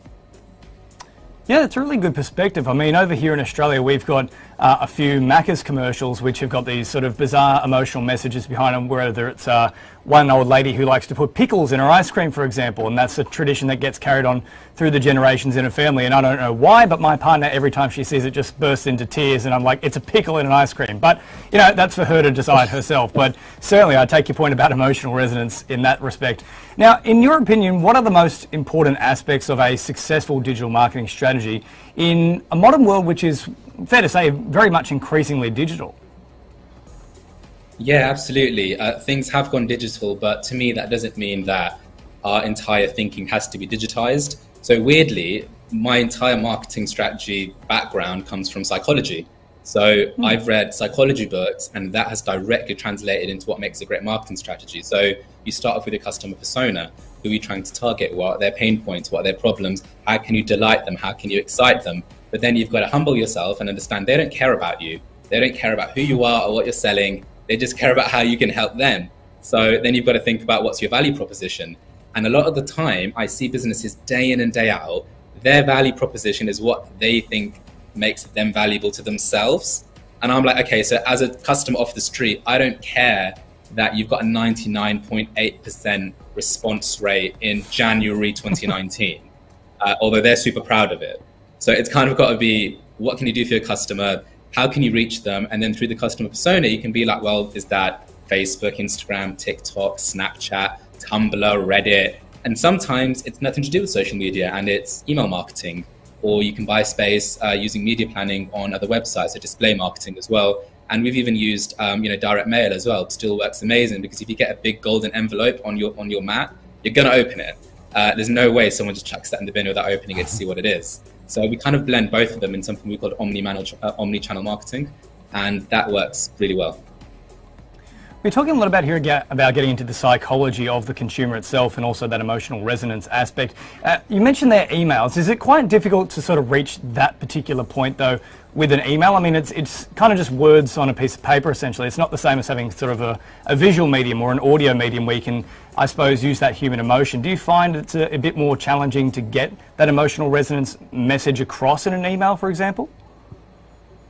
You're right. Um, so if you start off by just like going for the ask in an email, you'll most likely fail because you're right, it's not emotionally charged. Even a video, people will give a couple of seconds because it's interesting and like, you know, 90% of our brain is wired towards visual medium, like it's taking over at the moment.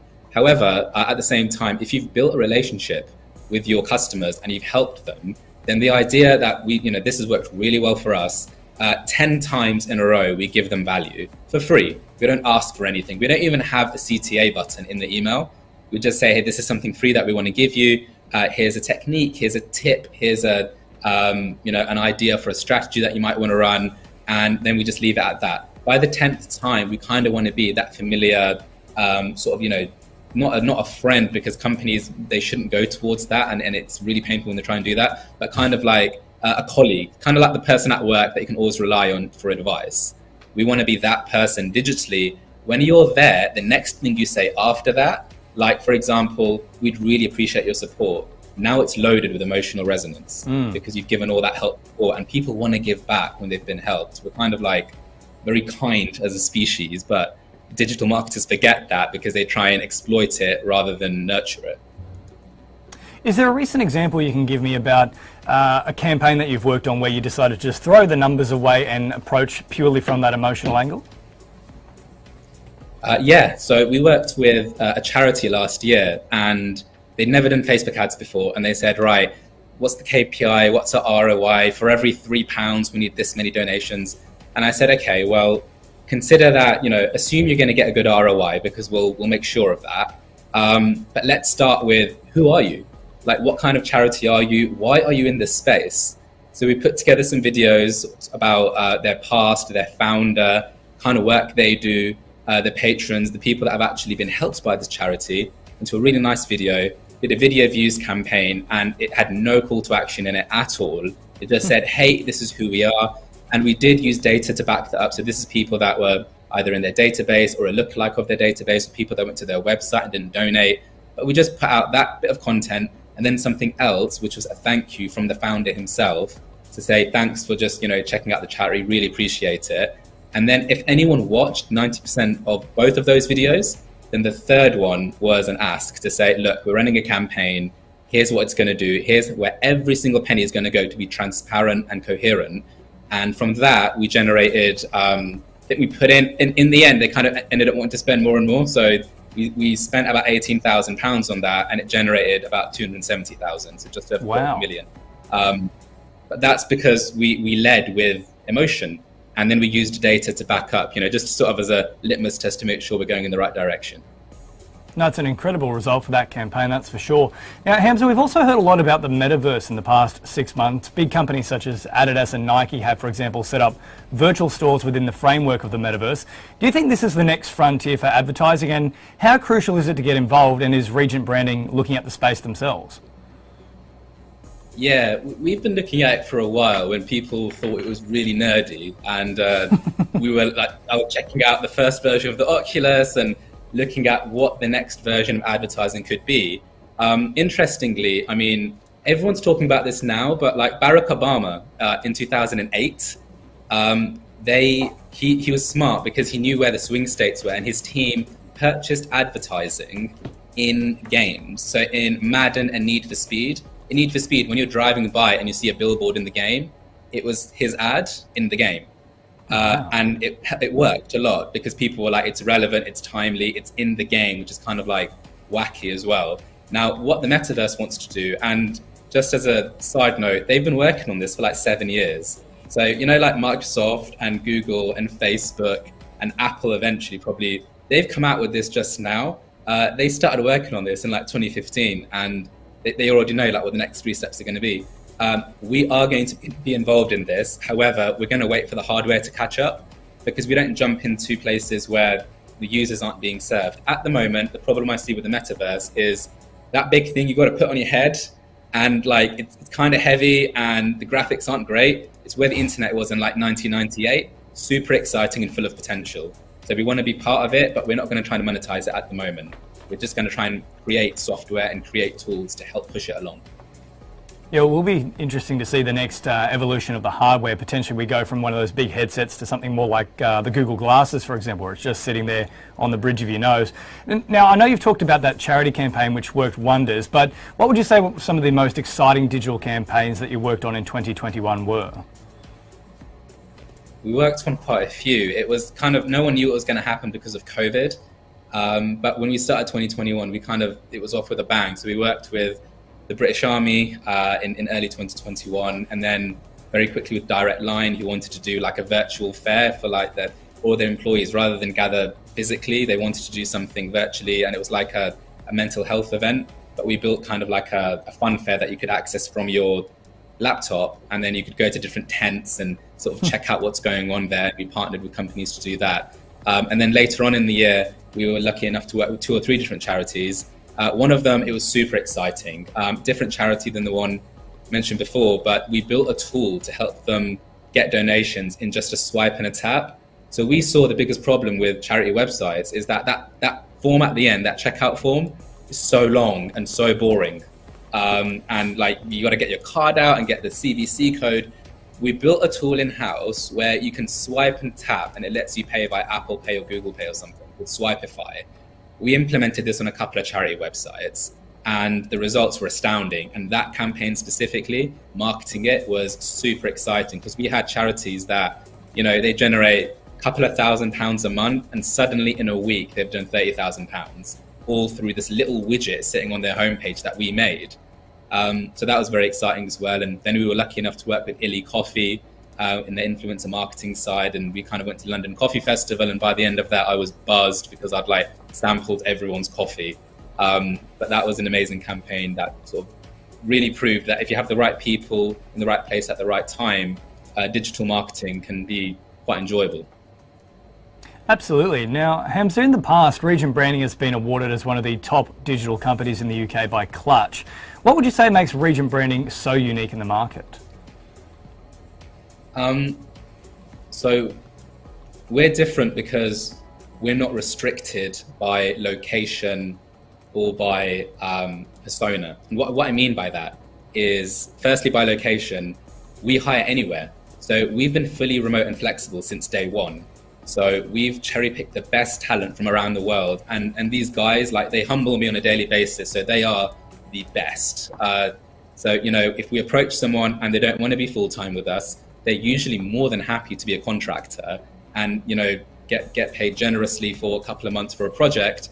But we know that that's the best person in that niche using that framework that we can get at the, at the moment. So we don't have to go out to job boards and pray and hope that someone lives in a five mile radius to our offices. Um, so the team of about sort of 35 now completely remote completely flexible in that if you get your job done and it's at a good level and you've managed your time and you don't have any deadlines then go home.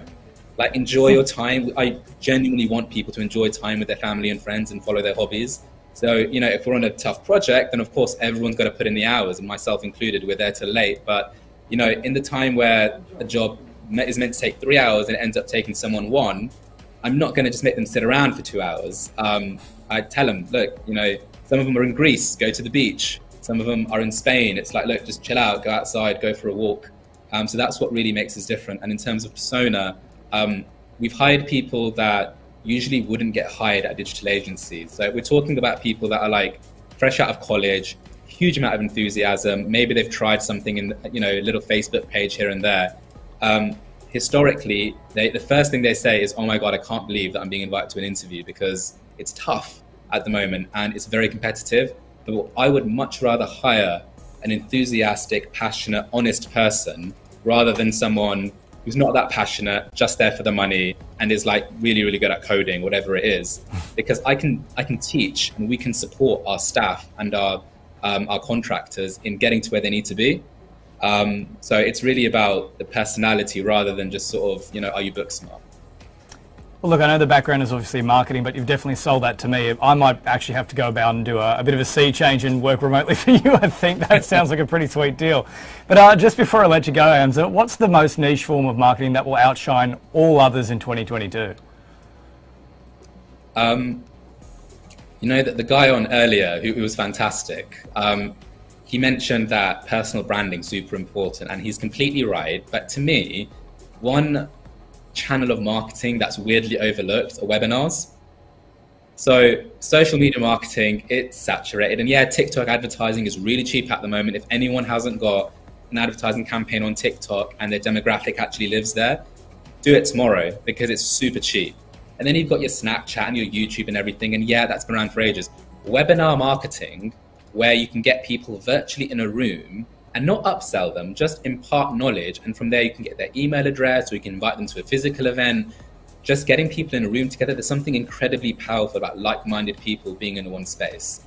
Um, so to me, webinar marketing is absolutely huge. And just as a, a small example, like we tested something a little while ago where I have a book on Amazon and I asked a bunch of people in a webinar, like minded people, all passionate about helping each other. I said, guys, can you all go onto this page? Because I want to test something about Amazon's algorithm.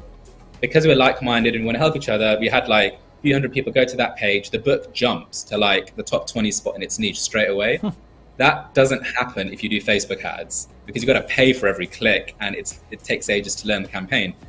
So getting people that are like minded in one space, they want to help each other, they want to see each other thrive, whether that's a webinar, a closed group, a community, a Slack channel, a Telegram group, that is the best form of marketing because then you don't just have customers, you have brand evangelists and eventually maybe even a few friends as well, which is great. Well, look, free plug opportunity for you as well. What's the name of the book? Uh, the book's called Arius Archer and the Shadow Cloak. So it's a young adult fantasy adventure about a boy whose sister's soul is like ripped out of her body on her 13th birthday, and he's got to go to the land of Phalasia to rescue her. And from there, he sort of learns all sorts of weird and wacky things, and there's mystical creatures and fantastical adventures he's got to go on. Uh, if anyone likes like Harry Potter or Narnia or Lord of the Rings or Percy Jackson, uh, they'll really like Arius Archer. I'll tell you what, I really like what you are doing with Regent Branding. Hamza, thank you so much for your time today. You're most welcome. Thank you for yours. Well, that's Hamza Malik, the Managing Director of Regent Branding. And if you miss any part of that chat, then just head across to our YouTube channel, Kalkine Media, where you can watch the entire interview. And of course, don't forget to subscribe. I'm James Preston, reminding you to stay apprised and invest wise with Kalkine.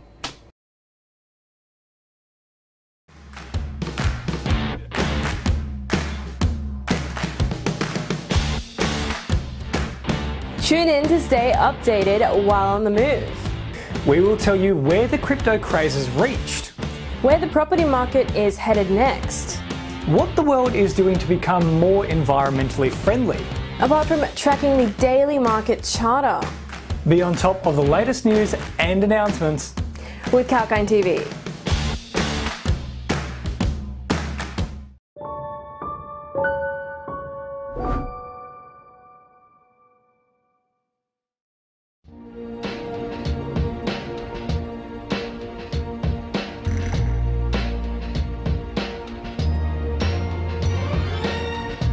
By Kalkine. Looking for a dream home? Well, that may sound easy, but it isn't. And from looking for a property that is the right fit for you in terms of cost and other factors, to zeroing down on the right mortgage plan, there are various aspects to consider. And for the latest slowdown in the property market, tune in on Kalkine TV with me, Sage. I will give the latest updates on the property market as well as real estate stocks to help you make the right decision. Keep watching Property with Kalkine.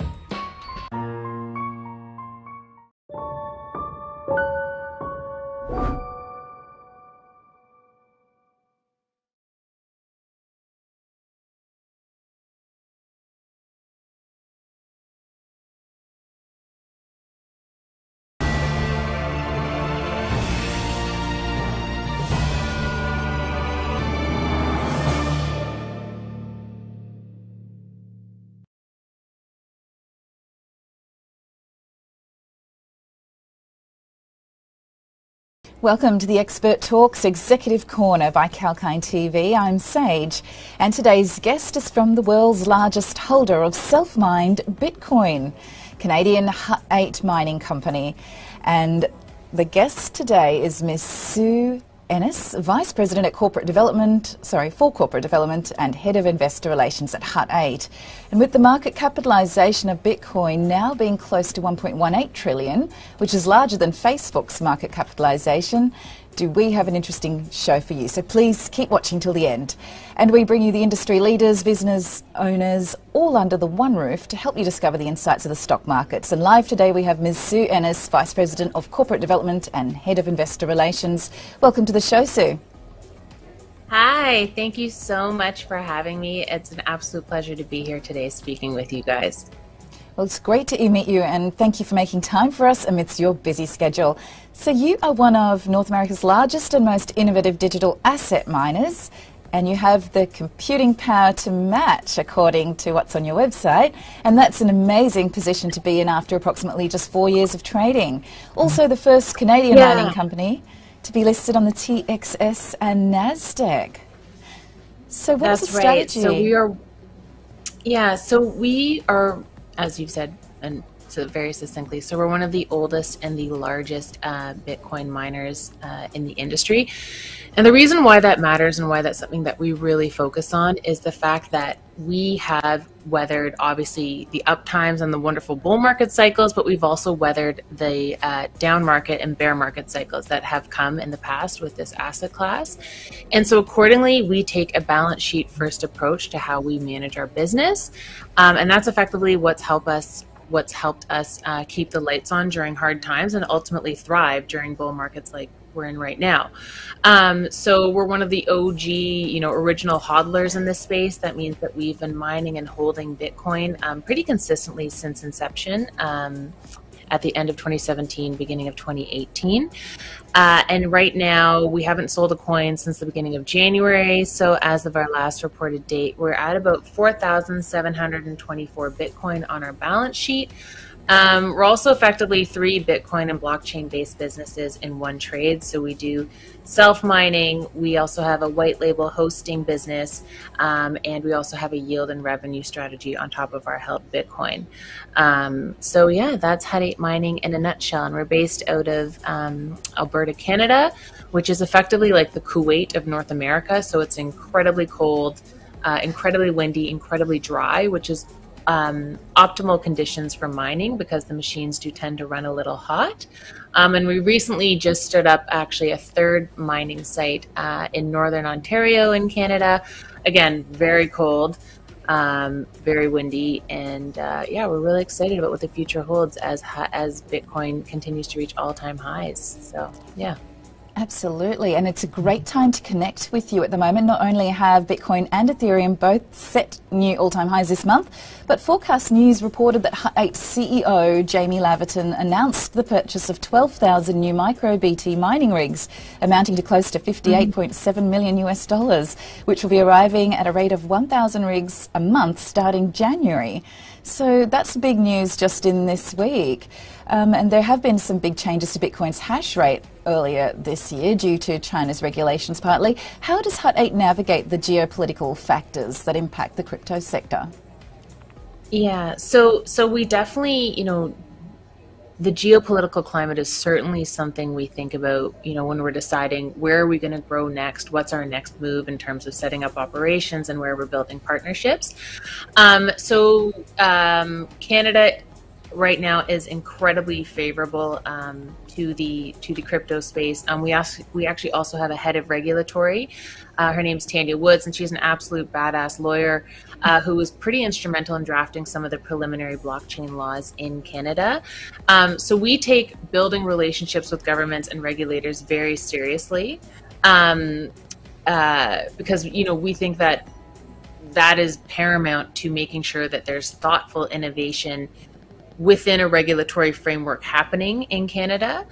Um, so, so yeah, we're very cognizant as to sort of what the regulators are thinking and feeling, and we sort of are, you know, that is part of the our decision making um, strategy when we are deciding where we're going to go next uh, in terms of our business growth.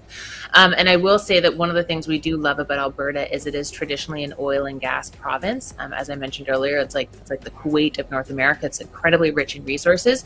So so we have an incredibly accommodative government there uh, who you know is very welcoming to the jobs that we bring, the income that we bring, um, and understands sort of the, the resources space. So so yeah, that's a little overview of how, how we look at it. Yes, um, certainly is a very wealthy part of the world, Alberta, Canada. So um, at the moment, uh, Texas has been opening its doors to the displaced crypto miners from China. And is it the cost of electricity in Texas that's making mining there more attractive? How does power consumption impact the miners' earnings, please? Yeah, so so it is absolutely pretty much the number one cost of doing business.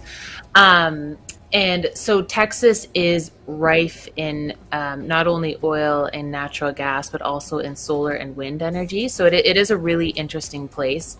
Um, and it makes a lot of sense why people would be setting up shop there. Um, Ted Cruz, uh, I believe, who is the, the main government, sorry, one the governor of Texas, is also incredibly pro crypto and pro innovation um, in Texas, which is wonderful. That's what you know we want and what we need in this industry in order to ensure that we can thrive and survive and continue to innovate and prosper. Um, so I really think, yeah, it is a combination of the wind um, and the solar power there, and um, also just just the way that their energy markets are made up. Um, what we love though about where we are in Alberta and Ontario is that um, we do have a mix of a little bit of solar and wind, but also um, natural gas. And our third site is actually behind the fence. So it's we negotiated a rate of less than three cents Canadian all inclusive, and that's one of the lowest rates in the Western Hemisphere. And it's behind the fence, which is again having control over the number one input of doing business, aka being able to do business um, and in the case of mining have competitive power at your disposal is incredibly important. Um, so we're, we're pretty excited and the timing for our third site going up at this price point it's an extra 100 megawatts at le- less than 3000 sorry less than 3 cents canadian uh, per kilowatt hour uh, is, is a very big deal and very instrumental in terms of us being able to mine at the lowest cost possible and then obviously you know uh, hodl and um, you know maintain substantial profit margins. Well, it's great to hear that the crypto industry is is being able to integrate with the regulators, with the government. I mean, it sounds like renewable resources uh, to power your energy is is extremely important to your company, Hut 8.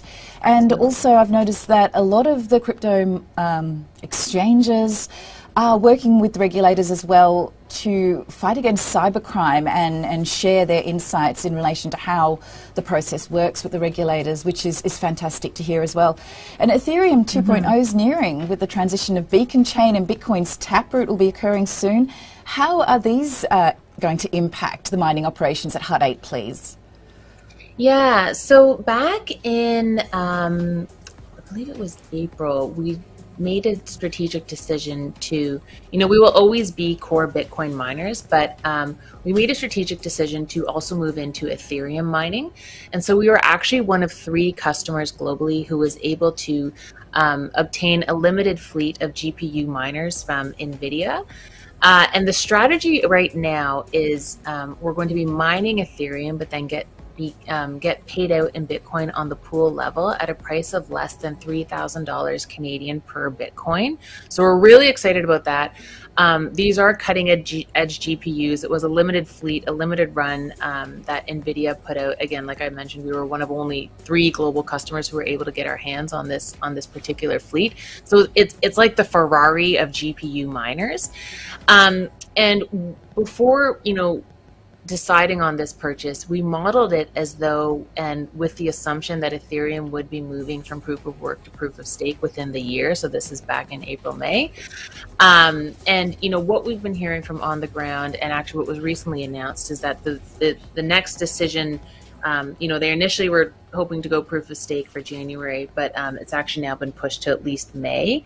Um, and so, even the way that we've modeled it, uh, it still made economic sense for us to make this pivot and pivot into this this particular um, uh, realm of digital asset mining. You know, another thing that we really like about it is let's just say proof of stake. Um, you know, does come to fruition in the next six months, um, we are in a position that we can just simply pivot and mine the next most profitable proof of work GPU based coin. Um, but you know, another thing that's really exciting is is the fact that you know there is also potential case that we do look at instead of you know mining Ethereum and then getting paid out in Bitcoin on the pool level at less than three thousand dollars Canadian per coin. Maybe we do look at potentially hodling at the beginning of January, and you know. Uh, looking at a hodl strategy so that we can play in the incredibly exciting decentralized finance space that has a little bit over, I think, 65 billion in locked value at the moment, um, and some of these really interesting um, you know, DeFi environments, yield farming protocols that that are continuing to thrive. Um, our head of technology, uh, Jason Zaluski, is also a staking yield farming DeFi master. So he was also very instrumental um, in this decision for us to pivot uh, as well uh, and complement our business operations um, into Ethereum mining. So um, that was a bit of a long-winded answer, but uh, yeah, we're we're really excited about the opportunity in the space. Um, and even if it moves to proof of stake, we still, you know, feel very confident about uh, Ethereum is absolutely here to stay. And um, if anything, it will be incredibly bullish for other altcoins. We think so. Absolutely, absolutely. And as, in a segue to what you've just said, I think Thorchain's seeing some surging in its price because of that very factor of some of the decentralized yeah. finance um, protocols that it operates within. And yeah. there's going to be a lot of staked ether that's going to be released um, when Beacon Chain goes live, and, and, they've been talking about that for about four years now. And you've just told us that that's going to be further delayed till perhaps May next year. So that's very interesting. Thanks for that information. Yeah, I think the, the hard the hard part is that um, this decision to move from proof of work to proof of stake isn't so much a technological challenge for the for the community and it's the number two used digital asset in the world. It's it's captured a tremendous amount of market share and ideas and innovation and and is is doing incredible things for the for just the proliferation of, of this industry in general. Um, but so it's, it's not so much of a, technolo- a, a technological challenge but it's more so a governance challenge as well is that you know the community needs to to have consensus in order for this to to move forward. Um, so uh, I, I, think it I think it is still a little bit of ways off um, before it actually does happen. And again, right. we, we just got notice that it's been pushed to May, so it'll be interesting right. to see see where it goes. But I certainly do not see a world where Ethereum's ever going away. No. And it'll be interesting to see what the regulators say as well about the liquidity pools. I think they're still deciding about definitions surrounding that and how it relates to dark pools in the regular fiat mm-hmm. markets as well. So, yes, definitely a space to watch. So, having one of the largest mining operations and cutting edge technology, how does Hut 8's infrastructure allow them to minimise their carbon footprint? You've mentioned it a little about the renewable resources. Would you mind elaborating? Yeah, absolutely. So we are grid connected in Alberta. Um, so we've got two sites in Alberta, 109 megawatts in production, and then we have a third site coming up that's an extra 100 megawatts of production out of Northern Ontario. So in Alberta, um, both of our sites are grid connected. One of them is directly connected to the grid in Medicine Hat, and then the other one, the other site is connected to the grid out of Alberta, which is a mix of about 25% solar and wind. Um, and then this third site is really interesting because we will be um, uh, recycling some of the waste heat to actually melt some of the snow around um, the actual mining operation itself. And um, we, we also have undertaken quite a few um, ESG initiatives, and we will be telling the market more about that. But things like, for example, electrifying our vehicles on the ground, um, partnering with a, um, a company that um, instead of uh, are the styrofoam that comes off of a lot of the mining equipment that we receive. Instead of that going directly to a landfill, we've instead partnered with a company that will compress that styrofoam and then actually resell it into the market. So, looking at ways to also reduce our landfill footprint, and then ultimately, though, um, you know, looking at a carbon neutral strategy. So, for example, this third site that we have coming up in in um, Northern Ontario in Canada is going to be carbon neutral by 2023. So those are just sort of high level some of the things that we're looking at um, from an ESG perspective. And again, we really do consider the environment a stakeholder and a shareholder in our business. Um, and so being incredibly thoughtful about that footprint is something that we're incredibly committed to, and we'll certainly be updating the market more about that uh, moving Well, forward. Congratulations. That sounds like a fantastic strategy, and adding to the circular economy sounds great. Um, do you think the GPU supply chain crunch will have an impact on your operations? You mentioned that you've got in there with um, some of the fastest GPU processors available, um, but how do you think it's going to impact in the long run? Yeah, so there certainly is um, a supply chain constraint just across the board for, for everyone, um, and obviously not just exclusive to the mining space. Um, it's it's really happening everywhere uh, across multiple industries. Um, but one of the things that we have done um, to at least sort of mitigate for that is we actually have strengthened our relationship with MicroBT, that is one of the um, largest suppliers of mining manufacturing equipment. So we are now um, the only authorized MicroBT repair shop in Canada. And so what that means is that uh, we will be uh, servicing uh, other miners and MicroBT equipment in North America and also Northern Europe. And ultimately, what that means is that we do have um, more access to parts and machine parts at cost. We are a little bit closer to that supply chain. Um, you know, we do have an incredible relationship, and we absolutely love our friends at MicroBT. So, so, so being strategic in terms of how we positioned ourselves to be a little bit closer to that supply chain has certainly helped us. Um, and you know, just in general, being incredibly creative and and looking at how many different ways can we possibly diversify this business and earn as much um, multiple different avenues of ancillary revenue so that we can continue to be core Bitcoin miners uh, has also been a priority for us as well. And um, yeah, we're you know we do think the future is bright and that the supply chain uh, situations will resolve. It this that's you know it, it does take a little bit of creative sort of planning though at the moment. Absolutely. And, and thank you so much for connecting with us today because although the crypto um, sector is emerging to the mainstream, to a lot of people, there still exists a massive gulf. And uh, sharing your uh, insights today has really helped to raise awareness about the ins and outs of operating a Bitcoin mining company. So thank you so much. Really do appreciate your time today. Thank you so much for having me. It was an absolute pleasure chatting with you. Thank you. Wonderful. Thank you so much again for making time for the show.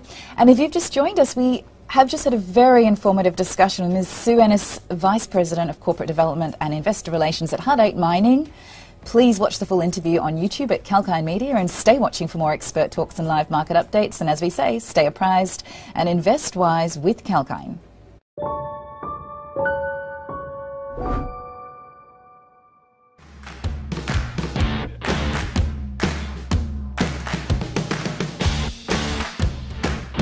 Tune in to stay updated while on the move. We will tell you where the crypto craze has reached, Where the property market is headed next. what the world is doing to become more environmentally friendly. Apart from tracking the daily market charter Be on top of the latest news and announcements. with Kalkine TV.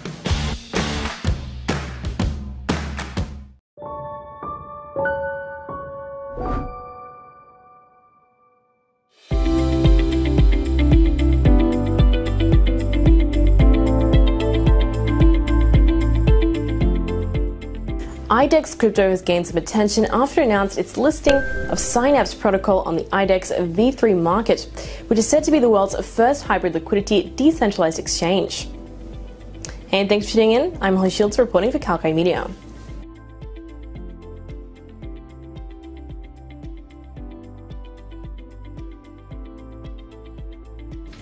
The price of this cryptocurrency shot up 41% in the last couple of days, while its market cap was sent 37% higher to over $100 million.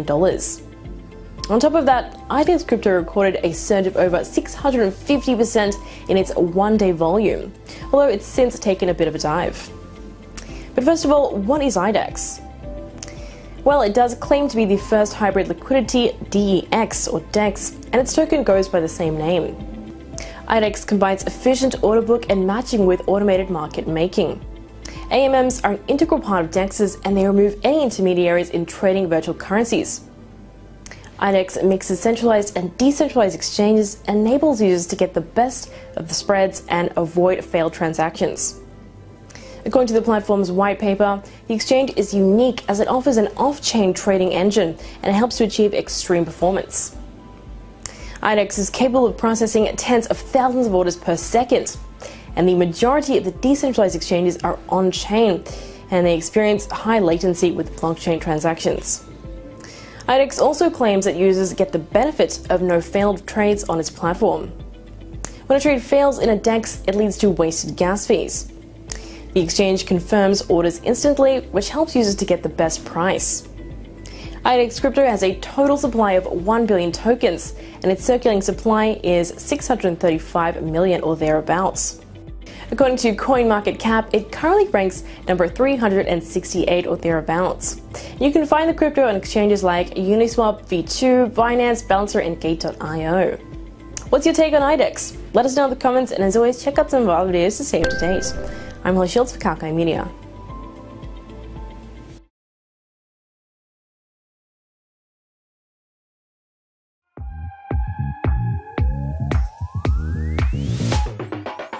Are you sick of paying through the roof for a product that doesn't truly suit you?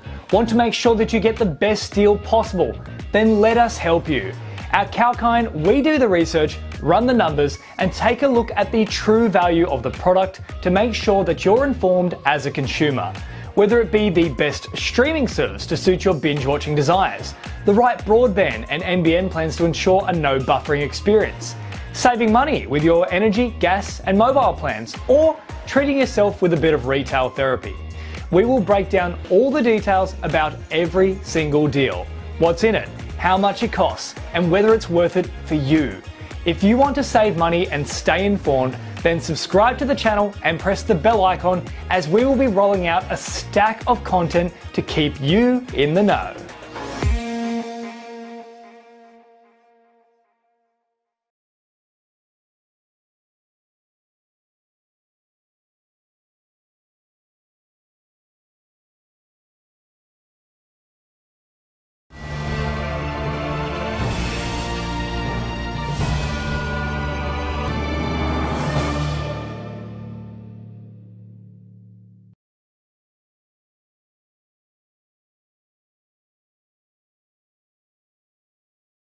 Hello, I'm Rachel Jones and I welcome you all to Executive Corner Expert Talks. Today I'm with Wayne Paterson. Now, Wayne is the CEO of Anteris. Anteris is a structural heart company creating the world's most durable heart valve. Here at Kalkine, we bring you industry leaders, successful business owners, market and equity advocates all under one roof to help you discover the insights of the stock market and help you understand how you can create multiple passive income streams. Welcome, Wayne, to Kalkine. Good morning, Rachel. Thanks for having me. Good to speak with you today. Now, such a fascinating company. Firstly, could you introduce Anteris to our audience and tell us about the powerful work that you are doing? Sure, thank you. Yeah, look, we're, we're very proud of Anteris. Um, in what's been achieved in the last several years. But Anteris, as you mentioned, is a, a company in uh, a space known as a structural heart space. Predominantly, we treat a disease called aortic stenosis. This is quite a serious disease, um, uh, affects folks from their mid 60s and beyond. Um, and when this disease gets to the severe state, the mortality rate is about 50% after two years.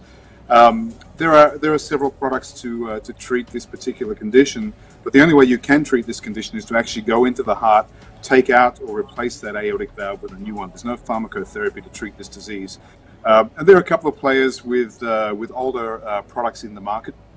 We've come at this with a completely different approach uh, to that market, and we believe, uh, as do the doctors we work with, that this is in fact a product that is very much needed right now for these younger patients who, who are starting off with this disease. Uh, when we've got some very unique and novel technologies that have been developed in Australia, uh, and we're very proud that uh, you know we probably have a technology here, in Australian uh, designed and built technology that will be a global product, uh, helping out thousands of patients around the world in the years ahead. Sounds absolutely life-saving there, Wayne. And can you tell us about the recent progress achieved by Anteris? Sure. So developing a medical product that goes into patients is obviously a, a long and arduous task and, and, and, certainly can be. I've spent most of my career uh, globally in healthcare. Um, the achievements, particularly in the last 12 months, have been significant. Uh, we have had um, a fantastic group of doctors working with us on our medical advisory board for the last several years. As we've transitioned from developing our, um, our ADAPT technology, which is where we started, into a into the world's first 3D aortic valve for uh, for replacement by a catheter. Uh, that's a world first. Um, and getting that through the animal studies, of course, through all the design tech uh, briefs that we have to go through and into humans, uh, is quite an achievement. Now we are on the precipice as we speak of entering our first human studies uh, for this catheter-based valve, uh, and FDA approval of that study is, is imminent within the next quarter. That's great news. Now, as the world continues to battle the coronavirus pandemic, how has this escalated next generation technologies in the healthcare sector, do you believe?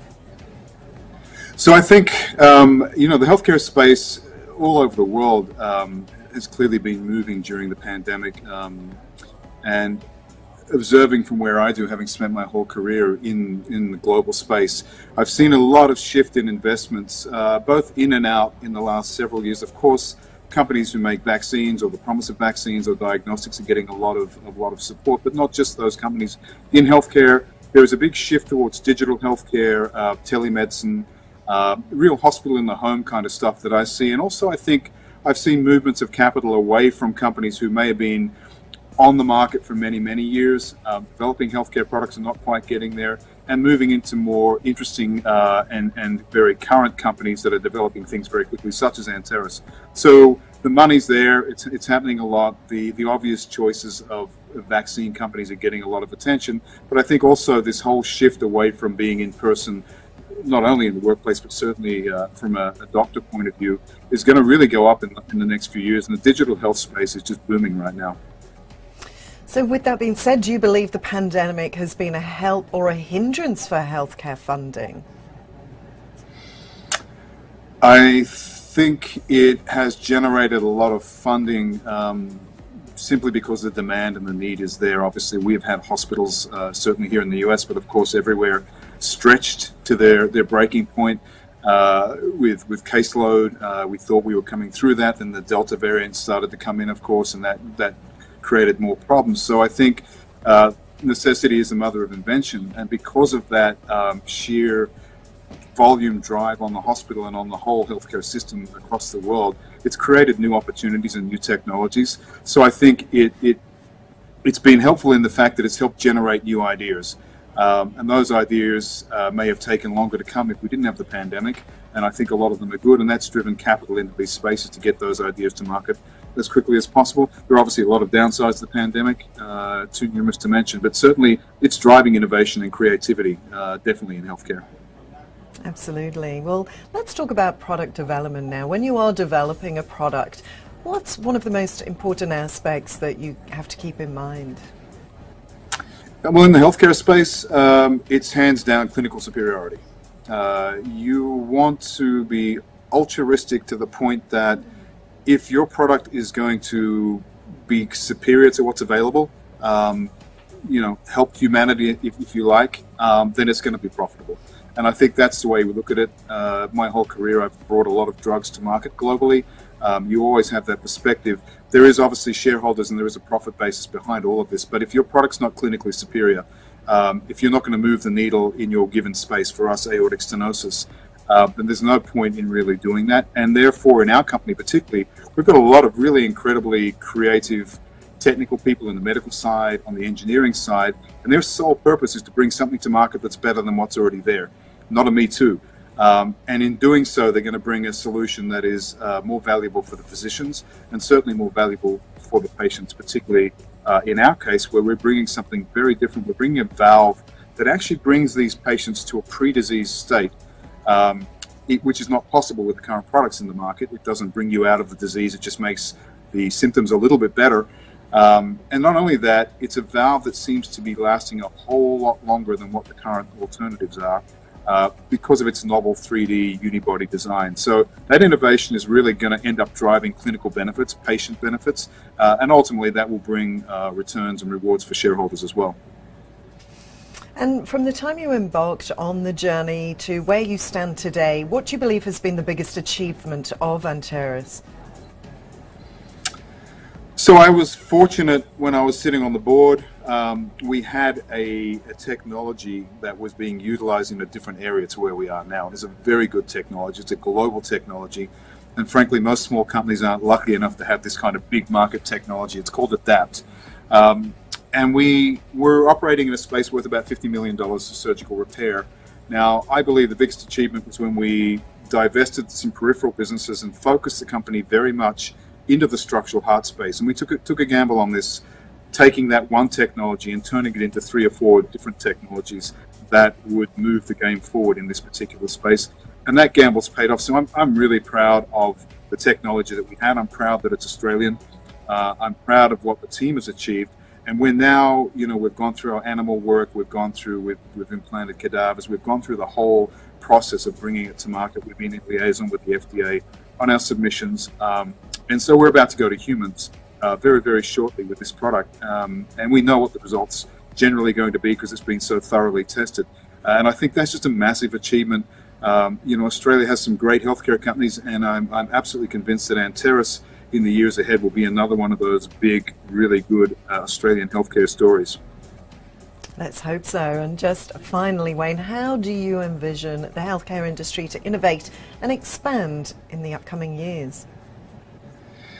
Yeah, look, as you know, populations get older, and this is something I contemplated again um, in the pharmaceutical space where I worked prior to this. Um, you know, how do you deal with these aging populations? It's, the shift in demographics uh, is something that I, I, think has been front and center to the healthcare discussions uh, for many, many years. Um, I started my career in Australia in the healthcare space, uh, and Australia was in fact leading the world on discussions around health economics. So we're quite advanced down there and have been. And I think what's really happening is this shift away from hospital-based care, uh, where you can. Obviously, there's the necessity for hospital-based care for certain diseases, um, has been accelerating over the years. And I think the innovation is really going to come from, um, you know, having people being able to be, be, treated in their homes, staying in their homes longer, um, having the elderly um, stay out of uh, hospitals and nursing homes where possible through telemedicine and things we talked about before. But also the therapeutics are improving quite a lot. We're kind of,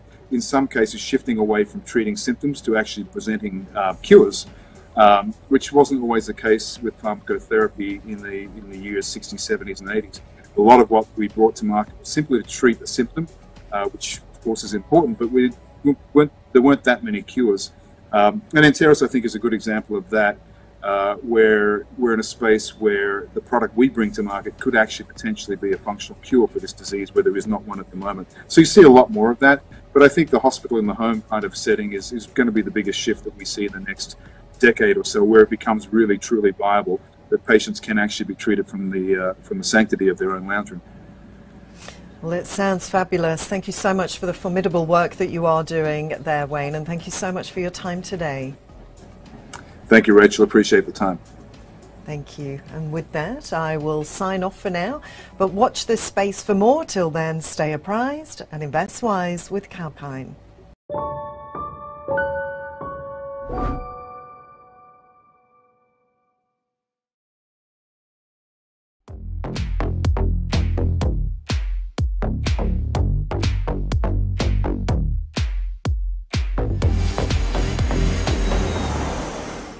Boarding pass, please. Hi, I'm Holly Shields, and I'll be your host for Kalkine TV's new show, Travel Insights. Tune in to get the latest developments in the travel and tourism space, from updates on restrictions to travel guides to info about recreation and outdoor activities, or tour guides to the financials of the sector. Though the travel industry has been hit hard from the pandemic, there is still potential left for a revival on the back of economic upturn and COVID safe travel measures. So if you want to know where the travel and tourism space is heading, dust off your passports, pack your bags, and watch Travel Insights every Monday exclusively on Kalkine TV.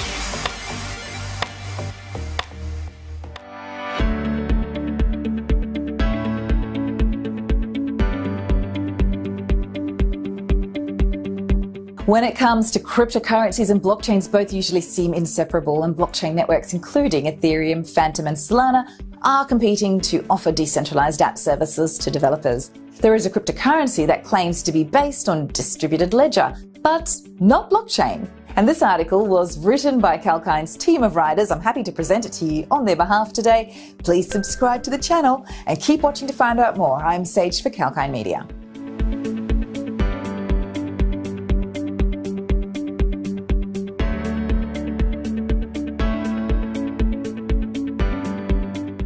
Here, the founders claim that blocks are never created, which means there are no fees for costs involved in the validation of transaction. And well, that's something unprecedented, isn't it? So let's get to know about this protocol a little better. So what is the IOTA network?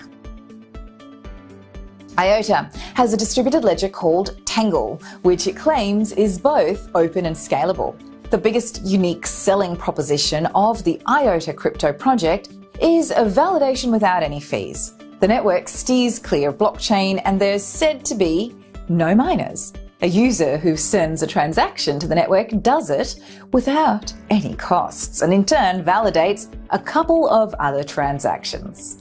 Though IOTA has no block creations, it claims that the data and records are immutable. The network uses a minimal amount of energy and transactions are processed faster. And that said, it claims to have a globally distributed network at the heart of all data exchange, now coming to the MIOTA crypto. So, what is the MIOTA crypto? The MIOTA token is the cryptocurrency linked to IOTA's distributed ledger project, and MIOTA can be traded on exchanges like Binance and Bitfinex. Is the IOTA cryptocurrency a good investment? The IOTA crypto is linked to a project that claims to use a distributed ledger without creating any blocks. And this is in stark contrast to the blockchain networks of Ethereum, Solana, and the other popular cryptos. The IOTA network projects itself as an enabler for the Internet of Things or IoT ecosystem. Blockchain networks have their sets of drawbacks as well, though, like high gas fees and energy usage. If any network like IOTA can genuinely overcome these weaknesses while simultaneously providing a secure and globally distributed network, the linked token may surge in value. IOTA Crypto Price Prediction IOTA ranks among the top 50 crypto assets in terms of market cap on CoinMarketCap the IOTA crypto has a market cap of nearly 2.3 billion US dollars as of now, and it is trading at nearly 84 cents US a piece. So very recently the IOTA crypto trading volume has soared by almost 50%. And if the IOTA network can find takers for its blockchainless distributed ledger, the IOTA crypto may touch US $2 by the end of the first quarter. So, in conclusion, IOTA is a distinct cryptocurrency project that claims to work without blocks. The technology has yet to prove its utility. With it, why the IOTA crypto hasn't had a sustainable rally. If the tech is favoured by developers, the prices may surge in the medium term. Thanks for joining us on the report, and if you do like this information, let us know by liking, sharing, commenting on the video below, and subscribe to the channel Press that bell icon, you'll be notified of the latest videos by Kalkine. But for more articles like this, there is a website, it's kalkinemedia.com. And my name's Sage for Kalkine Media.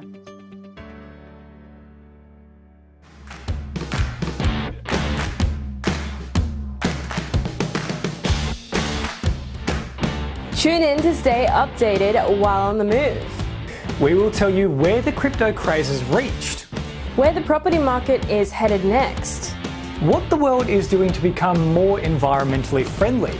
Apart from tracking the daily market charter. Be on top of the latest news and announcements with Kalkine TV.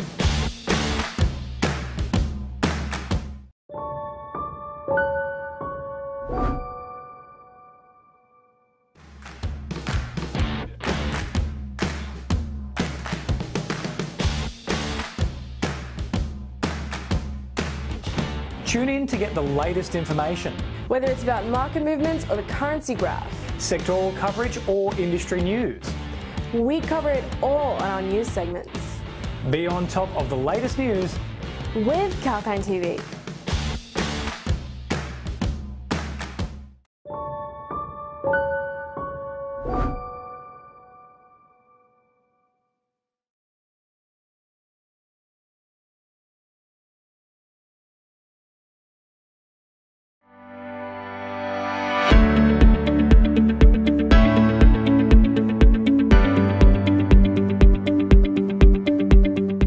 According to Chainalysis reports, illicit activities grew by 82% in 2021, and about 7.8 billion US dollars worth of cryptocurrencies were stolen from investors. Let's take a look at three such pyramid schemes that have hurt the investors and crypto enthusiasts. And this article was written by Kalkine's team of writers. I'm happy to present it to you on their behalf. Please subscribe to the channel. I'm Sage for Kalkine Media.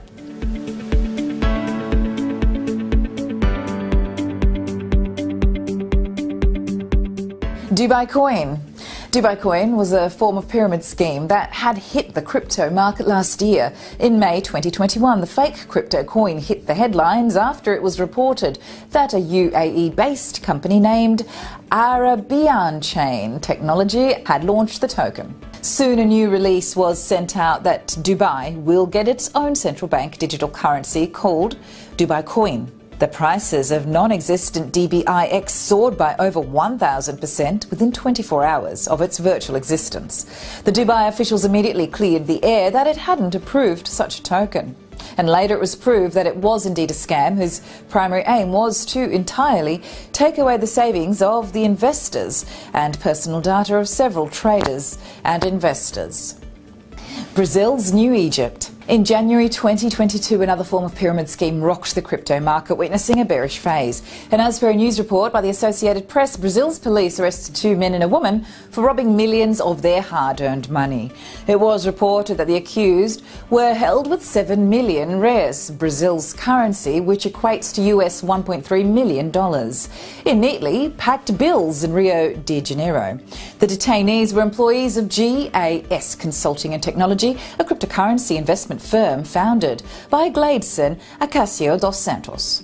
Police said that the company managed to increase their earnings to US $7 billion between 2015 and mid 2021 through a Bitcoin based Ponzi scheme that promised investors 10% monthly returns. However, things came to a halt when Rio police seized the money at the helipad of the Insolito Boutique Hotel, and this prompted an investigation into Dos Santos's business. Now, later, the federal police raided Dos Santos's home and collected 13.8 million reais and finally arrested him. OneCoin. This was perhaps the longest running pyramid scheme of the crypto industry. OneCoin, founded by the Bulgarian fraudster Ruja Ignatova alias Crypto Queen, managed to lure investors between 2014 and 2019. Dubbed as the Bitcoin killer, the scheme has defrauded investors of a whopping amount of 5.8 billion US dollars. The scheme modus operandi was members who brought in new members who were then compensated with cash rewards, and this gave them a mirage of a large business venture. However, OneCoin was never a blockchain based crypto coin, so whatever amount of fake tokens the investors held was virtually worthless. And the US government cracked down the operations and levelled charges against the management. So, in conclusion, with the crypto market getting bigger and bigger, investors and authorities must be extra vigilant about such pyramid schemes. And these examples indicate that illicit market players with evil intentions will take advantage of investors' savings. Still, one should be careful with the investments and do in depth research before moving. If you like this information, let us know by liking, sharing, commenting on the video below. Subscribe to the channel and press that bell icon. You'll be notified of the latest videos by Kalkine. For more articles like this, do check out the website kalkinemedia.com. And my name's Sage for Kalkine Media.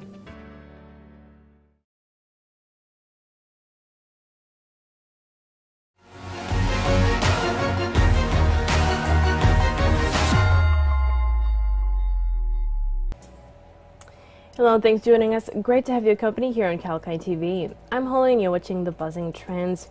Today we're looking at why healthcare companies Respiri and Proteomics International Laboratories are on investors' radar.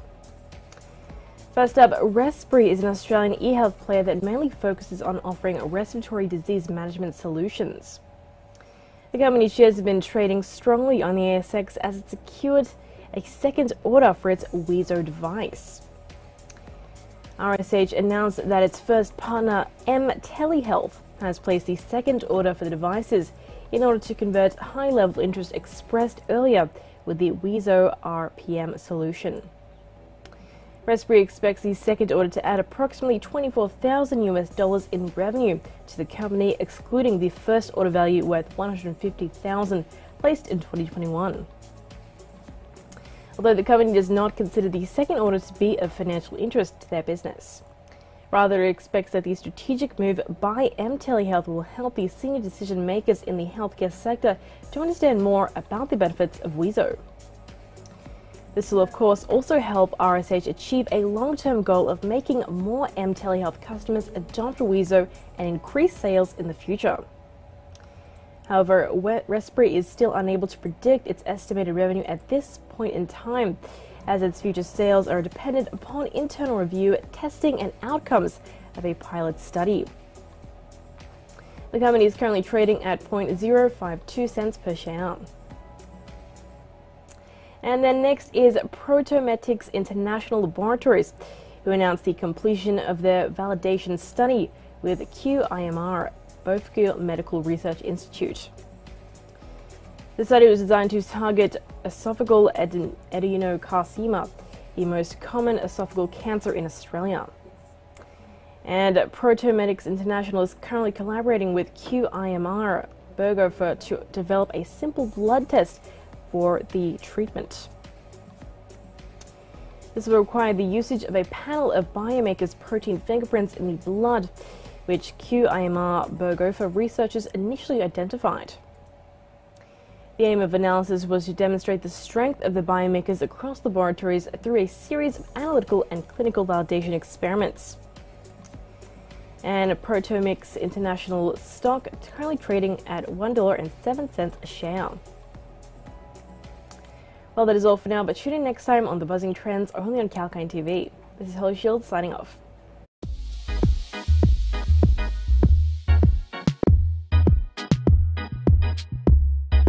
Hi there, James Preston for Kalkine TV. Are you into gaming and virtual reality? Does AI and the endless possibilities it entails capture your interest?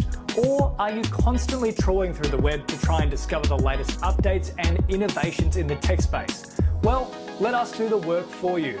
From the latest product launches to shocking affairs on the World Wide Web, exclusive interviews and information about the top companies like Apple and Google to brand new tech startups vying for your attention. Kalkine's Tech Beat has the latest in what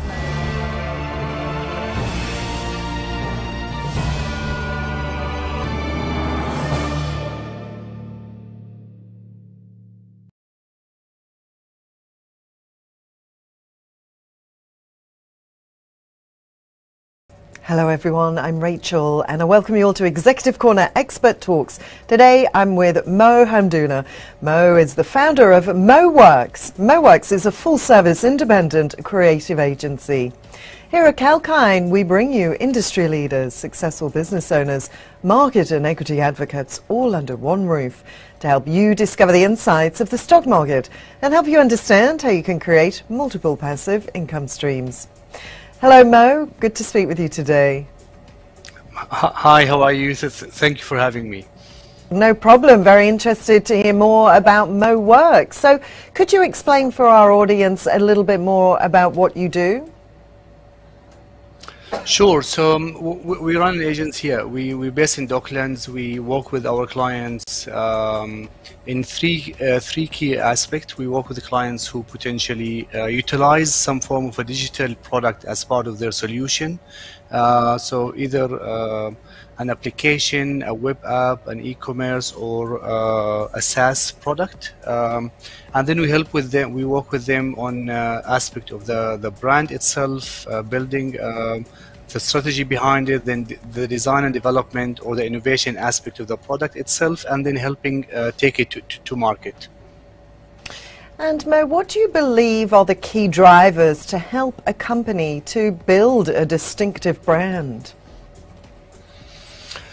Um, a distinctive brand. So uh, I believe a key aspect to build uh, a strong and distinctive brand uh, nowadays is really by having a more inclusive brand, a brand that really embraces the diversity of its people, the, the diversity of the the customer you bring your brand to, and of course the community that's surrounding your business or, or the product itself. So, by inclusivity, I mean. Um, um, this inclusivity can be really reflected in um, in the core of the brand, like in the vision itself, in the value that you have. Um, it can also, as part of the positioning of the brand, like once you understand your inclu- your your consumer base and how diverse they are, and you build an inclusive brand, this can be uh, reflected in the positioning of it and in the persona of the brand itself.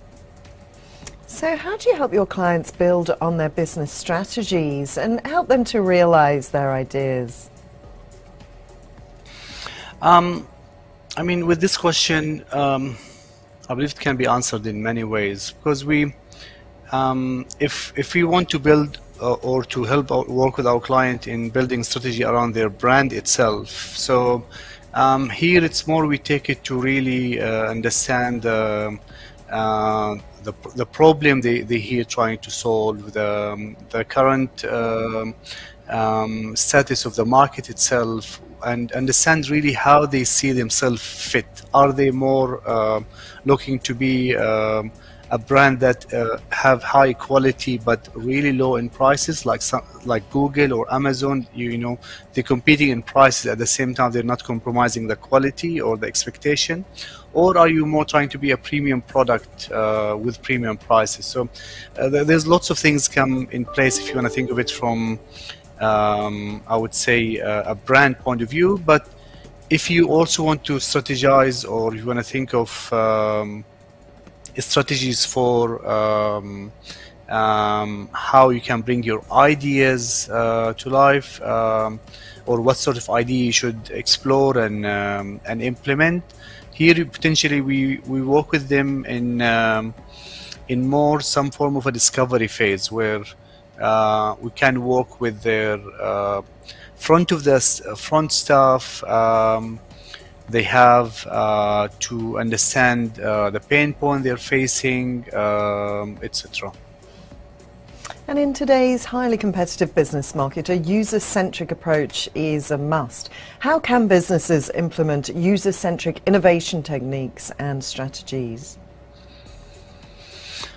Yep, perfect. So this actually relates back to the last point I was talking about. So if you want to implement, uh, as you said, the user-centric uh, techniques, basically, it's really you want to go uh, as simple as going back to the to the users. Now, going back to consumers too early, sometimes it can backfire uh, because not every all consumers understand what they need if they don't see it just yet. So I believe a good approach usually is by chatting to uh, your front staff, the staff that really dealing and dealing on a daily basis with their your consumer, because usually your your front staff have their own pain by this uh, daily interaction with the consumers, or they actually see the pain or hear it from the consumer themselves. So I believe it's always a great start. It's by going to your um, your employee who interact on a daily basis with the consumer. Another way to, uh, in uh, implementing uh, a user-centric uh, technique is really by checking other complementary um, industries, not particularly your industry. So you can look at something similar or uh, can be complementary to your space or not, and just really and see how they innovate. How what what is new in that industry. Uh, what the stuff that they brought in and it's doing a mass success and see how you can bring this into your own industry. And we've seen this one like with our clients um, in either in the construction uh, space or solar or safety. We've been looking at other industries such as retail, e-commerce, fintech, and we're seeing what's been happening in that space that booming for them. They're doing great result, uh, showing lots of innovation, and then we are bringing them into those, let's say, less digitized uh, industries and see, okay, this is it's a, a new concept. It's a, a new it's been tested but in another industry and maybe it's time to test it in in this space itself like in the solar or in a b2b construction space etc now in relation to the pandemic what have you witnessed regarding businesses moving to meet the demands of the transforming digital world Look, um, at this stage, I believe it's almost clear for all of us how, how many things has changed. Like we've been over a year uh, on it, and um, uh, it's quite obvious that things like majority of the consumers and businesses are more tech savvy. Uh, everyone understand how to navigate their way through QR codes, through Zoom calls, etc. So, so this is one of the most important things. Really, it pushed people. I believe that were hesitant or to, to change, hesitant to digitize lots of um, um, of aspect of their business and push them to to to do that change. And once, I believe, once they've been in the change now for over a year, most of them they start recognizing how actually it's it's more comfortable in the digital world. Um, and it's easier to do business. It's cutting lots of the stuff that is unwanted. Um, um, and we saw changes in how you do grocery in how you do learning in how you do the telehealth qr code. Majority of these stuff uh, are here to stay. This is i believe uh, one of the biggest changes that uh, is happening currently to the australian market uh, and its consumers. Um, for us, for example, at MoWorks, we saw also um, a different type of request from our clients.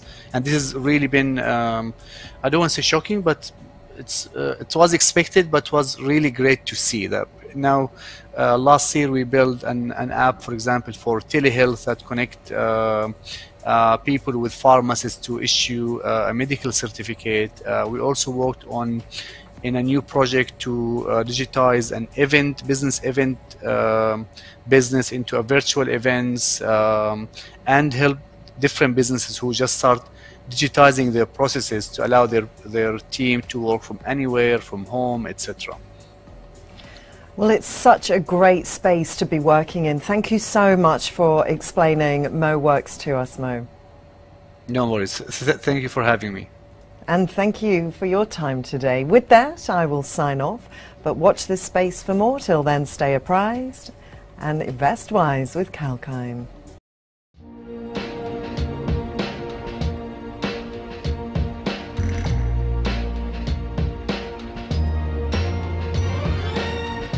Property by Kalkine. Looking for a dream home? Well, that may sound easy, but it isn't. And from looking for a property that is the right fit for you in terms of cost and other factors to zeroing down on the right mortgage plan, there are various aspects to consider. And for the latest slowdown in the property market, tune in on Kalkine TV with me, Sage. I will give the latest updates on the property market as well as real estate stocks to help you make the right decision. Keep watching Property with Kalkine.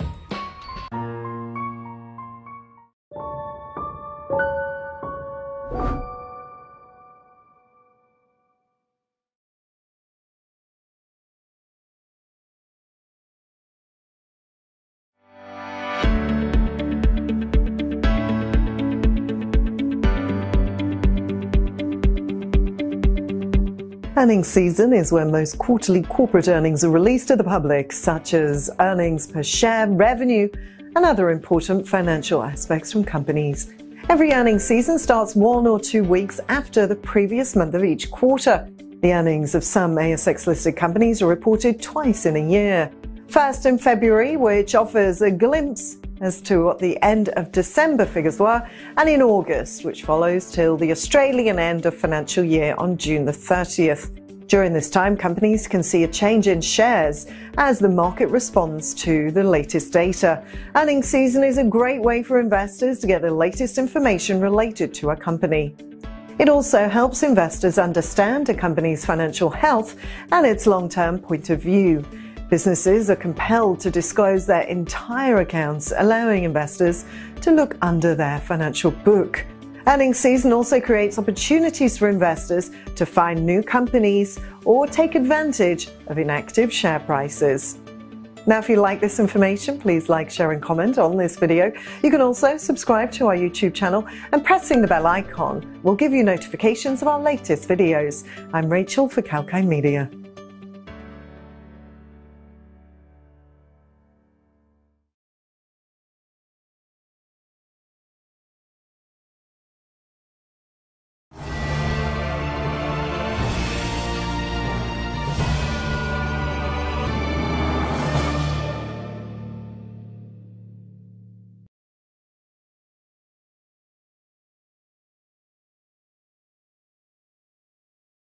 Welcome to Expert Talks, the Executive Corner by Kalkine TV. Sage here, and today's guest is Mr. Ben Lakoff, co-founder of Charged Particles. He's also the business lead. And he'll share with us the insights as a founder of a groundbreaking NFT protocol that's sparking a DeFi revolution. The internet has been enabling the exchange of endlessly rep reproducible ideas, sounds, and images and words, you may have noticed. And they were all open to the copy paste function that computers offer. And NFTs are showing us that the future provides a different scenario where everything is tokenized and ownership is recorded and it's for sale. So to find out more, stay watching till the end. And as you know, we bring you the industry advocates and successful business owners to help you discover the insights of the stock markets. And bringing you live today, we have Mr. Ben Lakoff, co-founder and business lead of Charged Particles. Welcome to the show, Ben. Sage, thanks for having me. Excited to be here. It's a pleasure to e-meet you, and we need to make the most of your time, so let's get started. Um, you're the co-founder and business lead of Charged Particles. That sounds like a brilliant position to be in.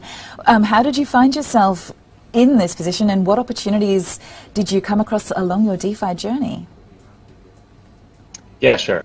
Uh, my background's in finance, and I've been in the crypto space uh, since 2017. Um, so ended up meeting Rob Secord, who's the uh, other co-founder, who's the original founder and visionary of Charge Particles. And uh, yeah, NFTs are pretty hot right now, but he was dreaming about this thing in late 2019. Um, our Twitter user, our Twitter handle is DeFi NFT. So long before DeFi really was a thing, let alone DeFi and NFT, the convergence.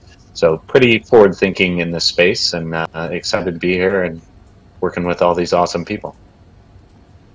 Wow, fantastic. Thank you for sharing your story with us. So you just mentioned it a few years ago, like in 2018, no one was really talking about NFTs, yet they existed, and now they seem to be the talk of the town. What do you think has led to this? Is it the community aspect related to this space that stirred the interest? Yeah, yeah, that's a lot of it. I mean, um, NFTs are just non-fungible tokens, so it's a token that is not fungible. It's a unique token. So this has its first kind of mainstream adoption and awareness around media files, like you said in the intro. So uh, these infinitely replicable content, like a, a, picture or an audio file or any sort of digital media, can now be made provably unique and given this home and this um, proof of uniqueness on the blockchain. So they've been a thing since 2017, but I think there were a number of more like infrastructural pieces that needed to happen before um, sort of mainstream adoption. And I think there's a number of fa factors here with the rise of cryptocurrencies. More and more people know about it. More and more people have had gains, so maybe they're looking to into some new potential niche within the cryptocurrency space. Um, and all of these the and, and then COVID. Um, so uh, lots of artists kind of losing their their revenue model. Um, all of these kind of factors converged as like the perfect storm to get people more and more interested with um, NFTs as they currently are. That's for sure. Sure, and it seems that it does attract uh, people who are interested in arts, but it also is a very welcoming space where people are encouraged to join in and, and people are welcomed by the artists to get involved and, and jump on the platforms and connect, such as Discord and, and uh, Medium and things like that. So your Charged Particles protocol is unique as it allows people to mint their own NFTs. Can you talk us through this, please? Yeah, sure. So an NFT is just attaching a media file to a unique token. ERC 721 or 1155, this is a token standard that just says this is a unique token. So charge particles, yes, we do allow users to mint NFTs, create NFTs. So take this digital file, attach an, uh, a, a, a ERC 721 token to it, and say this media file is now associated with this token. It is now provably unique on the blockchain. Uh, but that's not really the unique aspect that we do. Uh, there are many platforms that allow this. Um, we are free to mint. There's no fees or anything like that. We're on layer one and layer two, so you have this other cheaper, easier option. Um, but what we allow you to do is take your NFT and picture it as a basket or a container that allows it to hold other assets in a programmatic way. So with art, this could look like me creating a piece of art and putting my own social token time locked into it for a year, um, a bit a, a, bit like a bond perhaps, but um, it's it's converging this uh, financial aspects uh, with NFTs and certainly art.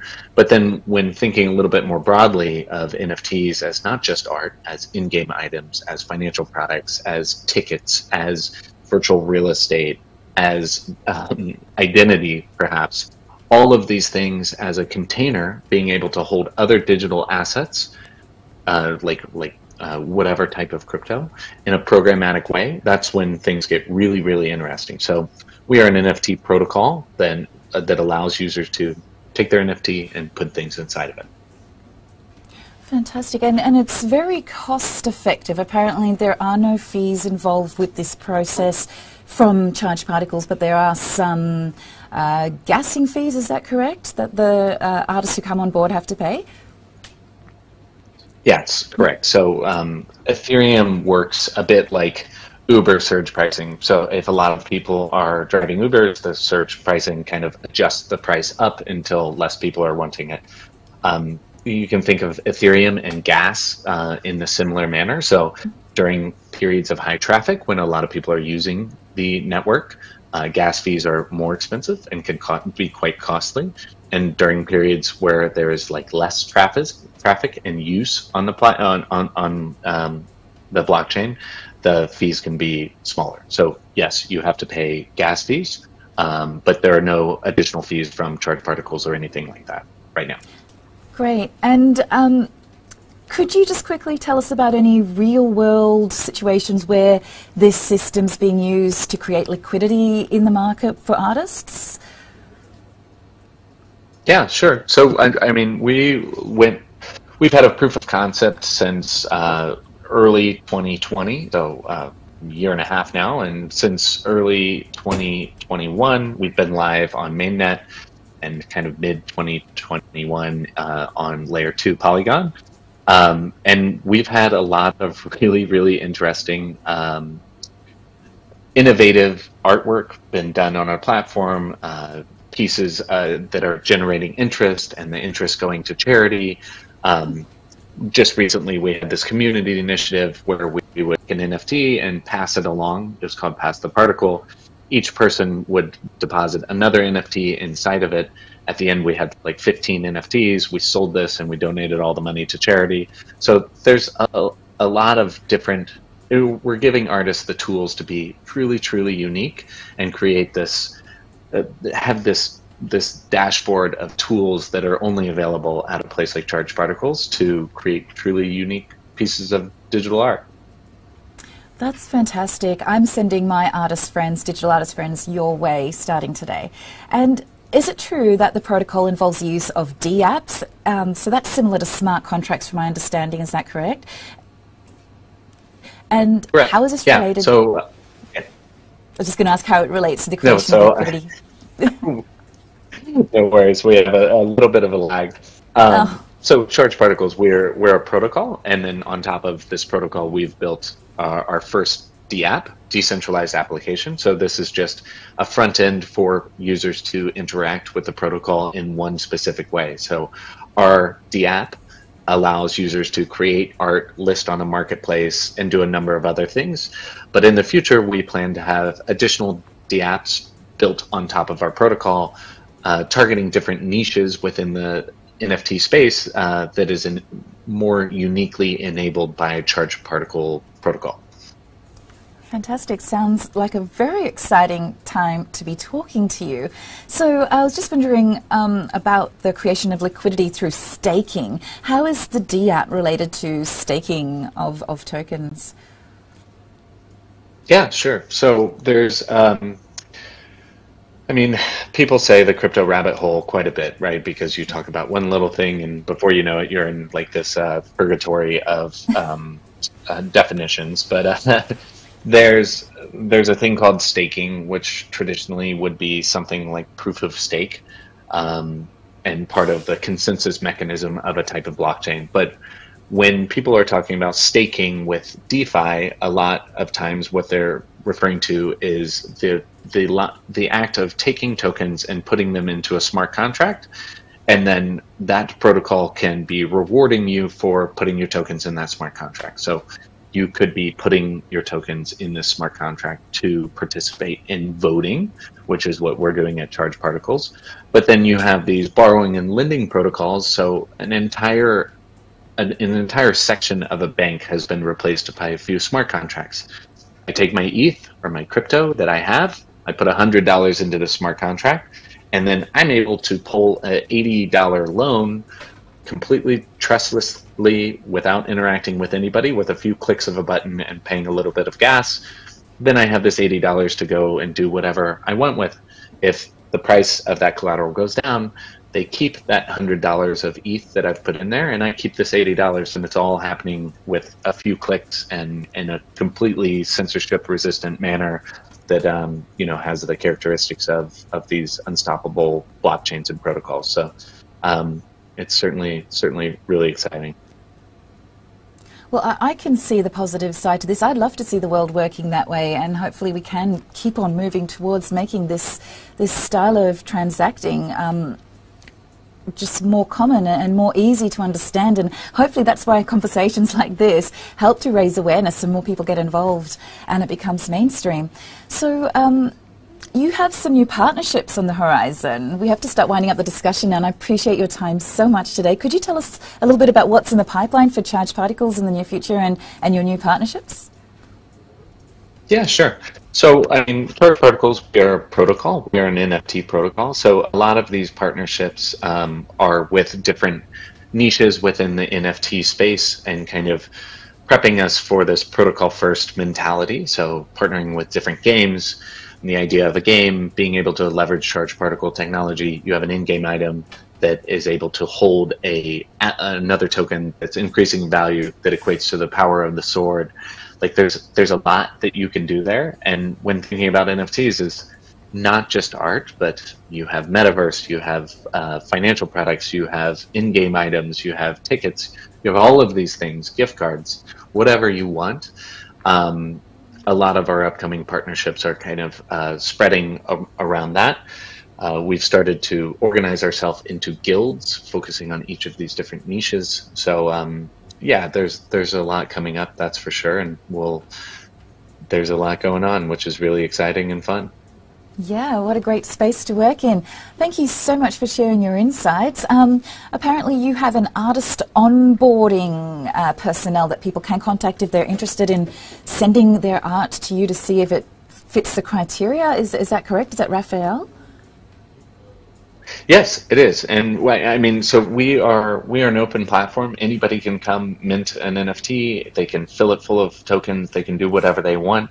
Um, you can talk in our Discord and get your art listed on our marketplace. Um, but yes, we we have uh, a, a, large team at this point. I think 15 people.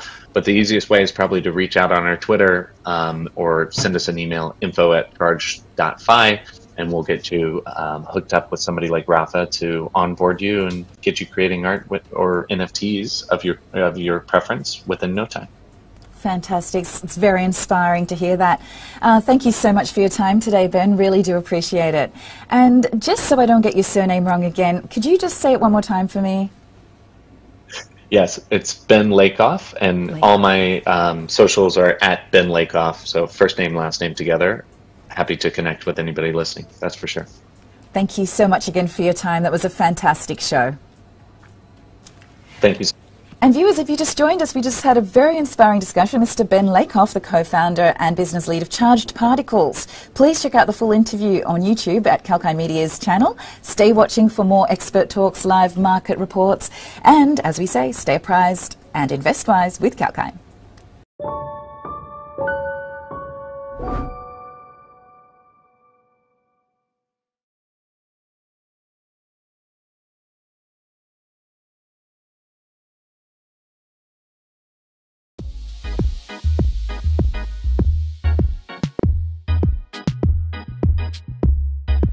Hi there, James Preston for Kalkine TV.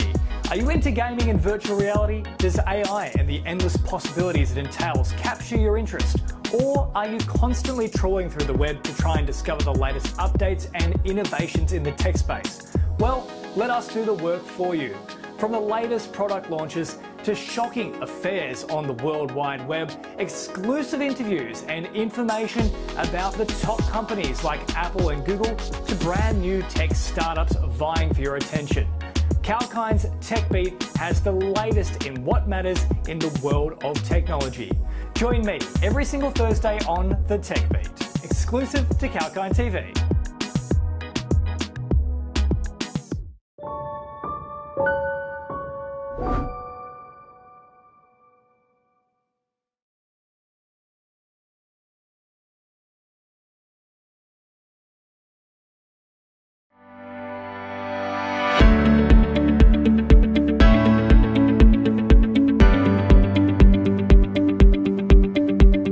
Amidst the downward slump that the crypto markets are facing, there are a few altcoins defying the current trend lines. Let's look at top five performing altcoins over the past one week. And this article was devised by the team of writers at Kalkine, and I'm happy to present it to you on their behalf today. Subscribe to the channel. I'm Sage for Kalkine Media.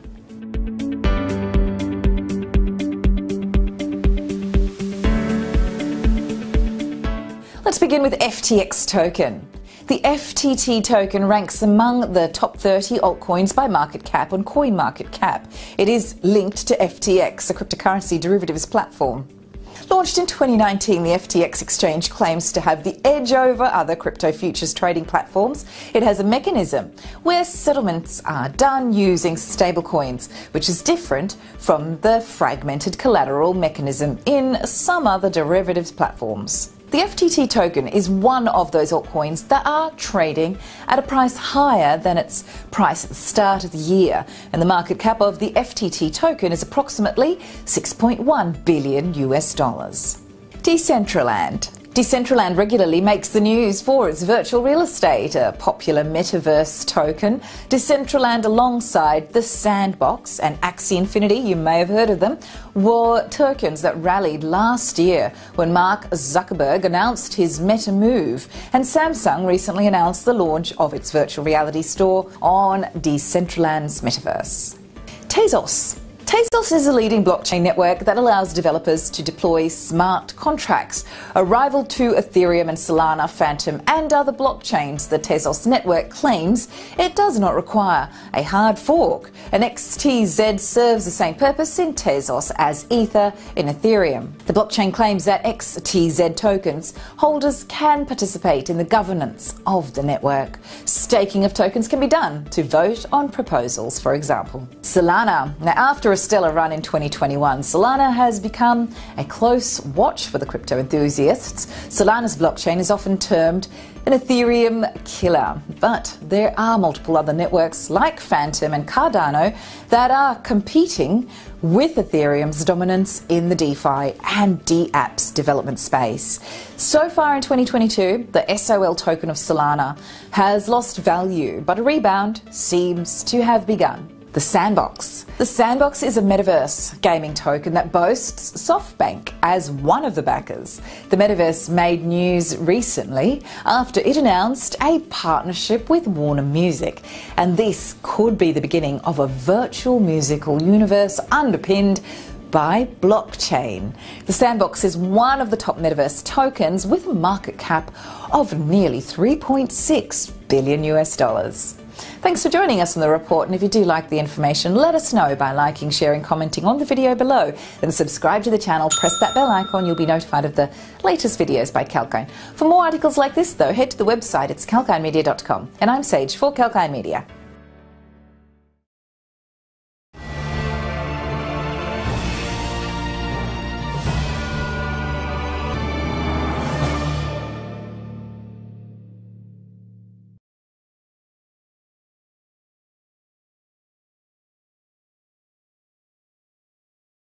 Good afternoon and welcome to Expert Talks on Kalkine TV. I'm your host, Rose Jacobs. This is where we chat to industry leaders and experts in an effort to inspire you to make the most of your own financial investments. Today we're exploring the topic of taboos in the workplace around gender and sexuality. Gender is not binary, nor is sexuality. However, many of us have been taught otherwise. So, to come out of such taboos, today we have a special guest on our show, Brett Hayhoe, who will enlighten us with his current thoughts on the scenario of queer communities in Australian workplaces. Brett Hayhoe is the publisher and editor at Q Magazine. He's also the Chief Executive Officer at Gay Friendly. Hi, Brett, and welcome to the show. Good afternoon. Thank you, Rose. Thank you for inviting me. Pleasure to have you with us today. Now, Brett, I'd like to start if you could give us an overview, really, in your own words, about Q Magazine and what you aim to achieve. Well, Q Magazine started in 2004, so I guess whatever we want to achieve, we probably should have by now. Um, but the, the magazine, we identified that there was a, a, a gap in the market for a good quality publication that was not overtly gay, and I will explain that. The it's it's not about naked bodies or or uh, or gay imagery. It's about the places and faces that make uh, Melbourne and, and Australia wonderful, and also uh, lifestyle of of the LGBT community. Now, of course, our lifestyle is very very broad. We do everything. So the ma- magazine has been filled with some wonderful articles over over the um, what's that, 16 years, and uh, and in 2006 we went fully digital. Um, it's already it's always had a digital footprint, um, but in 2016, sorry, I um, I decided that printing was just way too expensive, and Yes. uh, and so if I wanted to keep the magazine, then I had to um, stopped with the silly notion that people liked up paper and, and, and roll it. And, I'm guilty of that. oh, a terrible traditionalist. And um, It's not and always affordable, though, as you've pointed out. Yeah. Well, no, it's not. And, and, and on a business level, financially, it did hurt me by, by not printing it. Um, but that's starting to come back. But of course, the costs are almost nil. So it's, it's, a, it's a, you know, give and take. Well, it sounds like you've progressed very well with the times in terms of the printing and the affordability, and you certainly sound like a very unique production, which is wonderful. So, I guess let's start with the questions. You know, unfortunately, the world as a whole hasn't ultimately come out of some of those stereotypical notions attached to the queer community. However, people like you are really making a significant impact in changing our society's perspectives with your publication. So, as a person who's exclusively working on this, what changes have you observed in the Australian culture concerning the understanding of this queer community life? Look, I think it's probably pertinent to understand that some stereotypes about the the, the LGBT community are true. Um, generally, if you get your hair cut by a really good hairdresser, they're generally gay. Um, but- and you know, if, if you want your if you want your house to look absolutely stunning, get a gay interior designer because they really are better than the others. But in regard to changes, look, I, I, I think people have been slowly but methodically pushed into understanding that we are all the same. Um, gay people just happen to be attracted to people of their uh, their, their same sex and gender, and and and so. But it, it, I don't think you go to. I, I don't think you will find every jurisdiction in the world welcoming uh, to the LGBT community, and, and you know that's sad, but it's a reality. Um, not not all communities accept others, but in Australia we've had some amazing uh, movements forward in the political sphere. Uh, gay conversion therapy, for example, is outlawed in at least three states uh, that I know of. Queensland, oh, oh, sorry, New South Wales as well. Queensland, New South Wales, Victoria, and South Australia. Um, I may be wrong. There may be some others, but but certainly the east coast of the country has uh, has made that illegal. Um, we worked very very hard, everybody in the LGBT community um, in Victoria, to get that legislation through. Gay conversion therapy is simply barbaric and should never ever even be thought of as as a form of practice. And I think those sorts of things make other people understand that the community in general is changing. I'd also like to tap into your perspective from a media point of view. Um, in my experience, the media can be incredibly influential in influencing public opinion. So you're in a very unique position in that you are. Um, you know, creating a publication here now digitally where we can start to build that queer friendly space um, for organisations or individuals. Would you agree? Mm-hmm. Yes, absolutely, and and I think it's important also. We every community has its quirks and its nuances. I'm not sure that they need to be thrown down everybody's throat. Um, where the gay media, such as Q Magazine, comes in uh, into into the fore, is that nothing in my publication should be confronting, but everything is unashamedly about, for, and from the the LGBT community. And I think that I hate to use the word normal, normalize. Um, I'm also so, certainly not an assimilationist, um, not at the excu- not at the uh, uh, the peril of a community. But I think everybody who shows um, LGBT people in a, in a very again I hate using the word normal because I really hate the word mm. but but there's but there's no other word to use uh, look we've seen it in film and and television over the years where instead of a gay character just being an added extra we've seen the character being very pivotal and just so happens to be gay they're the sorts of things that change hearts and minds in in all societies across the world Actually, as a side point, I noticed in the news this week that the print version of Spider Man has now been um, diversified to be a bisexual, which is quite fascinating. I always thought it anyway. Now, I'd like to move on. Diverse sexualities are widely and now legally and socially accepted in the mainstream in Australia at least, and more people are coming out with their honest sexual orientation. So, I'd like to know your thoughts on how industries and market, marketplaces can proceed towards better catering for that.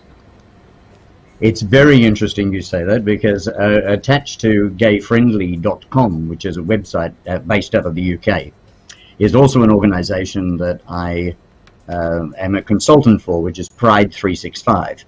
Pride 365, as the name would suggest, means that you should be proud of who you are, regardless of what that happens to be, 365 days a year, but also that as a business, you should be supporting your LGBT staff 365 days a year, not just conveniently during June, for example, which is the North American Pride season. The month is, is Pride Month. Mm.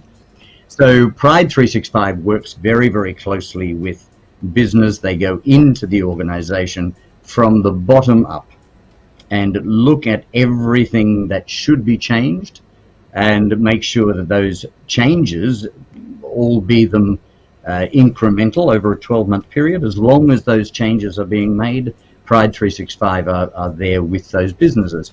I really strongly support that concept for all business, all organizations.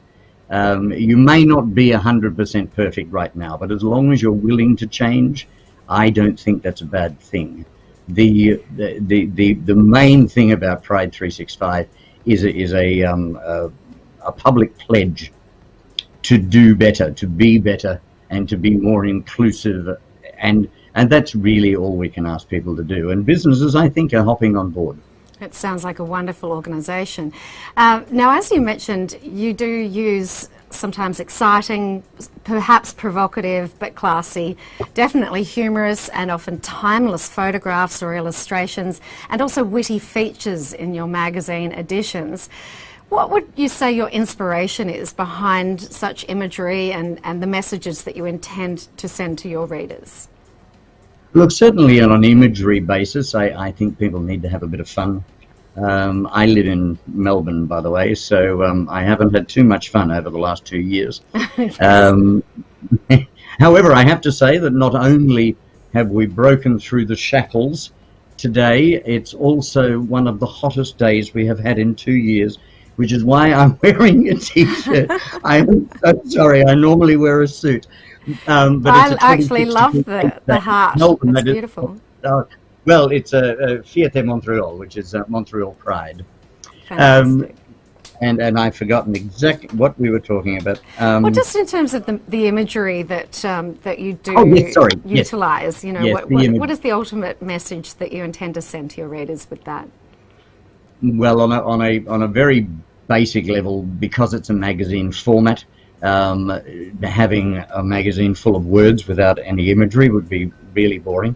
um, it would bore me putting it together. I design it as well. Um, but look, I, I, think the message is very much that the community is very uh, is an integral part of the overall community. Every citizenry whether people like it or not. And uh, and President Erdogan, of course, made some stupid comment many many years ago, uh, several years ago, that there were no gay people in Turkey. Um, I said, I've got news for you, baby, and it's all bad. Mm. There, there is, there are gay people in every society, and so there should be. There's also people who do knitting. There is also people who do shooting and fishing, and you, you know, there, there are. Our community is made up of many, many communities, and the imagery um, I don't know that there's a deliberate there's a deliberate um, reason to, to change anybody's hearts or minds, but they're always fun imagery and uh, and sometimes a little naughty. But you'll never you'll never ever see in Q magazine anything that's blatantly um, rude or, or, yeah. or yes exactly. But please don't look at the second issue. now I must buy a copy. That got somebody so, fired. That got somebody Just for fired. our final question, in your opinion, which industry or area in Australia is really the most queer friendly, and, and what's the rationale, or why is where's the success behind that? I know you mentioned you're from Melbourne, so I'm guessing that's going to be part of the uh, response from you. Well, it, I, I, read this question, and thank you for sending them through. Um, I read this question, and, I, and I'm not quite sure that there is one industry or one area that is that is better than another.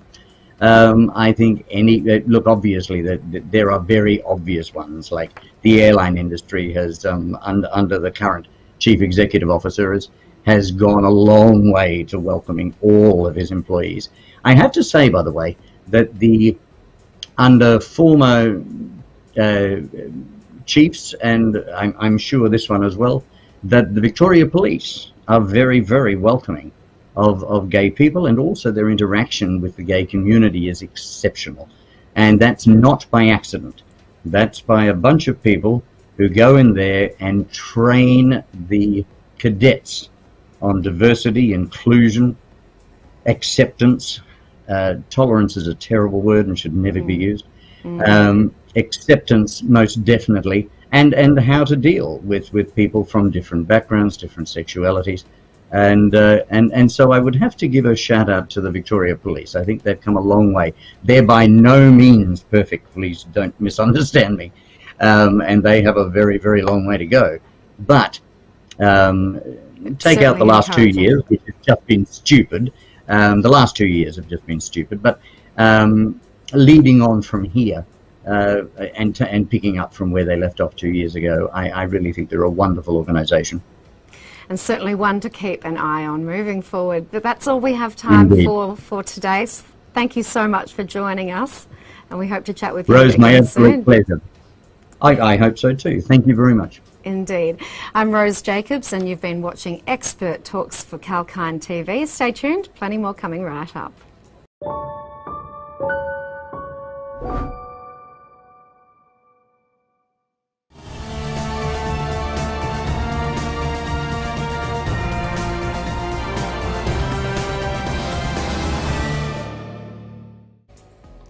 Hello, one and all. Thanks for tuning in to Kalkine TV. I'm Sage, and this is the Hot Performers, a show where we take a look at stocks and sectors that could be heating up.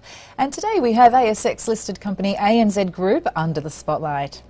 And ANZ Bank was trading 4% lower at $26.02 in the morning trade after unveiling weaker margins in its quarterly update.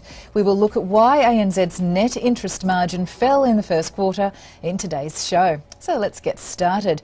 The Australia and New Zealand Banking Group very recently announced a fall in its net interest margin during the quarter that ended 31st December 2021. The bank reported an 8 basis points decline in its net interest margin during the period under review. The bank attributed the decline in margin majorly to a lower exit rate at the full year and a continuation of the structural headwinds impacting the sector. And on that note, let's have a quick look at why Australia and New Zealand Banking Group's margin has plummeted and what are its views about the occurrence. ANZ Banking Group suffered group net interest margin deterioration of 8 basis points over the first quarter or 5 basis points on an underlying basis. The bank attributed the decline to a lower exit rate at the full year and a continuation of the structural headwinds impacting the sector. The lender expected its first half performance to take a hit owing to harsh trading conditions in the month of October.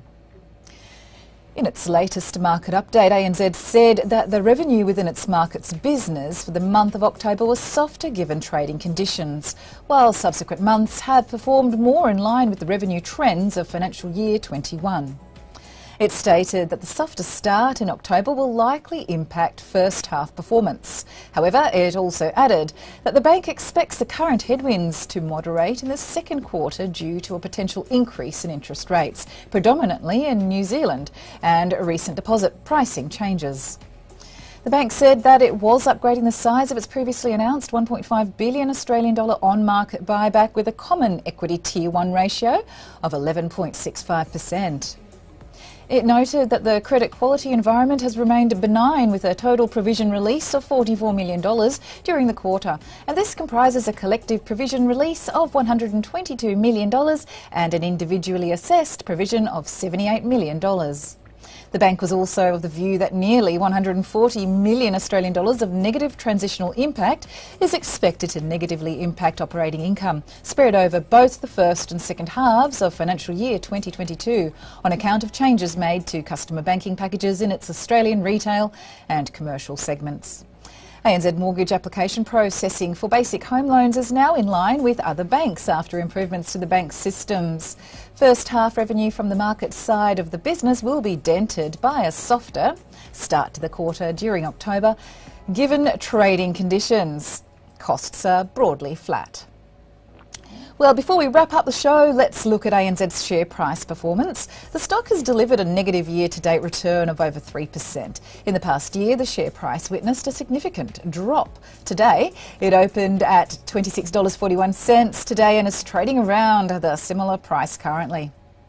And thanks for your company on that report. That's all for now. We will be back again with the exclusive Hot Performers stock tomorrow.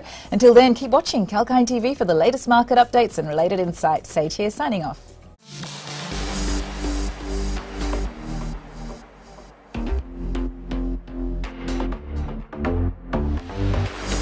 Hi, I'm Sage, and get ready to take the crypto ride with me on Kalkine TV. Watch the Crypto Buzz every Tuesday and join the excitement at Kalkine TV from Bitcoins to NFTs to Dogecoin and DeFi.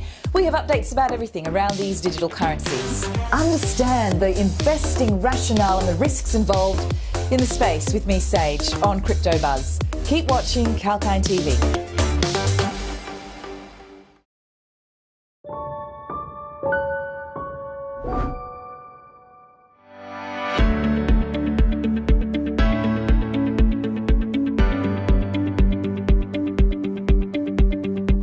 Hi there, Rose Jacobs with you for Kalkine. Before we dive in, make sure you hit that bell icon at the bottom of your screen for all the latest updates.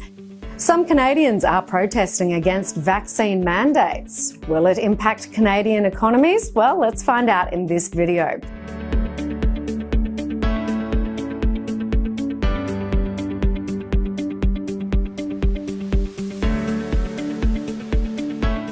Canada is witnessing protests over vaccine mandates and COVID 19 measures.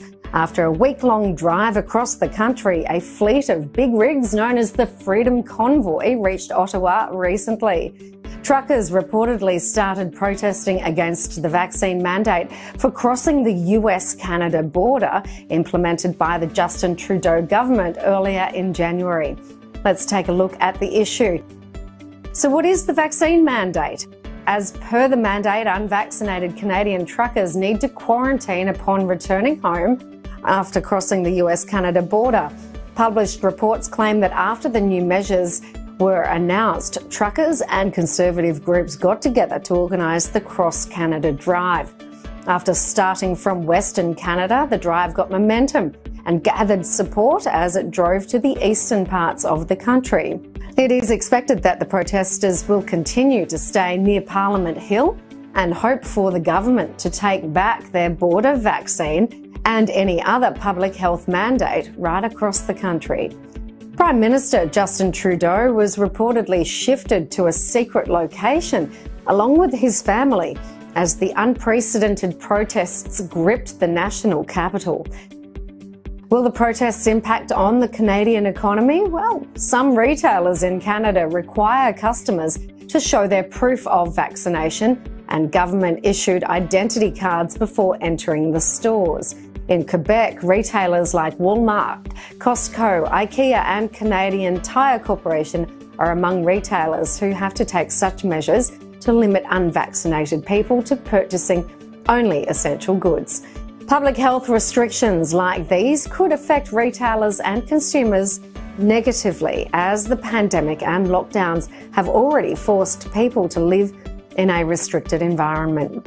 If these restrictions continue, consumers could stop visiting stores, which would most likely reduce the retailer's sales. Additionally, truckers play an essential role in the Canadian economy, and according to the Government of Canada, the transportation and warehousing industry is vital to the country's economy. The Canadian Transportation Economic Account data of 2016 stated the transportation sector contributed 168.1 billion Canadian dollars or 8% of the gross domestic product. If the truckers continue protesting against the vaccine mandate, the transport industry could incur losses.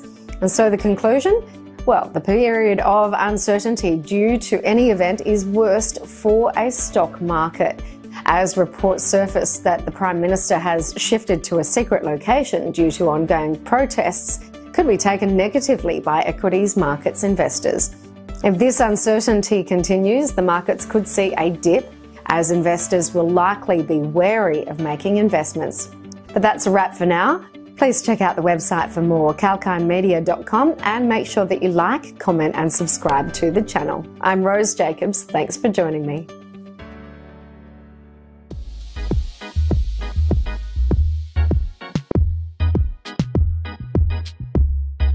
Hi there, James Preston for Kalkine TV. Are you into gaming and virtual reality? Does AI and the endless possibilities it entails capture your interest? Or are you constantly trawling through the web to try and discover the latest updates and innovations in the tech space? Well, let us do the work for you. From the latest product launches to shocking affairs on the World Wide Web, exclusive interviews and information about the top companies like Apple and Google to brand new tech startups vying for your attention. Kalkine's Tech Beat has the latest in what matters in the world of technology.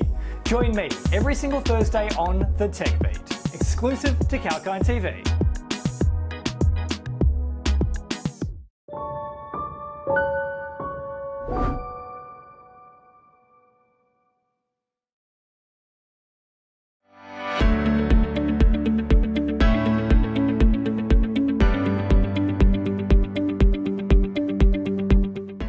Did you know that there's an Ethereum powered token that primarily aims to increase engagement between brands and consumers? I'm talking about Suku Crypto. Hey, thanks for tuning in. I'm Holly Shields reporting for Kalkine Media.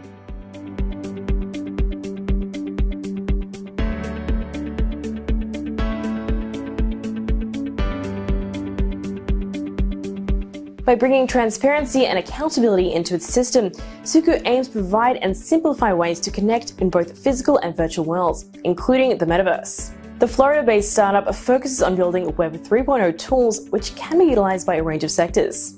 Recently, Suku has been generating hype after registering gains of over 30% in the past week and 29% in the past 14 days or so.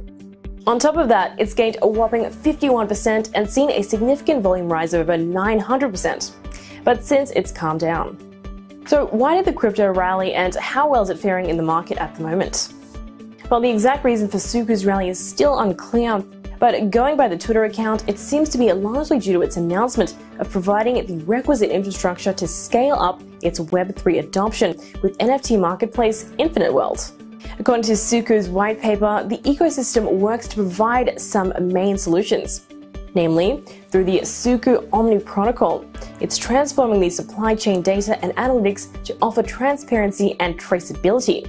With the Infinite World marketplace, it aims to tap into the world of the metaverse, and Suku DeFi offers supply chain participants to engage in microlending and collateralization of the products. As it stands, the Suku token is ranked number 439. Backed by a strong team consisting of James Bauer, Addison McKenzie, and Jonathan Lapchick, project seems promising and has a great potential to establish itself as a strong token. Suku also has a growing community and is available on the leading exchanges like Huobi Global, KuCoin, Coinbase, and others. What's your take on Suku? Let us know in the comments, and as always, check out some of our videos to stay up to date. Soon Holly Shields for Kalkine Media.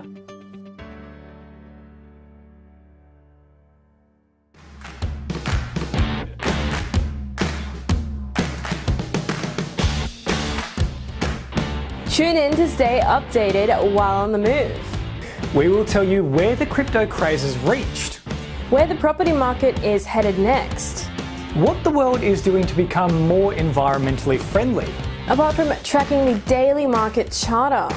Be on top of the latest news and announcements with Kalkine TV.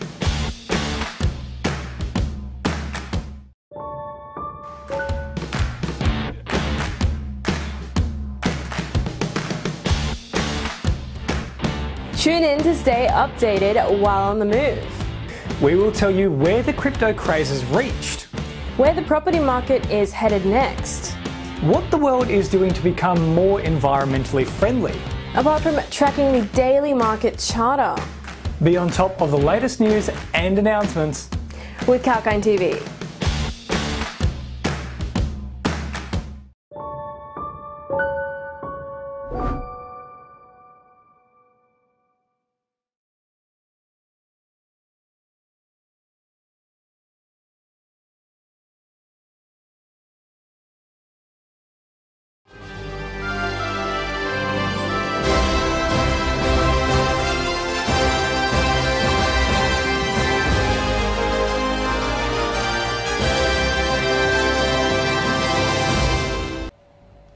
This is Rachel Jones, and this is Kalkine TV's breaking news.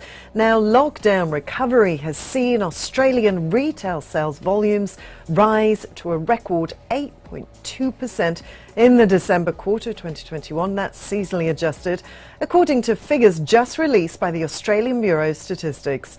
This follows a 4.4% fall in the December quarter 2021. Now, this 8.2% increase in retail sales volumes is the strongest quarterly rise on record, surpassing the previous record set in the September 2020 quarter. Sales volumes are now at their highest quarterly level of the series, up 3.4% on the June quarter 2021 and 3.6% through the year. Director of Quarterly Economy Wide Statistics, Ben James, says consumers enthusiastically return to discretionary spending following the end of Delta related lockdowns in October and the continued easing of restrictions over the quarter.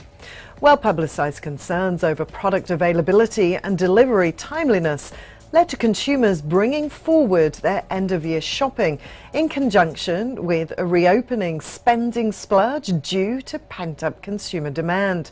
The quarterly rise was driven by the spending in the discretionary industries, all of which saw a sharp fall in the September quarter. Clothing, footwear, and personal accessory retailing had the largest rise at 43.1%, followed by cafes, restaurants, and takeaway food services at 18.8%. Household goods retailing at 9%, department stores were up 25%, and other retailing at 6.8% in seasonally adjusted volume terms. Now, food retailing was 1.6%. That was the only industry, discretionary or non discretionary, to fall with consumers reducing their grocery spending and returning to hospitality venues and dining out. The release of constrained consumer demand post lockdown saw New South Wales at 15.3% and Victoria at 10.2% record the largest volume rises of all the states and territories. The Australian Capital Territory recorded a 12.4% rise, having also been significantly impacted by lockdowns in the previous quarter. There also continues to be underlying strength in the states and territories that were largely able to avoid extended Delta lockdowns, with rises in the December quarter for all except Tasmania, which saw a drop of 1.2%. Queensland rose 3%, followed by WA up 1.6%, with South Australia up 1.1% and the Northern Territory at 0.9%. Well, that's all from me for now. Stay tuned to Kalkine TV for all the economic news that matters.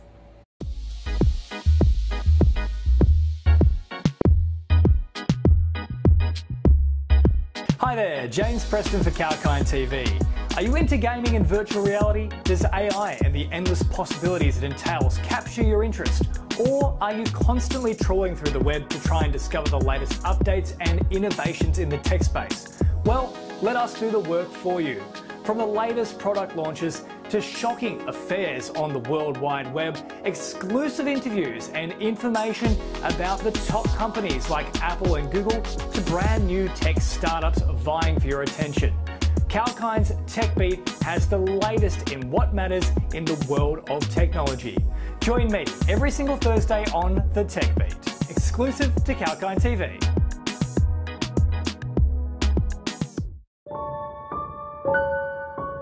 Are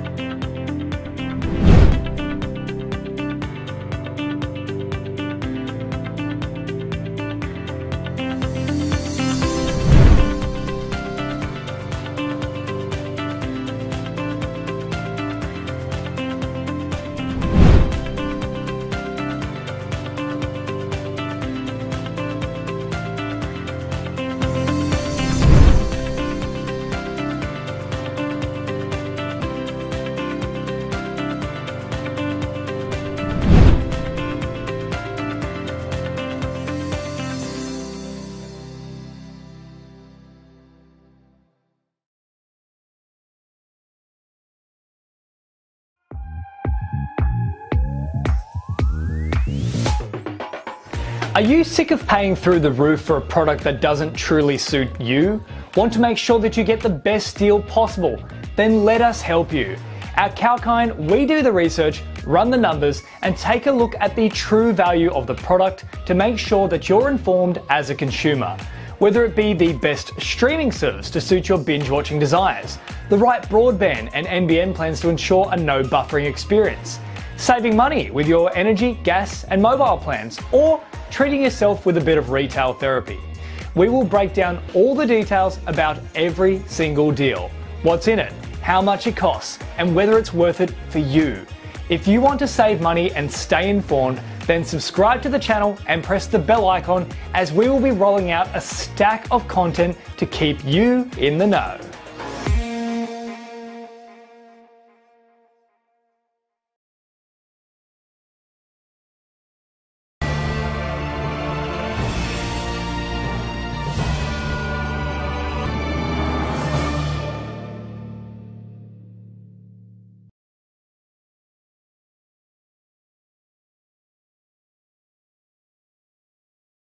Welcome to the Expert Talks Executive Corner by Kalkine TV. I'm Sage, and today's guest is Mr. Nitin Deshpande, Sales and Operations Country Head of Katonic. And Katonic ML Ops platform is a collaborative platform with unified UI to manage all data science in one place.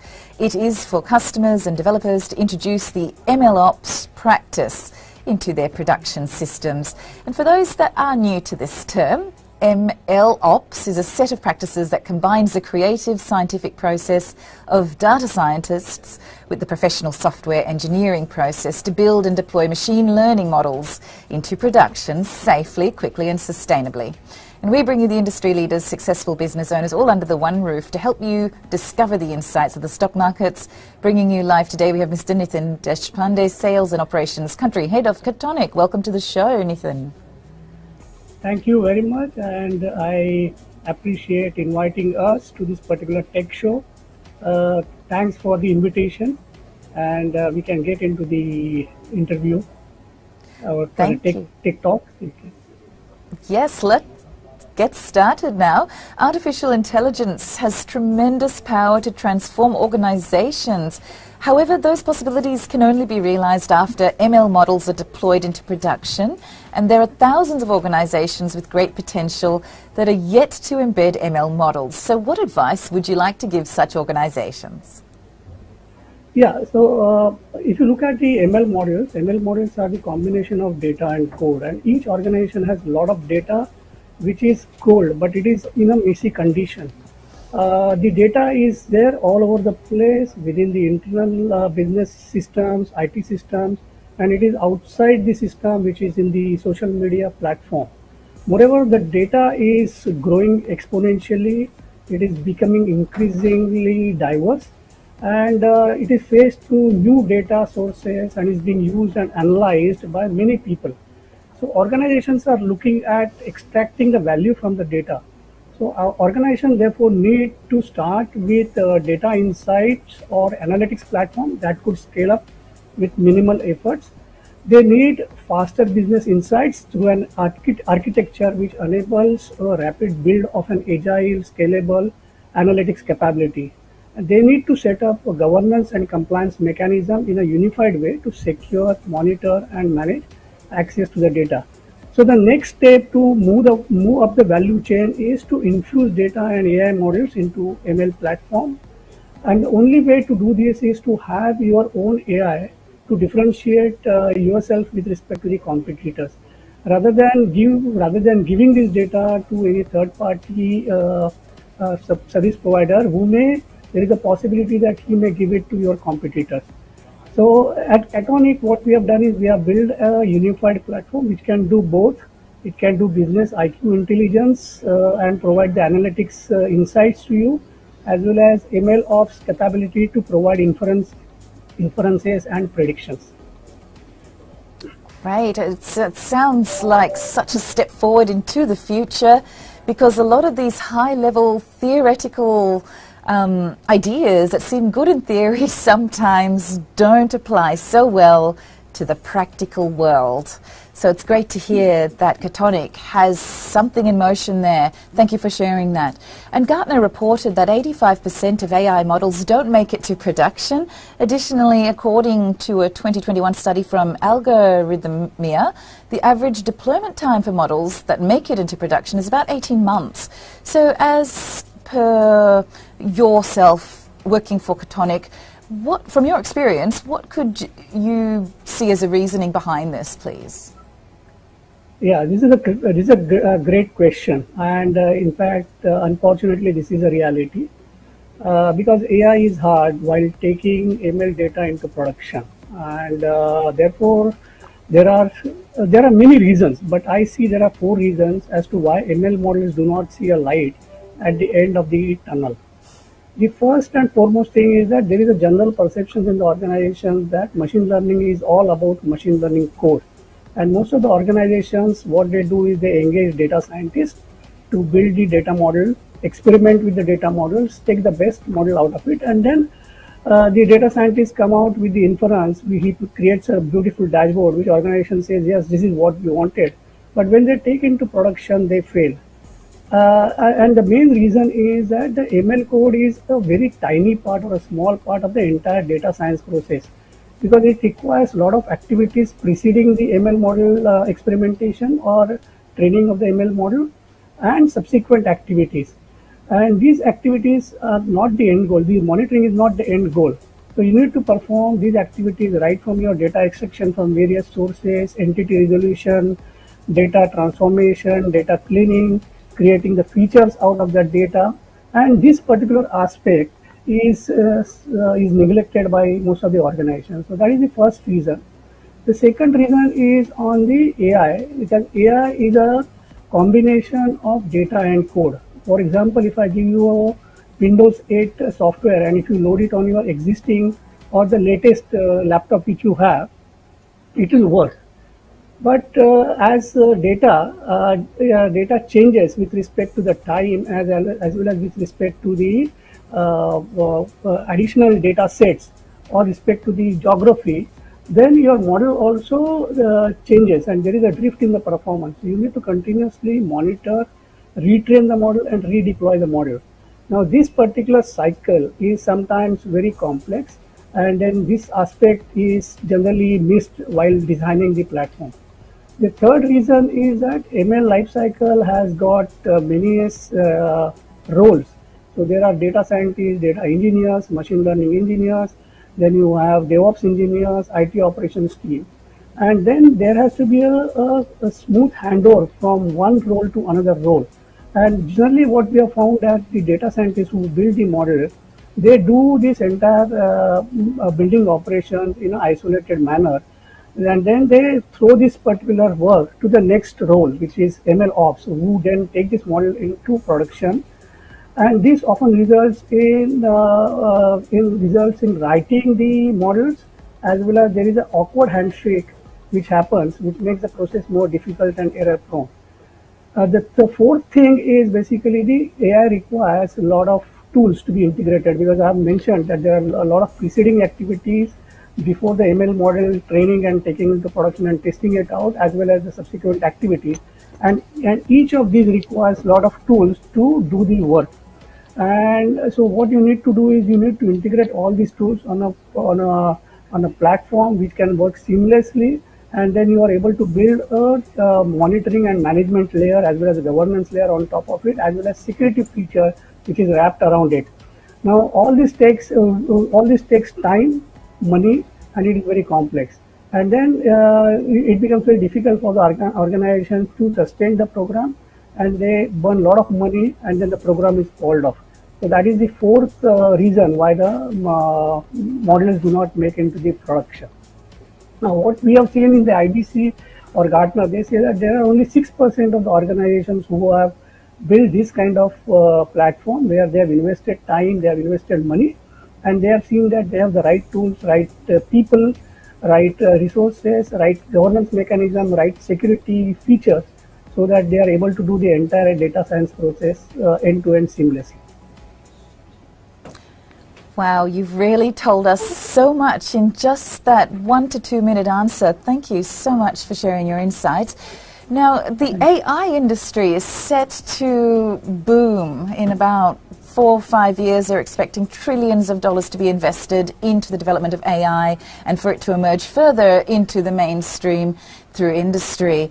Um, just off the main discussion, do you think that blockchain will help um, AI and Katonic do what they are planning to do? Is there any chance that you will move onto the blockchain with your operations? Uh, in fact, uh, my CEO, uh, Mr. Prem Naraindas, in fact, he has in fact implemented one of the largest or the uh, big, uh, big uh, blockchain program for one of the bank in Australia, Commonwealth Bank of Australia. This program was almost around one year or one year where the program was awarded. So definitely, Katonic, we would like to focus on to see how we can embed blockchain into our AI/ML journey because we have the platform, but we would definitely like to look at the other technology which we can integrate with our platform. Okay, thank you so much. Back to the main discussion. To solve the challenges of AI, the practice of ML ops has been introduced over the last two to three years. Could you talk about, in more detail, uh, the growth prospects that ML ops have achieved in these past two to three years? The practical practice across the application into the golden era of machine learning with increasing day by day across all the customer segments. So ML Ops has evolved into an independent approach to ML lifecycle management. In short, ML Ops, if I uh, put it, it is equal to uh, machine learning plus DevOps plus data engineering. So in our IT parlance, we put it as it is CI plus CD, CI continuous integration, continuous development, continuous monitoring and continuous training. So in last two to three years, uh, if you look at it, the ML Ops has gone through three stages of transformation. The first stage has been entry level model training and manual deployment. The second is automated triggering of ML model. And the third stage has been the ML automation using continuous monitoring, retraining and redeployment into production environment.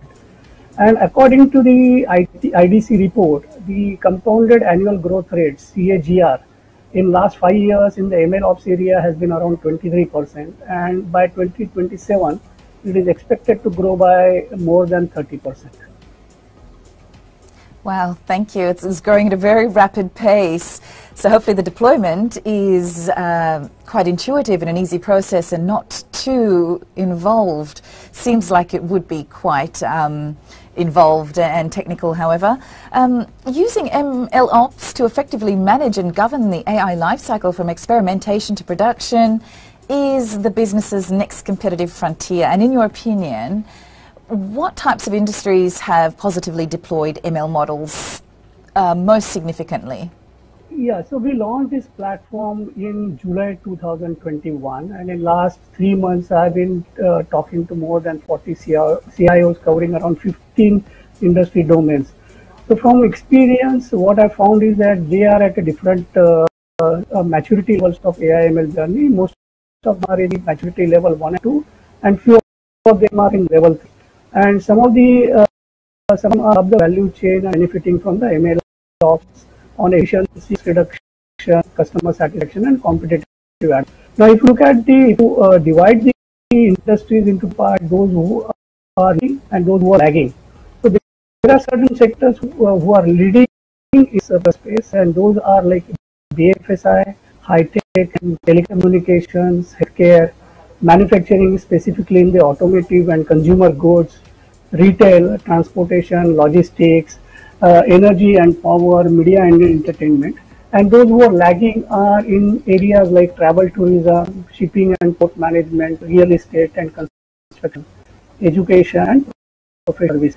And uh, the laggards, so now what they have understood is that this AI ML is they need to go for.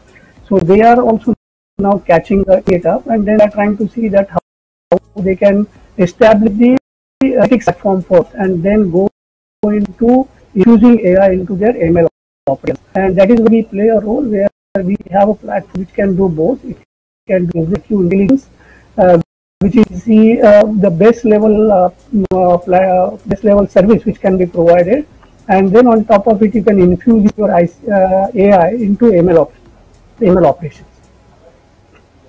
Wow, thank you so much. Uh, in a nutshell, sounds like there's still plenty of room for growth there. Thank you very much for your insights. And we're reaching the end of the discussion. So, lastly, Nathan, please talk how you are envisioning the future of ML ops for the coming years. Just touched on a little bit with the industries that are yet to jump on board. Yeah, yeah. Any other insights? Yes, I think uh, if you look at the uh, uh, 20 years horizon, then AIML uh, is going to be one of the key technology area which will play a major role. So automated machine learning tools and ML ops are the two areas of the broader ML market over the next few years. Now leading ML ops tools are the next frontier of scaling AI in the enterprise. ML ops is also on the rise as critical technology to help scale machine learning in the enterprises. So there will be increased MLOps capabilities within existing ML platform solution as the scope of platform continues to expand. Uh, ML tools are being adopted.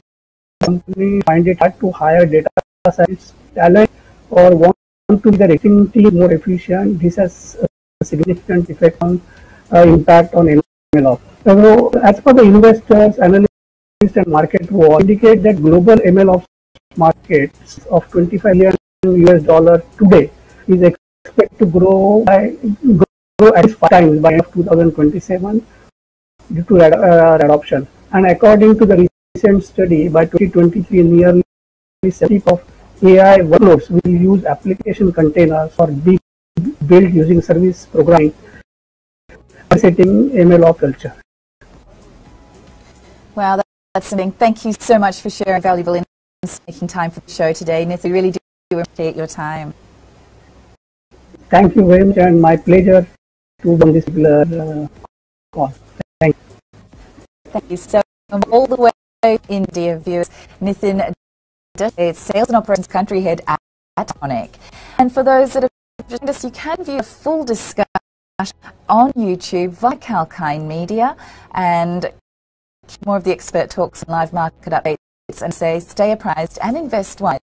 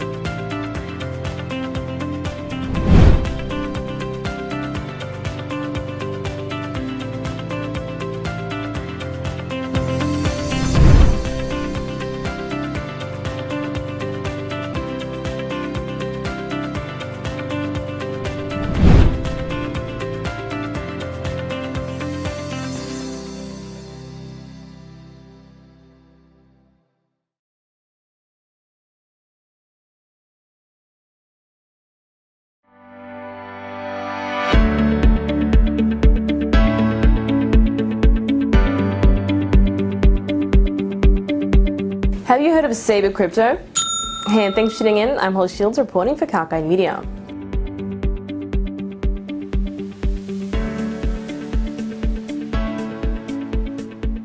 Saber is a decentralized exchange primarily built on the Solana blockchain network, and it aims to be one of the critical liquidity foundations for stablecoins. It claims to provide swapping opportunities for more than 30 cryptos with a swap pair of USDT and USDC. Let's find out what makes Saber tick. Well, one of the advantages of this crypto is its ability to offer services at a low transaction fee and faster transaction speed as well. Saber can do this thanks to Solana's faster throughput ability, which offers low transaction costs as against the likes of Ethereum. Recently, Saber completed the integration with Clover Finance Wallet to expand its vision to create a multi chain ecosystem, which aims to accelerate and to improve the DeFi experience. So, how does Saber work exactly? Well, one of the key components of Saber's functionality is its ability to work as an automated market maker. Traditionally, all AMM based exchanges are not trader dependent on completing a particular transaction. The liquidity pool provides managers with flows of funds, and they are in turn given a portion of the transaction fees. So, investors can execute their respective transactions without waiting for trader availability, meaning you can complete the transaction against the pool as you're not dependent on the coin's availability. Saber is governed by the native token SBR, and it's ranked number 3,191 on CoinMarketCap.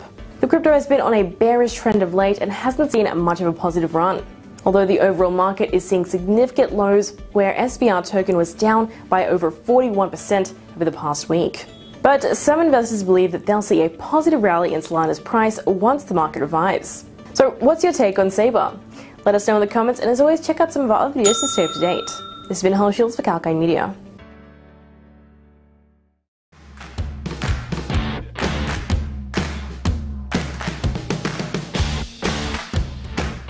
Tune in to stay updated while on the move. We will tell you where the crypto craze has reached, where the property market is headed next, what the world is doing to become more environmentally friendly, apart from tracking the daily market charter. Be on top of the latest news and announcements with Kalkine TV.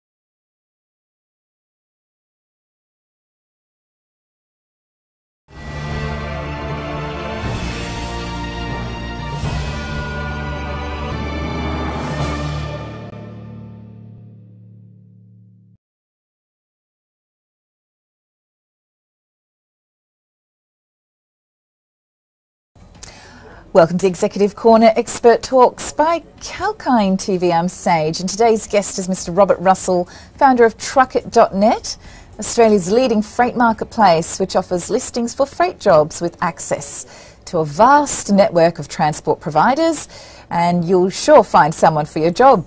Truckit.net is an Australian company with an easy to use online marketplace to receive competitive quotes. So keep watching till the end to find out more.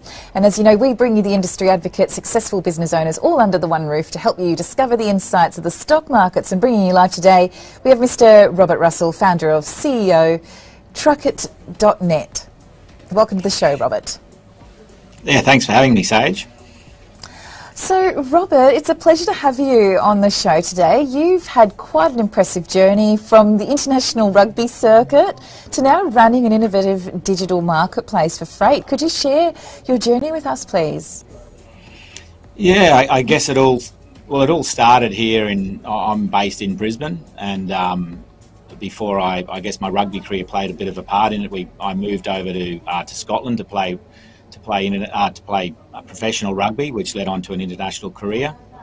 And I think as a rugby player, you get a bit of spare time. So uh, throughout that process, I started looking into um, what would be life after rugby, and, and I think it was e-commerce that really.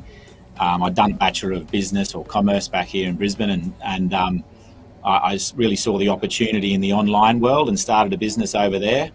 Uh, and on exiting that business and coming back to Australia in 2012, it was during my time over there that I, I really saw the um, opportunity, I guess, in, in online tech and, and marketplaces. Um, you know, marketplaces become a big part of uh, the online space and, and, our lives, I think. Um, yeah, for everyone. So it was sort of yeah, international rugby through to to, to now um, running a yeah Truckit, which is Australia's largest freight marketplace.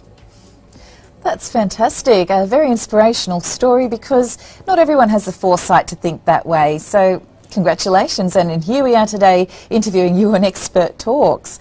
Well, established in 2012, Truckit's digital marketplace matches people wishing to freight large items with transport operators.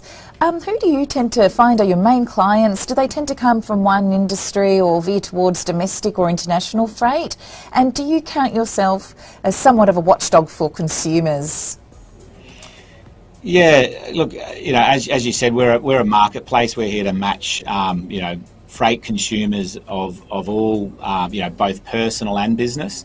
So we, we have uh, customers or clients, you know, in the business space. We've got large corporates, um, we've got mining and resources companies, we've got, you know, large retailers, right down to the, the mum and, and dad businesses. And on the personal side, we've got a lot of um, personal freight being done, I suppose, with um, you know, the increase in online shopping. There's a lot of people that buy off places such as Grays Online. Um, we have a great partnership with Grays Online. And, you know, they're, they're buying things such as, you know, could be vehicles, motor vehicles, cars, jet skis, uh, furniture, anything like that. And, and we're really here to help them move it. So um, we do um, I guess, yeah, absolutely. I, we, we consider ourselves a bit of a watchdog. I mean, we're a very transparent marketplace. With the um, you know, everyone can see what's going on. So it's the you know free market forces of supply and demand that that really um, you, you, know that really run the, the marketplace, I guess. And and I guess in a sense it's a it's a watchdog for everyone. So you know, it's it's mostly down to, to sort of spot market um, or spot prices rather than contracted rates. So when someone's got that harder to move item or something they don't have a contract in place for, um, yeah, they use Truckit. Sounds great. So, do you find you mentioned there the supply and demand um, of the free market tends to uh, balance out the more expensive um, providers to, and to the cheaper ones that offer more economical rates? Do you think it sort of balances out, or do the more expensive ones actually offer a better service? Yeah, no, we, we see all that. I mean, um, absolutely. We, we've a lot of customers are users for exactly that reason. They, you know, they, the rates they might get, or they don't know where to start, who to go to, and especially if they've got a, a rate with a network carrier or someone that, and it's going to a place that they're not regularly using, they probably don't have that sort of volume discount. So um, we see, you know, price differentials, you know, you know, is a huge range, um, and we hear that from our customers all the time. So it's exactly that reason that they use us, and um, yeah, that's been a it's been a great asset of the business, I suppose, being able to do that. And you know, just back on the on the provider side, we we've got providers who are you know tier one uh, carriers right down to again the owner operators um, doing business, but they all um, competing for the work. And um, I think free markets, as I said before, they they have a balancing effect. So um, the you know the customers looked after. Well, I think your service definitely provides plenty of advantages for both the providers and the customers. Sounds great. It makes it so easy, all in one place, and they can just pick and choose what they want. That sounds fantastic. Um, in September, Truckit users posted more than 17,000 freight jobs on the marketplace, and this is a 65% increase on the June uh, figures, which was 60% on the same month last year. So, what do you think is driving this growth? Is there a fee for using your service? Yeah, well, in terms of driving the growth, I mean, obviously the, the COVID effect has certainly played a part. Um, you know, it's forced people to do a lot more stuff online, which has been great for the business. But I think ultimately, um, you know, the, the scale the business is now, we really see sort of network effects taking hold. You know, we've got great liquidity in the marketplace. We've got a lot of We've got over 6,000 transport providers that use us, and we've um, we've had over 400,000 customers. So there is really good liquidity, and um, I think that's really starting to show the way now. I mean, even with COVID restrictions, um, you know, easing, we don't expect um, it to change. You know, people's you know user behaviours have, uh, I'd say, have learnt to trust and use marketplaces such as Truckit, and we'll, we uh, you know believe that that will continue. So um, I think it's you know it's a it's a very bright future, and I think that's that's the main reason for you know the growth that we've seen um, you know between uh, this time last year and now. Yeah.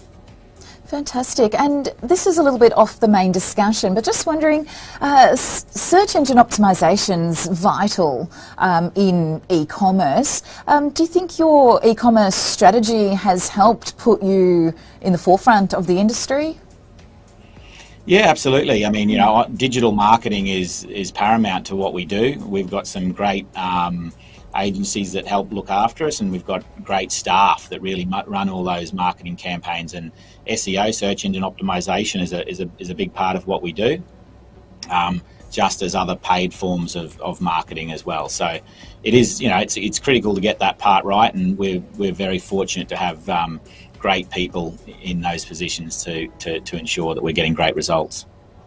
Fantastic. Thanks very much for sharing your insights. So, um, another side of things that's a little bit grey is how are freight fees decided upon generally? Does it vary from company to company or is there a standard overall? Um, how do the fuel levy and road vehicle operating costs come into play, please?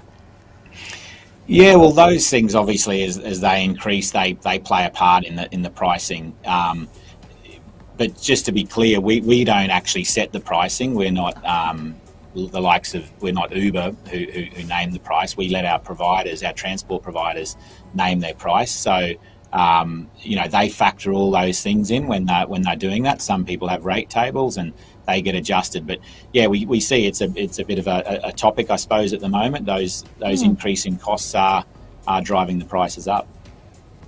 They certainly are. They're making it quite tricky for certain industries, depending if you're in table grapes or wine or some of the commodities at the moment. It's uh, getting quite expensive.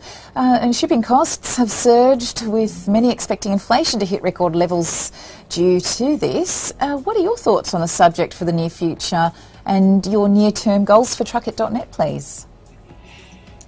Yeah, well, I guess, you know, inflation's inflation's just part of life as I mm. see it. Um, you know, it, it's there will be inflationary things that happen, and certainly in this industry, I believe. But it, you know, it's not going to change um, the opportunities we have uh, or the goals we have. I mean, I think it's a great time. It's a great opportunity for, for transport providers at the moment, and um, you know, we're seeing a lot of people coming into the market. It has um, struggled a bit with the uh, the last few months with some of the more restricted lockdowns we've seen, but um, right now we're seeing a lot come back in, and um, yeah, it's a busy space, and you know, yeah, I think it's got a, a, a very bright future for, for for the transport providers who want to get involved in the industry, and obviously consumers are using it, are using us more and more, and they're using on you know. Um, digital means to, to move their goods so yeah so it's um we've got a yeah very optimistic future Yes, well, the industry's been great for creating jobs over the downturn, that's for sure. It's been giving a lot of people a chance to keep. Um, keep the roof over their heads working in deliveries and logistics, so that's, that's been fantastic. Well, we have to start winding up the discussion. Was there anything you'd like to share with the viewers before we close up today? Uh, no, nothing other than that. I think it's um, yeah, like I, I think I've, hopefully I've given a, them a good rundown of um, what the business is, and if they if they'd like to know more, yeah, go to truckit.net, and um, we've got a you know we pride ourselves on great customer support. Um, that's been a key focus for us for a long time. So if we can help anyone out, we we, we have phone support, and um, yeah, only too happy to help anyone. Thanks so much for sharing your time today, Robert. We really do appreciate your insights. Thanks very much, Sage. And for those who've just joined us, we had a very interesting discussion with Mr. Robert Russell, CEO, founder of Truckit.net. Please watch the full recording on YouTube via Kalkine Media and keep watching for more expert talks and live market updates. And as we say, stay apprised and invest wise with Kalkine.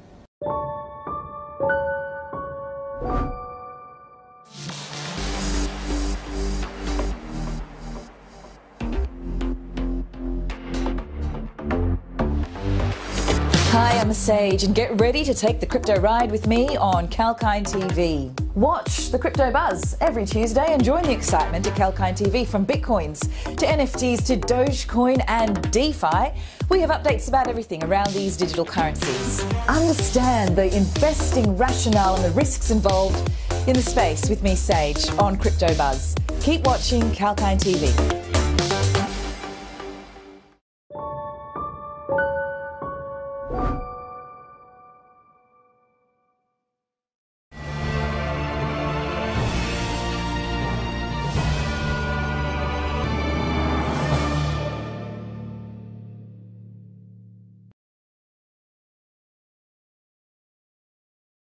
Welcome to the Executive Corner Expert Talks by Kalkine TV. I'm Sage, and today's guest is Mr. Anuranjan Sharma, the Digital Marketing Head of Works for You. And the employment sector is in focus with the economy reopening after arduous lockdowns. New Zealand's unemployment rate is at the lowest it's been in years. And there is speculation that workers are becoming more fussy about the type of role they take on. Well, Works for You is an outsourcing company that offers admin assistance, customer support, customer feedback surveys, digital marketing, software development, graphics and web designing, as well as back office support for a range of businesses from aerospace to education. And as you know, we bring you the industry leaders, successful business owners, all under the one roof to help you discover the insights of the stock markets. And bringing you live today, we have Mr. Anuranjan Sharma, Digital Marketing Head at Works for You. Welcome to the show. Thank you, Sage. Thank you for having me on the show. Oh, it's a pleasure to meet you. We're keen to share your insights today. So let's get started. Uh, well, like thank you. Sure. Yes. Thank you so much. In your opinion, what makes Works for You a preferred outsourcing company in Australia, please? Uh, well, Sage, uh, Work for You is an outfit that believes in the agile methodology to deliver to its clients' requirements. In simpler terms, it means that we follow a process where we are in constant conversation with our clients. Almost all successful IT outfits have switched from the traditional waterfall model to an agile one. We strongly believe in a client oriented approach, which makes us the preferred outsourcing company in Australia. People at Work for You value human values and believe in giving a human touch to the work that we do. What we believe is crucial. Uh, we go back to the basics and offer not only the best services to our clients, but also provide them with a personalized quality of work. This model of ours has proven to be quite successful and it is evident in a high rate of customer retention and satisfaction. So that's the secret sauce of work for you. I like the way you put it, the secret sauce. And just that added human touch, especially at this time when we've been so remote from each other, working remotely, uh, isolating, quarantining, all that, I think people will appreciate that human touch and just a little bit of extra attention and interest put into the needs of your clients sounds like a great strategy to move forward in the right direction. So during these times of pandemic, cost cutting has become a significant part to sustain a business. What would you suggest is the most effective way of cutting capital and other expenditures in these challenging times, please, Anuranjan? Uh, well, adapting to the pandemic has been quite a challenging task for all the companies. And uh, there's no hiding that product based companies have been hit the hardest by this worldwide crisis. However, at Work for You, the case is opposite. The reason behind this is that our business process is built over relieving the workload and the burden of our clients.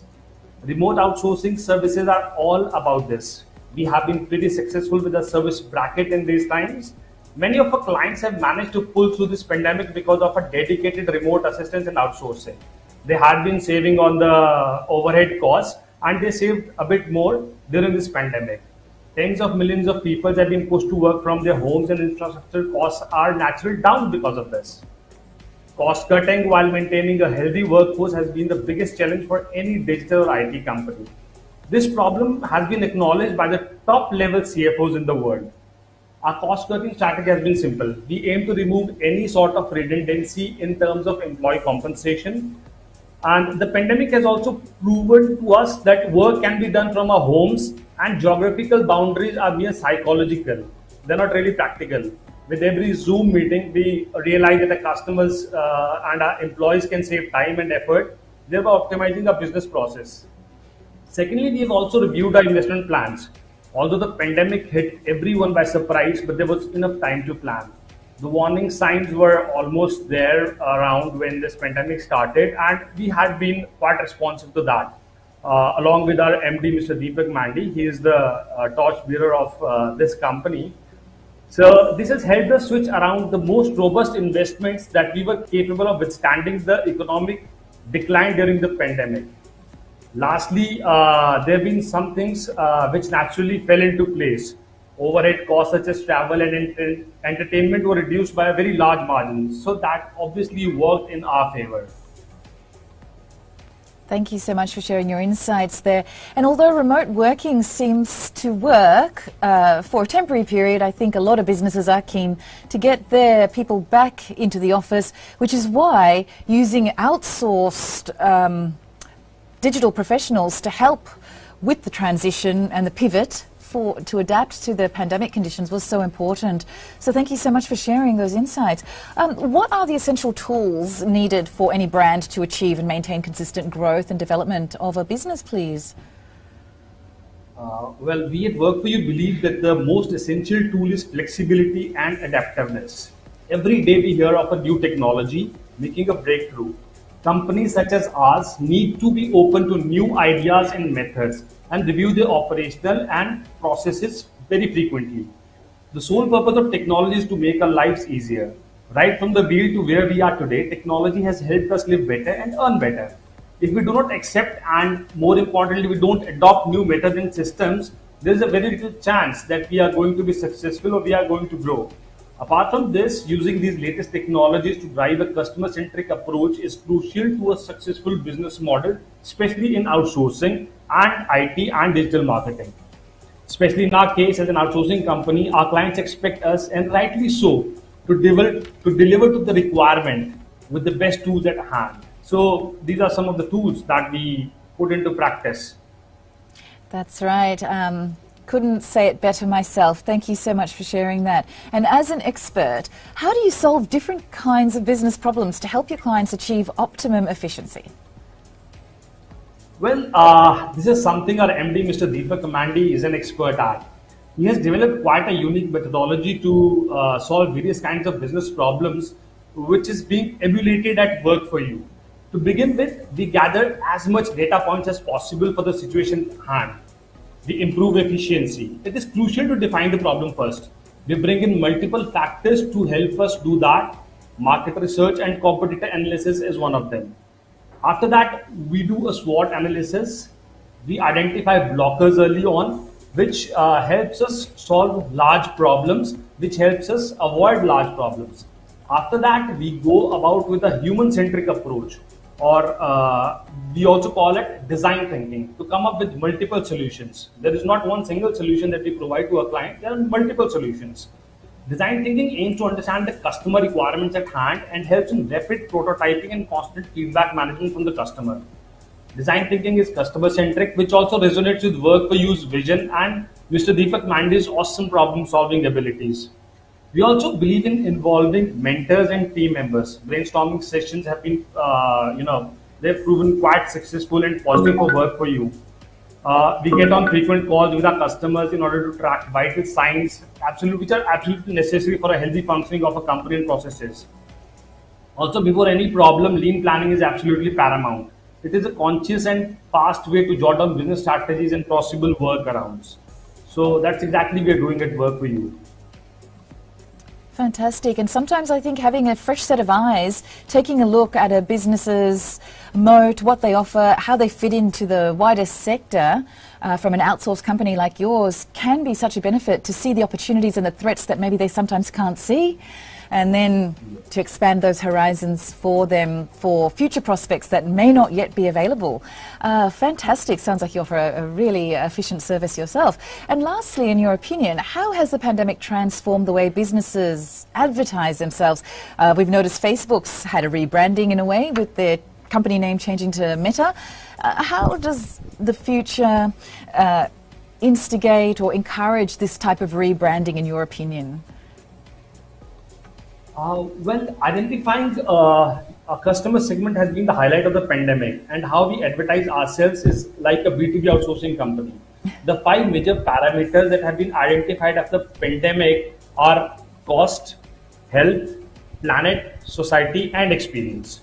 Well, instead of competing with other companies, what we are doing is that we are competing with the last best experience that the customer has had with us that's the best mode of advertising that we can carry out for us.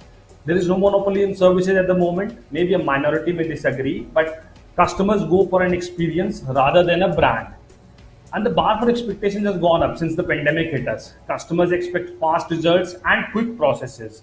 Yes, advertising does come into play, but that is to a very certain level. earlier prospecting and roping in new customers was just like dating. Now it's exactly like online dating. The advertising sector has shifted almost entirely to the digital medium instead of the physical medium. Well, instead of developing great products, the pandemic has infused the realization that uh, developing great values is more important. Companies that followed a human centric approach even before the pandemic proved to be more resistant to the economic negative climate during the pandemic. And marketing, of course, is the center of a company's growth, and it's not just a branch or division of the company. So it's kind of a soul for any company. Thank you so much for putting it in a nutshell for us. And yes, it does seem that the pandemic uh, has offered a bit of a redistribution in power, and, and now with more transparency, we're working out exactly how workers and businesses can be perfectly matched. Like you say, I love the analogy of the uh, online dating. And yes, it looks like the, the sky's the limit. Once you match the right people with the right work, you can really get the most out of them. Um, thank you, Anuranjan. Was there any final insights you'd like to share? What are the near-term uh, pipeline goals for your business? Well, uh, we have uh, quite big plans for the future. We are uh, expanding like anything. The pandemic uh, was kind of an opportunity for us to uh, redevelop our processes, and we have really come up with new workforce, new enthusiasm, and new processes in place. And yes, we have big plans for the future, and we are going to grow quite exponentially in one or two years. Sounds great, and best of luck with your near term goals and your growth uh, strategy. Well, thank you for being available for Expert Talks by Kalkine. We really do appreciate your insights today. Thank you. Thank you, Sage. It was a pleasure interacting with you. And if you've just joined us, we had a very interesting discussion with Mr. Anuranjan Sharma, Digital Marketing Head at Works for You. And the full recorded interview will be available on YouTube at Kalkine Media. And as we say, stay apprised and invest wise with Kalkine.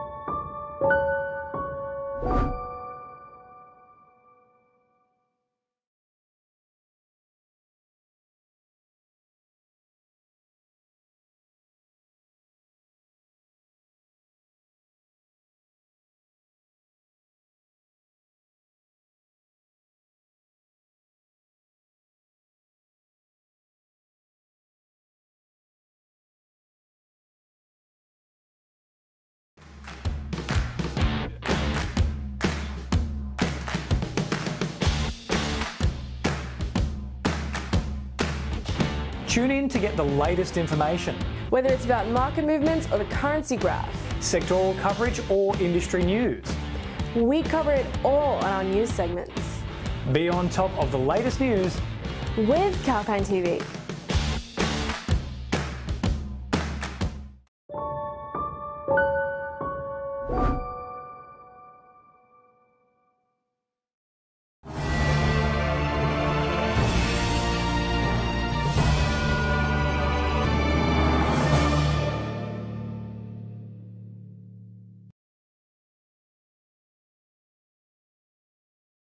Welcome to the Executive Corner Expert Talks by Kalkine TV.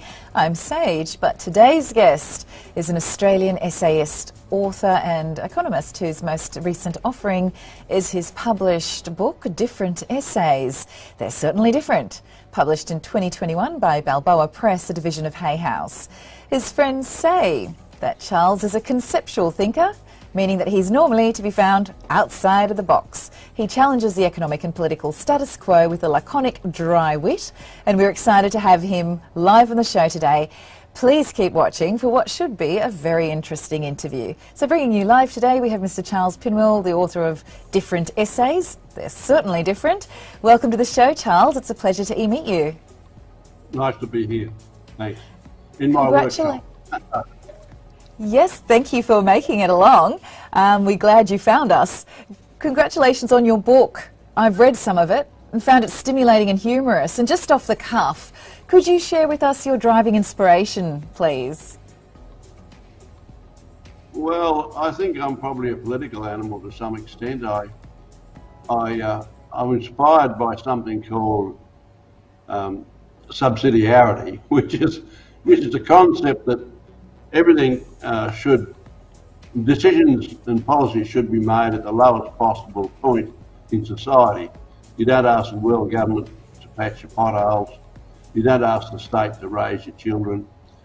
And that's why I got interested in things like money because they empower or disempower um, people at the bottom of the pyramid. Exactly right. But we all have the same needs, basically, don't we? We're all human. And you've ha- you've had some very interesting concepts in your book between those pages, to say the least, about the national dividend, about bankruptcy being a survival tactic for the current fiat system. some very interesting discussion points, which I'm sure would take more than the 10 minute time slot that we've got. Absolutely. So um, just on- to comment on, yeah, go on. Please. Well, probably the most interesting thing or the most important thing I, have done is um, a national profit and loss account or a supply and demand account. I did it for the United States because the statistics are easier to come by there. And it showed that the um, income of all Americans uh, aggregated together is 10.1 uh, trillion dollars, and they actually produced and sold 12 and a half trillion dollars worth of consumer goods. So that to me means that they're profitable, they're producing more than they're consuming in the process.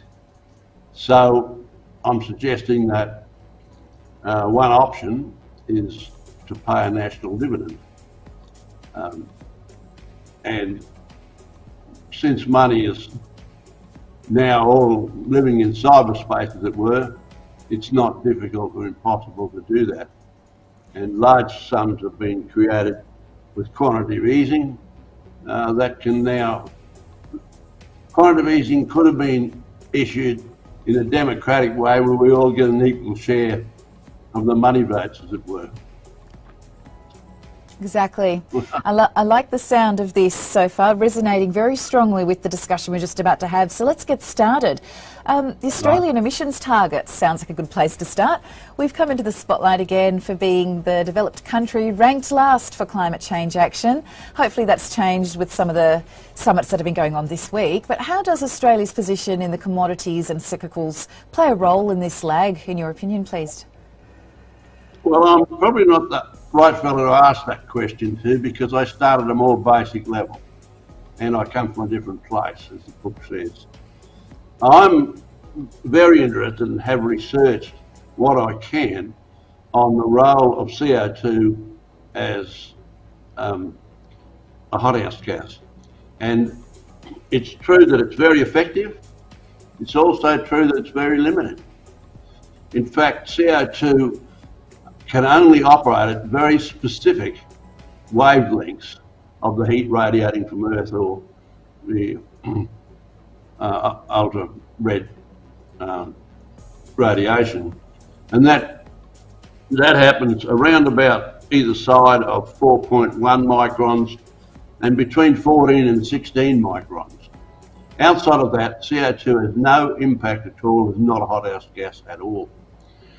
And even within those wavelengths, the most um, effective and the most active hothouse gas is water vapour. And so when all the analysis is done, and I'm quoting science against those who say that we need to look at the science, 18% of the heat operating, uh, escaping from Earth can be theoretically uh, intercepted by CO2. But the facts are that water vapour does most of that. And according to Professor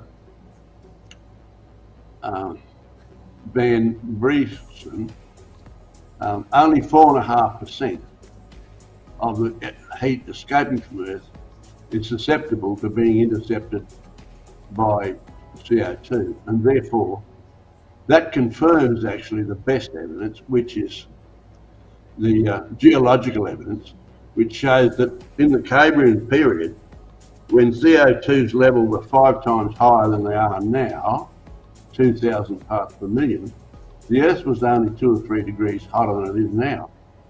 So I'm afraid, although it's not politically correct and it's not done in polite society, CO2 has a very limited ability to alter our climate, and therefore all the other questions related around that don't make any sense to me. Okay. Very interesting perspective. It certainly does kind of reset your understanding of what the current environmental crisis, in some ways, is posing.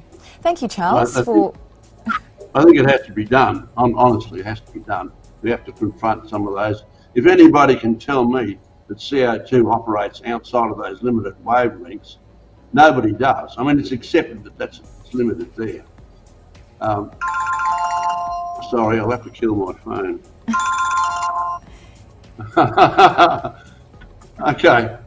Uh, you had a few other questions in mind, and I'll, I'll probably throw you up wildcard answers as well, but there you go. Okay, fantastic. Thank you very much. Very interesting. On to the next one, which kind of might provide a solution to the national dividend um, proposition that you have brought up. Cryptocurrency adoption into the mainstream is a trending topic. Cyber money. How do you see this decentralised finance to disrupt the existing fiat system of finance? Do you think there is a way these high level theories can be put into the real world application? My own view is that the cryptocurrencies, because they're going to have to be arbitrated when disputes arise between somebody's paid his cryptocurrency and he hasn't got his product, or they've given the product and not got the cryptocurrency. Once government starts to arbitrate that, what government arbitrates, it regulates. And that's, that's just how it is. I think it will be regulated if government, and more particularly if the current masters of the fiat money system decide that they want it regulated. Um, I think the, orthodox system may adopt some of their technical means of transferring blips, as it were, but um, I, I, really can't see cryptocurrency um, making a big difference in the world. I think what has to happen is that the current credit creation system has to be changed.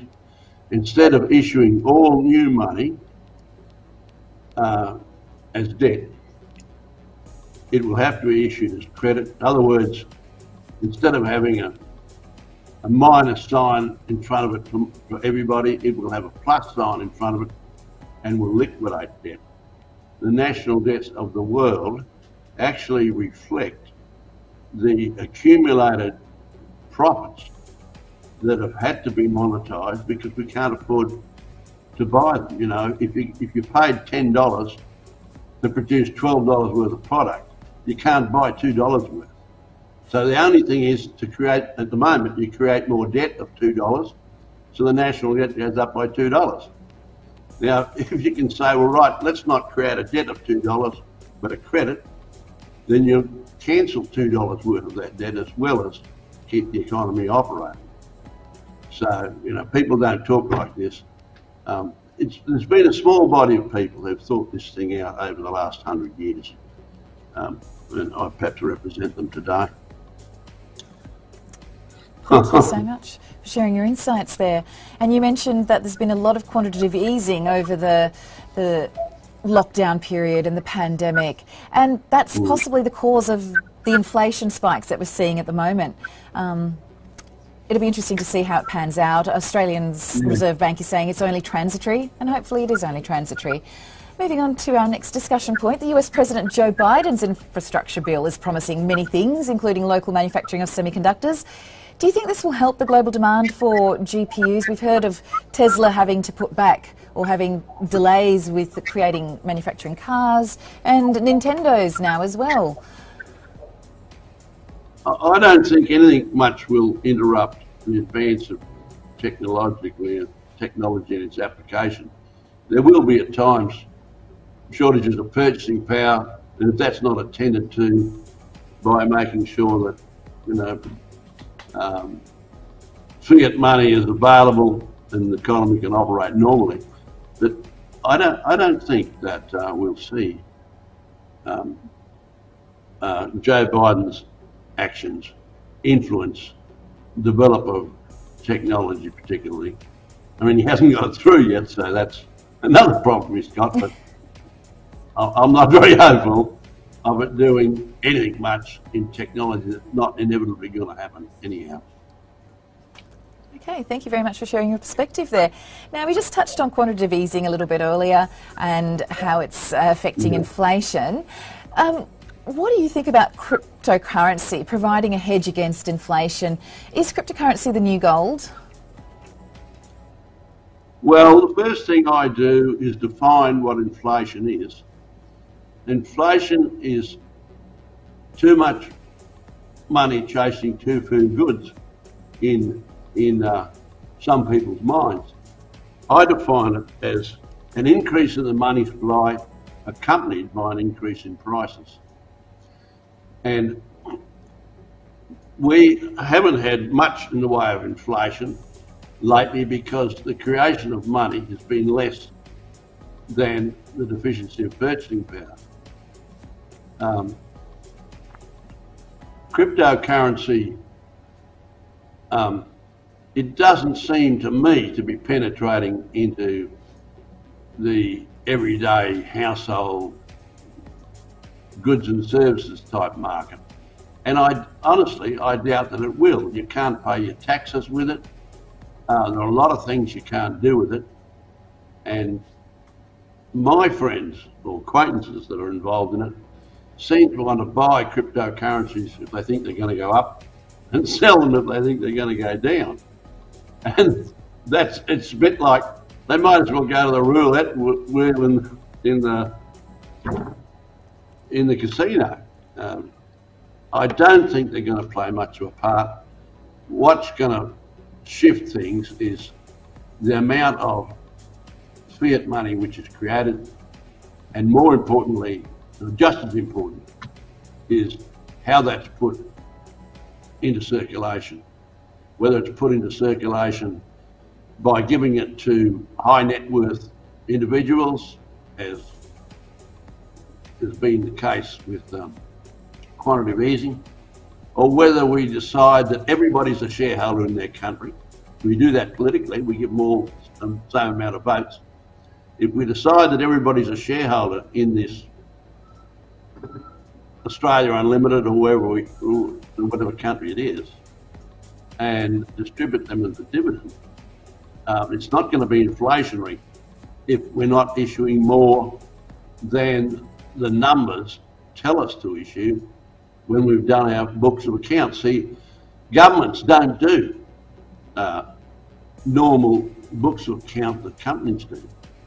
Uh, it's it's nearly it's nearly ten years since the Australian government did a, uh, a balance sheet, and that wasn't a comprehensive balance sheet, and they left out the two biggest items there, uh, the biggest liability and the biggest asset, and they just don't do profit and loss accounts or supply and demand accounts at all, so they can't really they can't really be informed uh, about what the economy needs, about what's happening. And until until something like that happens, uh, it's all a big guessing game. You're not wrong. It's it's very difficult to work out what's driving the crypto markets. You're absolutely right. Um, but there have been some developments. Apparently, Commonwealth Bank will be accepting some crypto payments. That's just been announced, and Mastercard as well. So it'll be very interesting to see how it does progress into the mainstream and if it does work out. We're reaching the end of the discussion now, Charles. Thank you for making time for us today. And this is a topic that's just started simmering.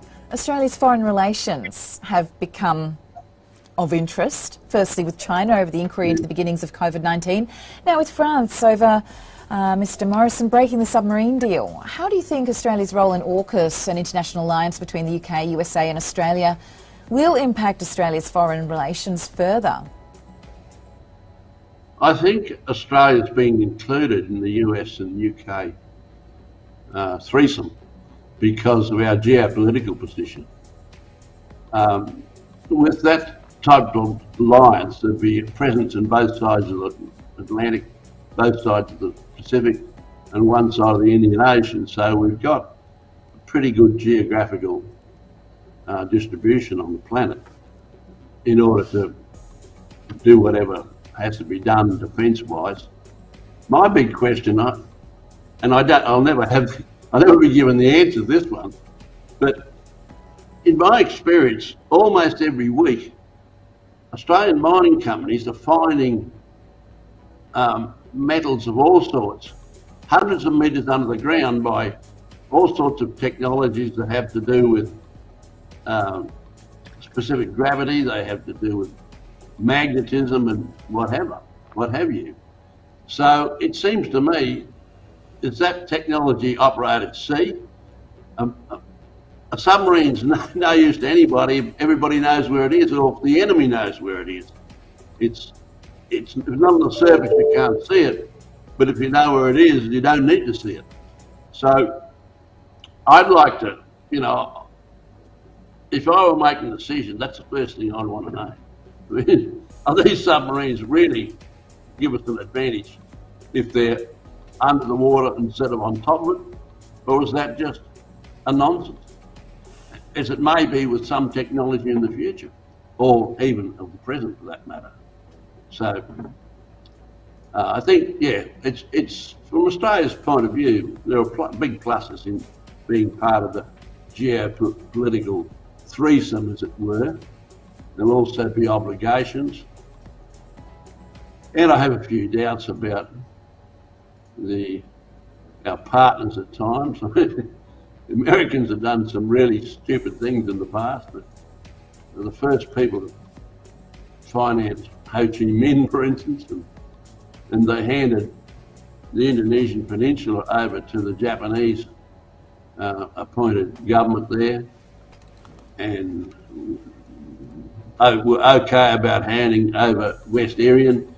You know, um, we're still going to have to keep our our wits about us and and have an independent insight into what happens in our, our part of the world. Thank you, Charles. Apparently, um, President Biden was invited to the ASEAN conference recently. It's the first time a, a US president has attended. So I guess uh, he's trying to build up some uh, brownie points with the Asia Pacific region now that he's joined AUKUS. and um, there's, some, there's, something there. I mean, uh, honestly, I right back at Brexit, I suspected that there was an intent behind Brexit that didn't altogether conflict with the establishment's wish in the matter, um, although it seemed otherwise. And with Brexit, the United States and Australia, I think we might be starting to see a pattern there. Uh, we're not; these things are not shared with the great unwashed and I'm just part of the hoi polloi, but I can smell. Um, I got a bit of a bloodhound's nose for that type of thing, perhaps. Um, mm.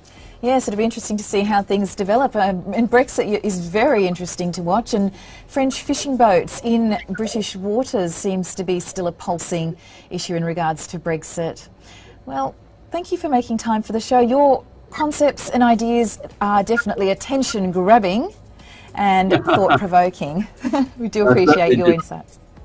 It's certainly different. I've got another 21 that haven't been published yet, so I don't know. We might have a might have a sequence come up before I'm a lot older. We'll see. Oh, that'll be nice. Let us nice know how you go and best of luck. Thank you.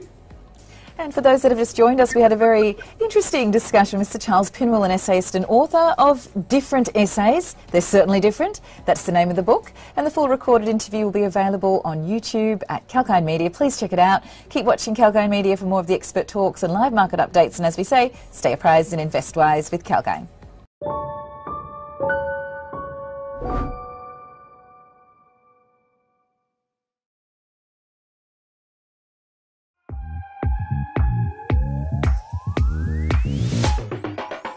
Are you sick of paying through the roof for a product that doesn't truly suit you?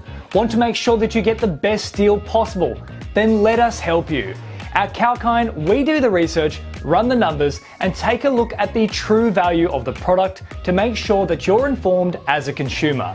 Whether it be the best streaming service to suit your binge watching desires, the right broadband and NBN plans to ensure a no buffering experience, saving money with your energy, gas, and mobile plans, or treating yourself with a bit of retail therapy.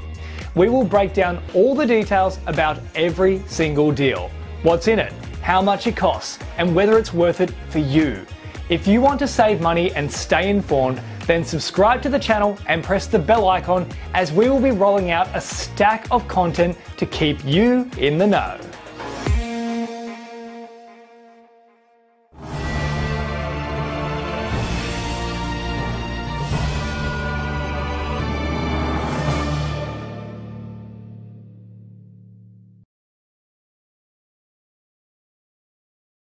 Hello, everyone. I'm Rachel, and I welcome you all to Executive Corner Expert Talks. Today, I'm speaking with Chris Poirier, co founder and CEO of Earlybirds.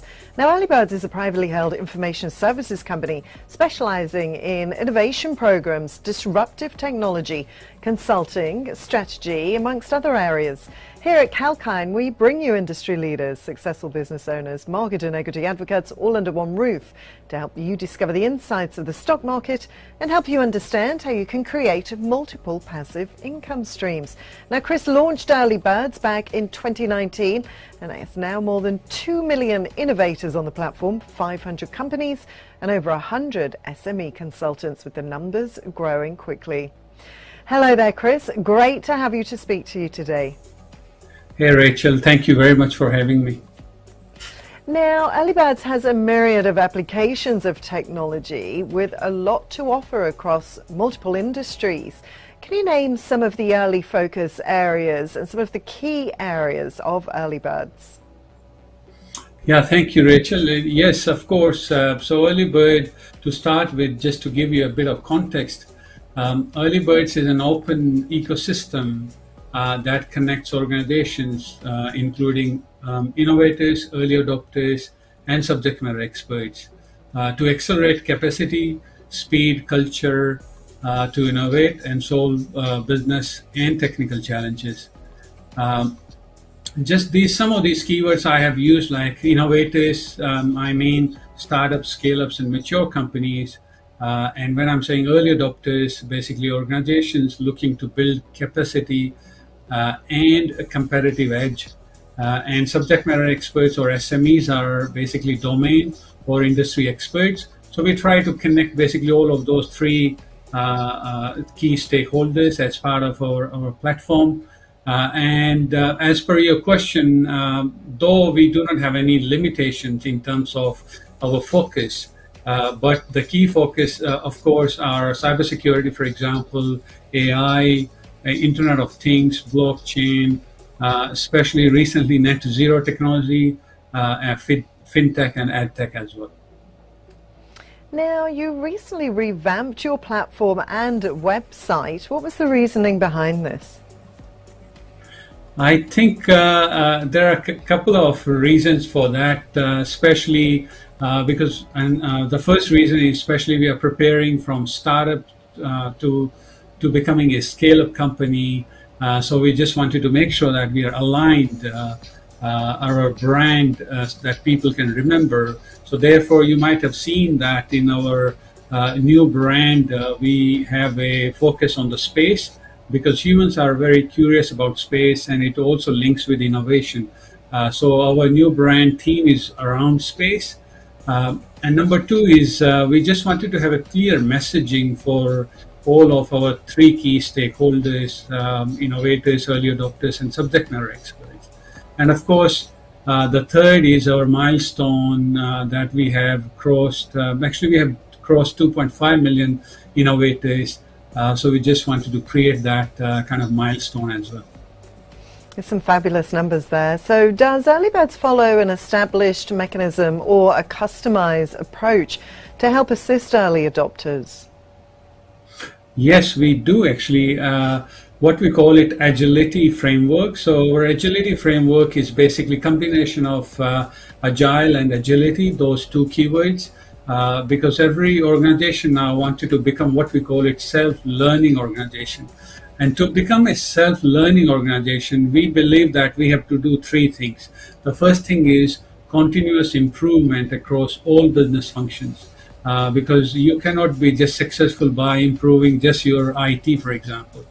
Uh, the second thing you need to do is resolve business and technical challenges as quickly as possible. Uh, and it, it's interesting actually with some of the organization we are working with, uh, even defining the challenge itself can take months. Uh, so we are definitely helping them to reduce that. The third thing is you have to explore disruptive uh, solutions and innovations. So what we are doing is using our agility framework, uh, we are delivering to those three key uh, initiatives uh, using our challenger program, where we solve one business or technical challenge at a time. Uh, our explorer program, which is basically on uh, ongoing innovation as a service, and then the third one is our platform ecosystem that includes our innovators and subject matter experts. So, how does Earlybirds look to enhance its umbrella of capabilities amid the advancing culture? Obviously, it's moving so fast to innovate and to help solve business and technical challenges. Yeah, so basically, uh, uh, uh, as I said, the early bird's focus is to bring um, early adopter organizations, um, innovators, and SMEs together. And as part of our core business, uh, we identify solutions uh, to businesses and technical challenges. Therefore, what we do is we keep investing in the technology processes uh, to support those capabilities. Uh, as an example, we have a couple of months back we uh, launched our our innovation maps. So basically, innovation maps is looking into a specific industry theme or a challenge theme uh, where we can provide more specific insight into that. For example, we launched a cybersecurity innovation map where we are tracking global cybersecurity capabilities through those innovation maps. And recently, we have just started uh, working on net zero technology uh, maps to help uh, not only Australian organizations but globally uh, uh, organizations who are interested in technologies which can help us to achieve our net zero targets. And the number of registered innovators with Earlybirds has now increased to more than 2 million. How do you project future growth in the number of innovators? Yeah, so uh, it's interesting that initial uh, initially we had our challenge uh, that we have to build one side of the platform, which was basically innovators. Uh, so we have done that successfully. Uh, now uh, we have also got subject matter experts to serve our what we call it initial early adopter customers in Australia to start with. Um, and we have done that as well. So what we see now going forward, we see consistent growth in the innovators because we are capturing more and more innovators globally, um, as well as we will see a lot of growth in early or, uh, adopter organizations who wanted to look into our platform, our ecosystem, uh, to take advantage of, uh, of uh, the opportunities through the platform. Fabulous. And just finally, Chris, you mentioned there about assisting global organizations where Earlybirds has been successful in. What are your expansion plans? So we have uh, actually there are a number of global organizations who are already subscribers to our platform, uh, but those are mostly the individual subscribers coming from these big organizations. Uh, our initial focus is to build enterprise customers in Australia and New Zealand. Uh, on the other hand, we are already talking to organizations in US and UK. Uh, so most probably uh, we will establish ourselves well in uh, Australia and New Zealand to start with, and then we are going to look at uh, North America and Europe as our next steps. And you've been working with some public and private sector organisations that are on the journey to build Australia's sovereign innovation capabilities. What is the scale like there that we're talking about? So, uh, in um, actually, Earlybirds tracking more than 130,000 Australian-based organizations, and uh, we are continue to increase that local innovation capability so that we can assist public and private sector to build Australian sovereign capability. Uh, but on top of this, what we are also doing is we are looking at the capability at the global level and look at where are the sweet spots for different regions And if Australia needs to work with other countries to build those specific capabilities, and vice versa, of course. Uh, so it's kind of a mix of both, uh, you know, building a sovereign capability, but then looking into what are our, what are our strategy in the next few years, uh, and which area uh, and where do we stand in those uh, those uh, you know plans and strategies.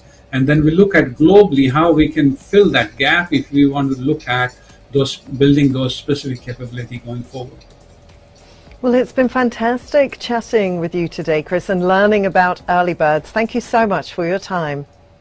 Thank you very much, Rachel, for your time. Thank you. And with that, I will sign off for today, but watch this space for more. Till then, stay apprised and invest wise with Kalkine.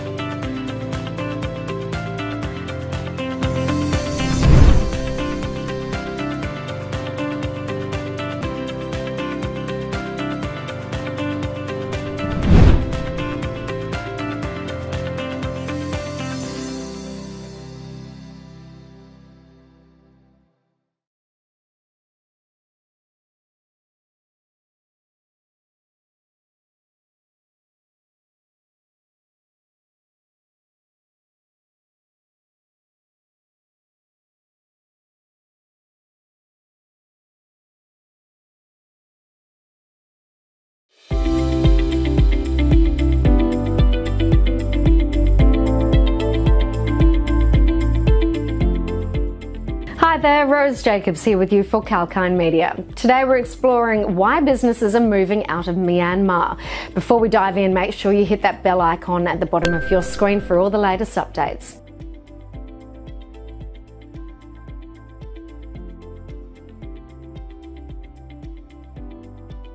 Since Feb of 21, a lot has been happening in Myanmar as the world collectively fights the COVID 19 pandemic.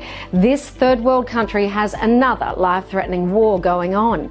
Last year in February, the military took over the country, causing civil, economic, and political unrest. The military junta took over Myanmar in Feb of 2021, and this political, economic, and civil disruption is likely to be continued for years. The world powers and international organisations are against this military takeover. Therefore, Myanmar is isolated amid the pandemic. The organised rival government, the National Unity Government, is fighting against the military and thankfully, it has the full support of the other ASEAN and Western countries. The business environment is at risk in Myanmar. The US has passed an act that legitimises and supports NUG and stands against the military rule and the businesses running under it. Thus, the businesses functioning under military rule are now at risk. Additionally, international communities would impose penalties on businesses dealing with the military. There is a high propensity that the conflict will escalate in the coming months. So businesses are becoming more and more hesitant about continuing their services in the country. Now let's take a glance at Myanmar's economic monitor for January 2022 released by the World Bank. The World Bank released the Myanmar Economic Monitor report on 25th of January. The report summarises that the civilians of Myanmar are being severely tested by the ongoing pandemic and the military takeover. The report projects projects growth of 1% in Myanmar in the current year till September of 2022. Additionally, the economy will continue to contract about 30% smaller than it would have been without the pandemic and the military clash. Sectors like finance, electricity, logistics, and digital connections face significant issues. The country is also undergoing foreign exchange constraints. Conflicts are escalating in Myanmar, firstly because of humanitarian constraints, and secondly because of a fall in economic activities. The supply and demand chain in the country is severely disrupted. However, output and employment seems to have stabilised in recent months. So the conclusion for now?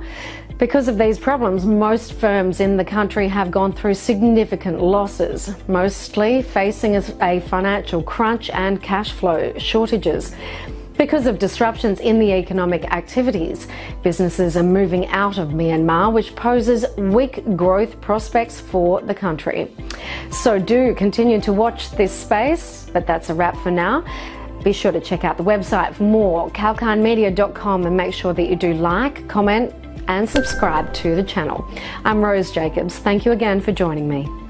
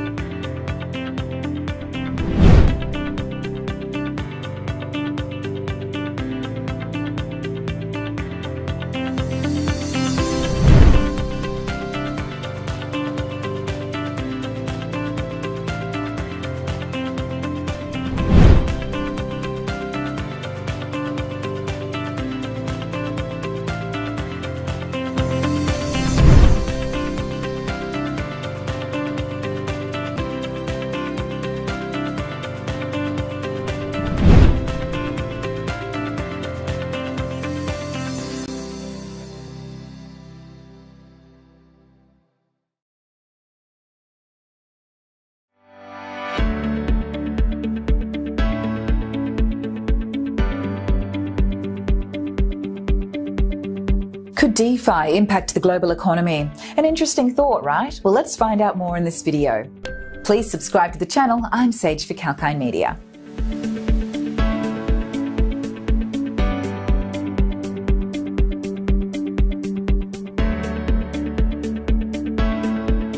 The world went through a financial crisis in 2008 and is currently dealing with the corona epidemic, both of which have put world's financial systems to the test. Decentralized finance has managed to flourish despite many earth shattering events. DeFi was invented in 2018 by a group of Ethereum creators and entrepreneurs eager to liberate finance applications from existing infrastructure. And DeFi's blockchain based technology turned out to be a lifesaver for many in these trying times, challenging the existing financial ecosystem. So, how is DeFi revolutionizing the financial economy at the macro level? Decentralized finance is built on the peer to peer principle, which removes the need for middlemen in the system. And DeFi democratizes finance. They're replacing traditional centralized institutions like non banking financial companies, brokerages, and banks by relying on self executing smart contracts on the blockchain network peer to peer philosophies. Smart contracts govern the transactions, which are almost instantaneous and nearly free. In addition, other financial organizations and banks impose fees for using their services, but DeFi eliminates them. And rather than keeping money at a bank, it is possible to retain it in a secure digital wallet. And anyone with an internet connection will be able to use it without the requirement for approval, and funds will be transferred within seconds. DeFi aspires to establish a more fundamentally functional financial landscape powered by blockchain technology. Before stepping into the future, it's important to know how DeFi platforms in 2020 and 2021 worked. In 2020, the COVID 19 pandemic, among other factors, played a major role in the emergence of DeFi. Due to the severe financial conditions of millions of people around the world, many people were looking for other ways of making money. DeFi meets most consumer concerns in several ways, and moreover, DeFi does not require huge cash to get started and has very low entry criteria. Blockchain and smart contracts make it possible to retain a high level of secrecy while doing transactions, and there's less danger of being misled.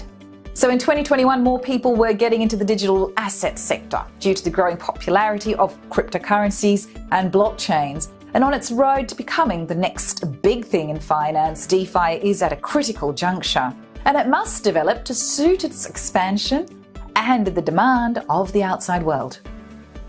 What's next?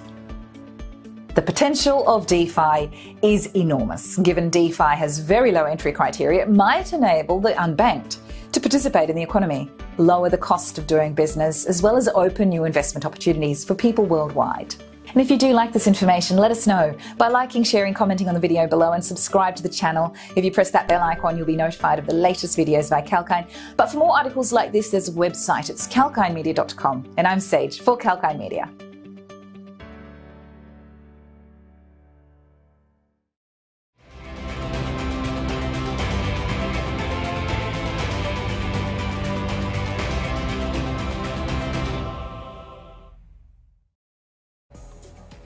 Hello and welcome to the Penny Picks here on Kalkine TV. I'm your host Holly and today we'll be shedding some light on Melbana LNG, Cooper Metals, I should say, and Alara Resources, which are three penny stocks delivering stellar gains. Now, the Australian market is trading negative for the day after ending last week with a 0.6% gain on Friday. The benchmark ASX 200 was down 0.55 or 39.2 points by the lunch hours. Meanwhile, A-REITs are the worst hit, having tumbled around 2%, and financials, telcos, and healthcare were all down over 1% each. Small caps as well are performing relatively better today, but still trading lower than Friday's close. And the ASX Small Ordinaries Index took a hit of 0.34%. However, a few penny stocks are delivering stellar intraday returns, overcoming investor pessimism in today's session. Let's have a look at three of these stocks. First up is Sydney-based Melbana Energy, an independent oil and gas exploration company, having an attractive portfolio of development stage projects in Cuba and in Australia. The company has been continuously abating its losses, having reported $1.4 million in the financial year 24, 21, I should say, compared with 2.16 million a year ago and 3.36 million in 2019. Melbana shares have been on a tear since the beginning of February. So far as well this month, it's rallied over 100% in a matter of five trading sessions to the last trading price of 0.046 cents. And today's 24.32% gain has come in Melbana Energy shares after the company announced that its drilling operations at the Amia 1 exploration well have indicated a potential gross reservoir. On top of that, there have also been significant oil shows present throughout the shale shakers and in cutting samples. And then the next stock to have a look at is Cooper Metals, which is also an Australian ASX listed mineral exploration company. The company has a market cap of $18.4 million and they're primarily focused on the discovery of gold and copper projects. And on Friday, Cooper Metals shares rallied 26.03%, and today the stock was up as well at 15.22. Now, investor sentiment has seen a positive change after the follow-up rock chip sampling at the company's Mount Isa East project, which continues to demonstrate widespread copper and gold mineralization. Today, Cooper Metals shares traded at the second highest volume over 3.1 million since their listing in November last year. And then finally, Alara Resources has been a frequent name on our list in the last few weeks, all thanks to its massive ongoing rally. The company has two mining projects, one each in Saudi Arabia and Oman, and its market cap has touched the $56 million mark for the first time in the last several years. Now, Alara Resources shares have surged to a high of 0.12 cents today's session, and they were seen trading at 21.25 and 0.095 cents. The reason for today's rally is the commencement of the initial mining activities at its 51% owned Al Wash-hi Majaza copper gold project.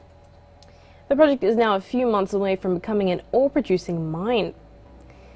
And in the last one month, Alara stock has delivered a mammoth return of over 395%, so almost 400% there.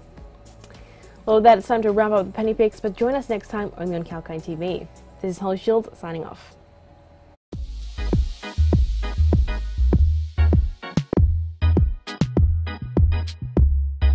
Hi there, James Preston for Kalkine TV.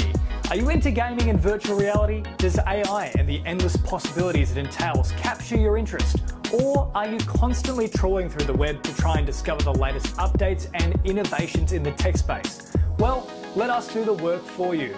From the latest product launches to shocking affairs on the World Wide Web, exclusive interviews and information about the top companies like Apple and Google to brand new tech startups vying for your attention. Kalkine's TechBeat has the latest in what matters in the world of technology.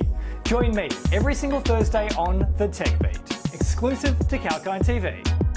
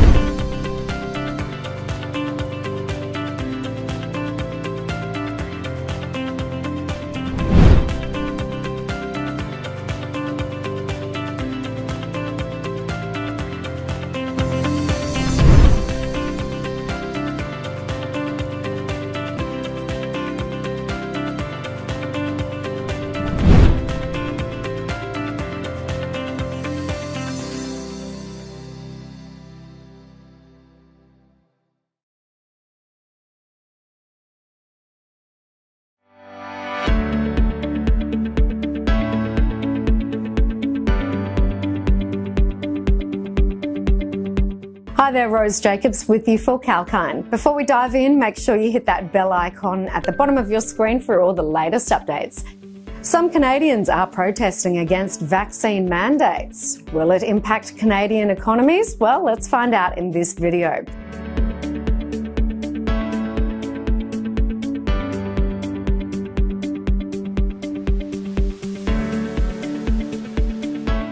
Canada is witnessing protests over vaccine mandates and COVID 19 measures.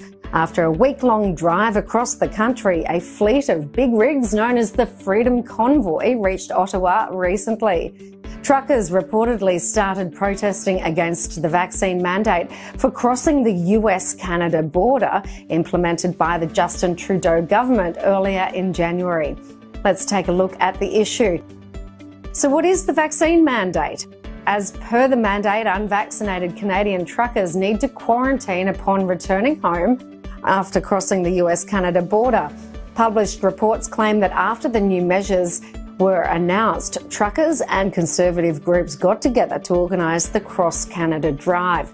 After starting from Western Canada, the drive got momentum and gathered support as it drove to the eastern parts of the country. It is expected that the protesters will continue to stay near Parliament Hill and hope for the government to take back their border vaccine and any other public health mandate right across the country.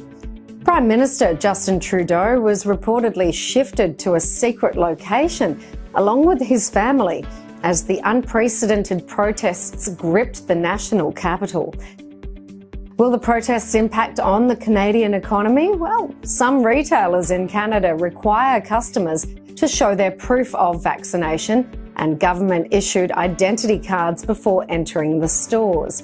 In Quebec, retailers like Walmart, Costco, IKEA, and Canadian Tire Corporation are among retailers who have to take such measures to limit unvaccinated people to purchasing only essential goods. Public health restrictions like these could affect retailers and consumers negatively as the pandemic and lockdowns have already forced people to live in a restricted environment. If these restrictions continue, consumers could stop visiting stores, which would most likely reduce the retailer's sales. Additionally, truckers play an essential role in the Canadian economy, and according to the Government of Canada, the transportation and warehousing industry is vital to the country's economy. The Canadian Transportation Economic Account data of 2016 stated the transportation sector contributed 168.1 billion Canadian dollars or 8% of the gross domestic product. If the truckers continue protesting against the vaccine mandate, the transport industry could incur losses. And so the conclusion? Well, the period of uncertainty due to any event is worst for a stock market. As reports surface that the Prime Minister has shifted to a secret location due to ongoing protests, could be taken negatively by equities markets investors. If this uncertainty continues, the markets could see a dip as investors will likely be wary of making investments. But that's a wrap for now. Please check out the website for more, kalkinemedia.com, and make sure that you like, comment, and subscribe to the channel. I'm Rose Jacobs. Thanks for joining me.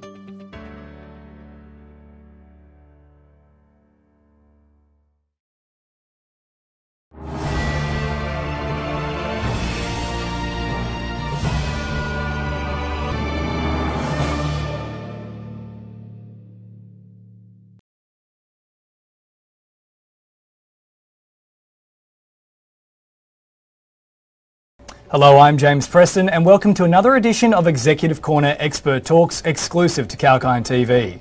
The troubles in Victoria by now have been well documented. Whilst COVID 19 is causing problems, the real virus increasingly is that of the Daniel Andrews government.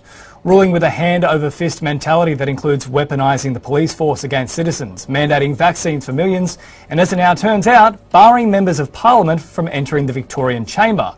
One of those politicians who has been banned from entry into Parliament is Legislative Council Representative Tim Quilty from the Liberal Democrats, and he joins me live now on Kalkine TV. Tim, welcome to the show. Thanks for having me on. Hopefully, you're hearing me this time. Tim got you loud and clear. Now, look, you're one of the members of the Parliament Excellent. in exile at the moment. Can you explain what that is and why you're a part of it? Okay, so uh, a couple of weeks ago, the Andrews government brought in rules to say that uh, all members of parliament would have to show their vaccine passports in order to participate in the parliament. Um, it's because and because they're doing this to everyone else in Victoria as well, they decided to make some special rules for them as well. Um, David and I refused to show our papers because we don't believe in the vaccine. We think it's a uh, gross violation of human rights of Victorians. Um, we we we're both vaccinated. We could easily show our papers and turn up, but we refused to do that, so we got kicked out of the parliament. Um, we called it the, a, a purge. Um, they kicked MPs out of parliament. What's left is a rump parliament. Last time this happened in a West, Westminster democracy was back in 1648 when Cromwell uh, purged the so he could get a, a, remaining rump that would vote for him, support him being the king. Um, when he went on to become dictator of uh, England. Um, so a shocking thing that they've done. They've upturned hundreds of centuries of parliamentary precedent to do it. Um, but we didn't buckle under it, so we have set up a rebel parliament or parliament in exile in a basement in a nightclub in Melbourne. um, and we've been conducting parliament from here for the last week. Now, I understand as well that whilst you have got your separate parliament set up there, it now doesn't actually allow you to vote on parliamentary issues. How can that possibly be the case given you are still an elected representative? Yeah, well, exactly. This is the whole problem with it. Um, because te- technically, under the Constitution, you can't vote unless you're at the parliament. And then by passing this, this rule that barred us from accessing the parliament, they took our vote away. Um, and right when they were introducing their uh, permanent pandemic legislation mm. power. That's going to give Andrews the, the, power to extend this state of emergency indefinitely. Um, or their, their was to get rid of our voices, um, to get rid of our vote, to make it easier for them to push. Well, let's touch on that right now because obviously this is the big talking point at the moment is the fact that it's it's pretty intense legislation that's being pushed forward. Typically what we've seen is a state of emergency that just seems to be constantly rolled over despite the current scenario that Victoria is experiencing. This would obviously give somewhat unprecedented powers. We're having people like yourself who can't vote on it. Do you now know what is actually included in it? Because it's been very much a document of secrecy. Oh, absolutely. They, they've been working on this bill for months, but uh, they didn't show it to any MP. In fact, official government line was uh, MPs didn't deserve to see it. We weren't. Uh, um, I think the tennis authority should push back and camps open again if government if um, Andrews is trying to chuck his weight around like this. Um, it's nothing to do with tennis. It's nothing to do with safety. It's, it's uh, about Andrews' ego. Well, Tim, thank you so much for your time today. Is there any final thoughts you'd like to leave with our audience? Um, I don't, don't know. This it just this keeps going on. Um, one one day we'll get out of this. Uh, we're going to push back against this legislation the government's proposing. Uh, if we're going to block it or not. Um, but at some point, people got to wake up and realise that the government's completely out of control. Um, I'll say what I said to someone yesterday never trust your governments. Don't give them bill, use it. We've seen that now for 18 months. Um, governments are not to be trusted.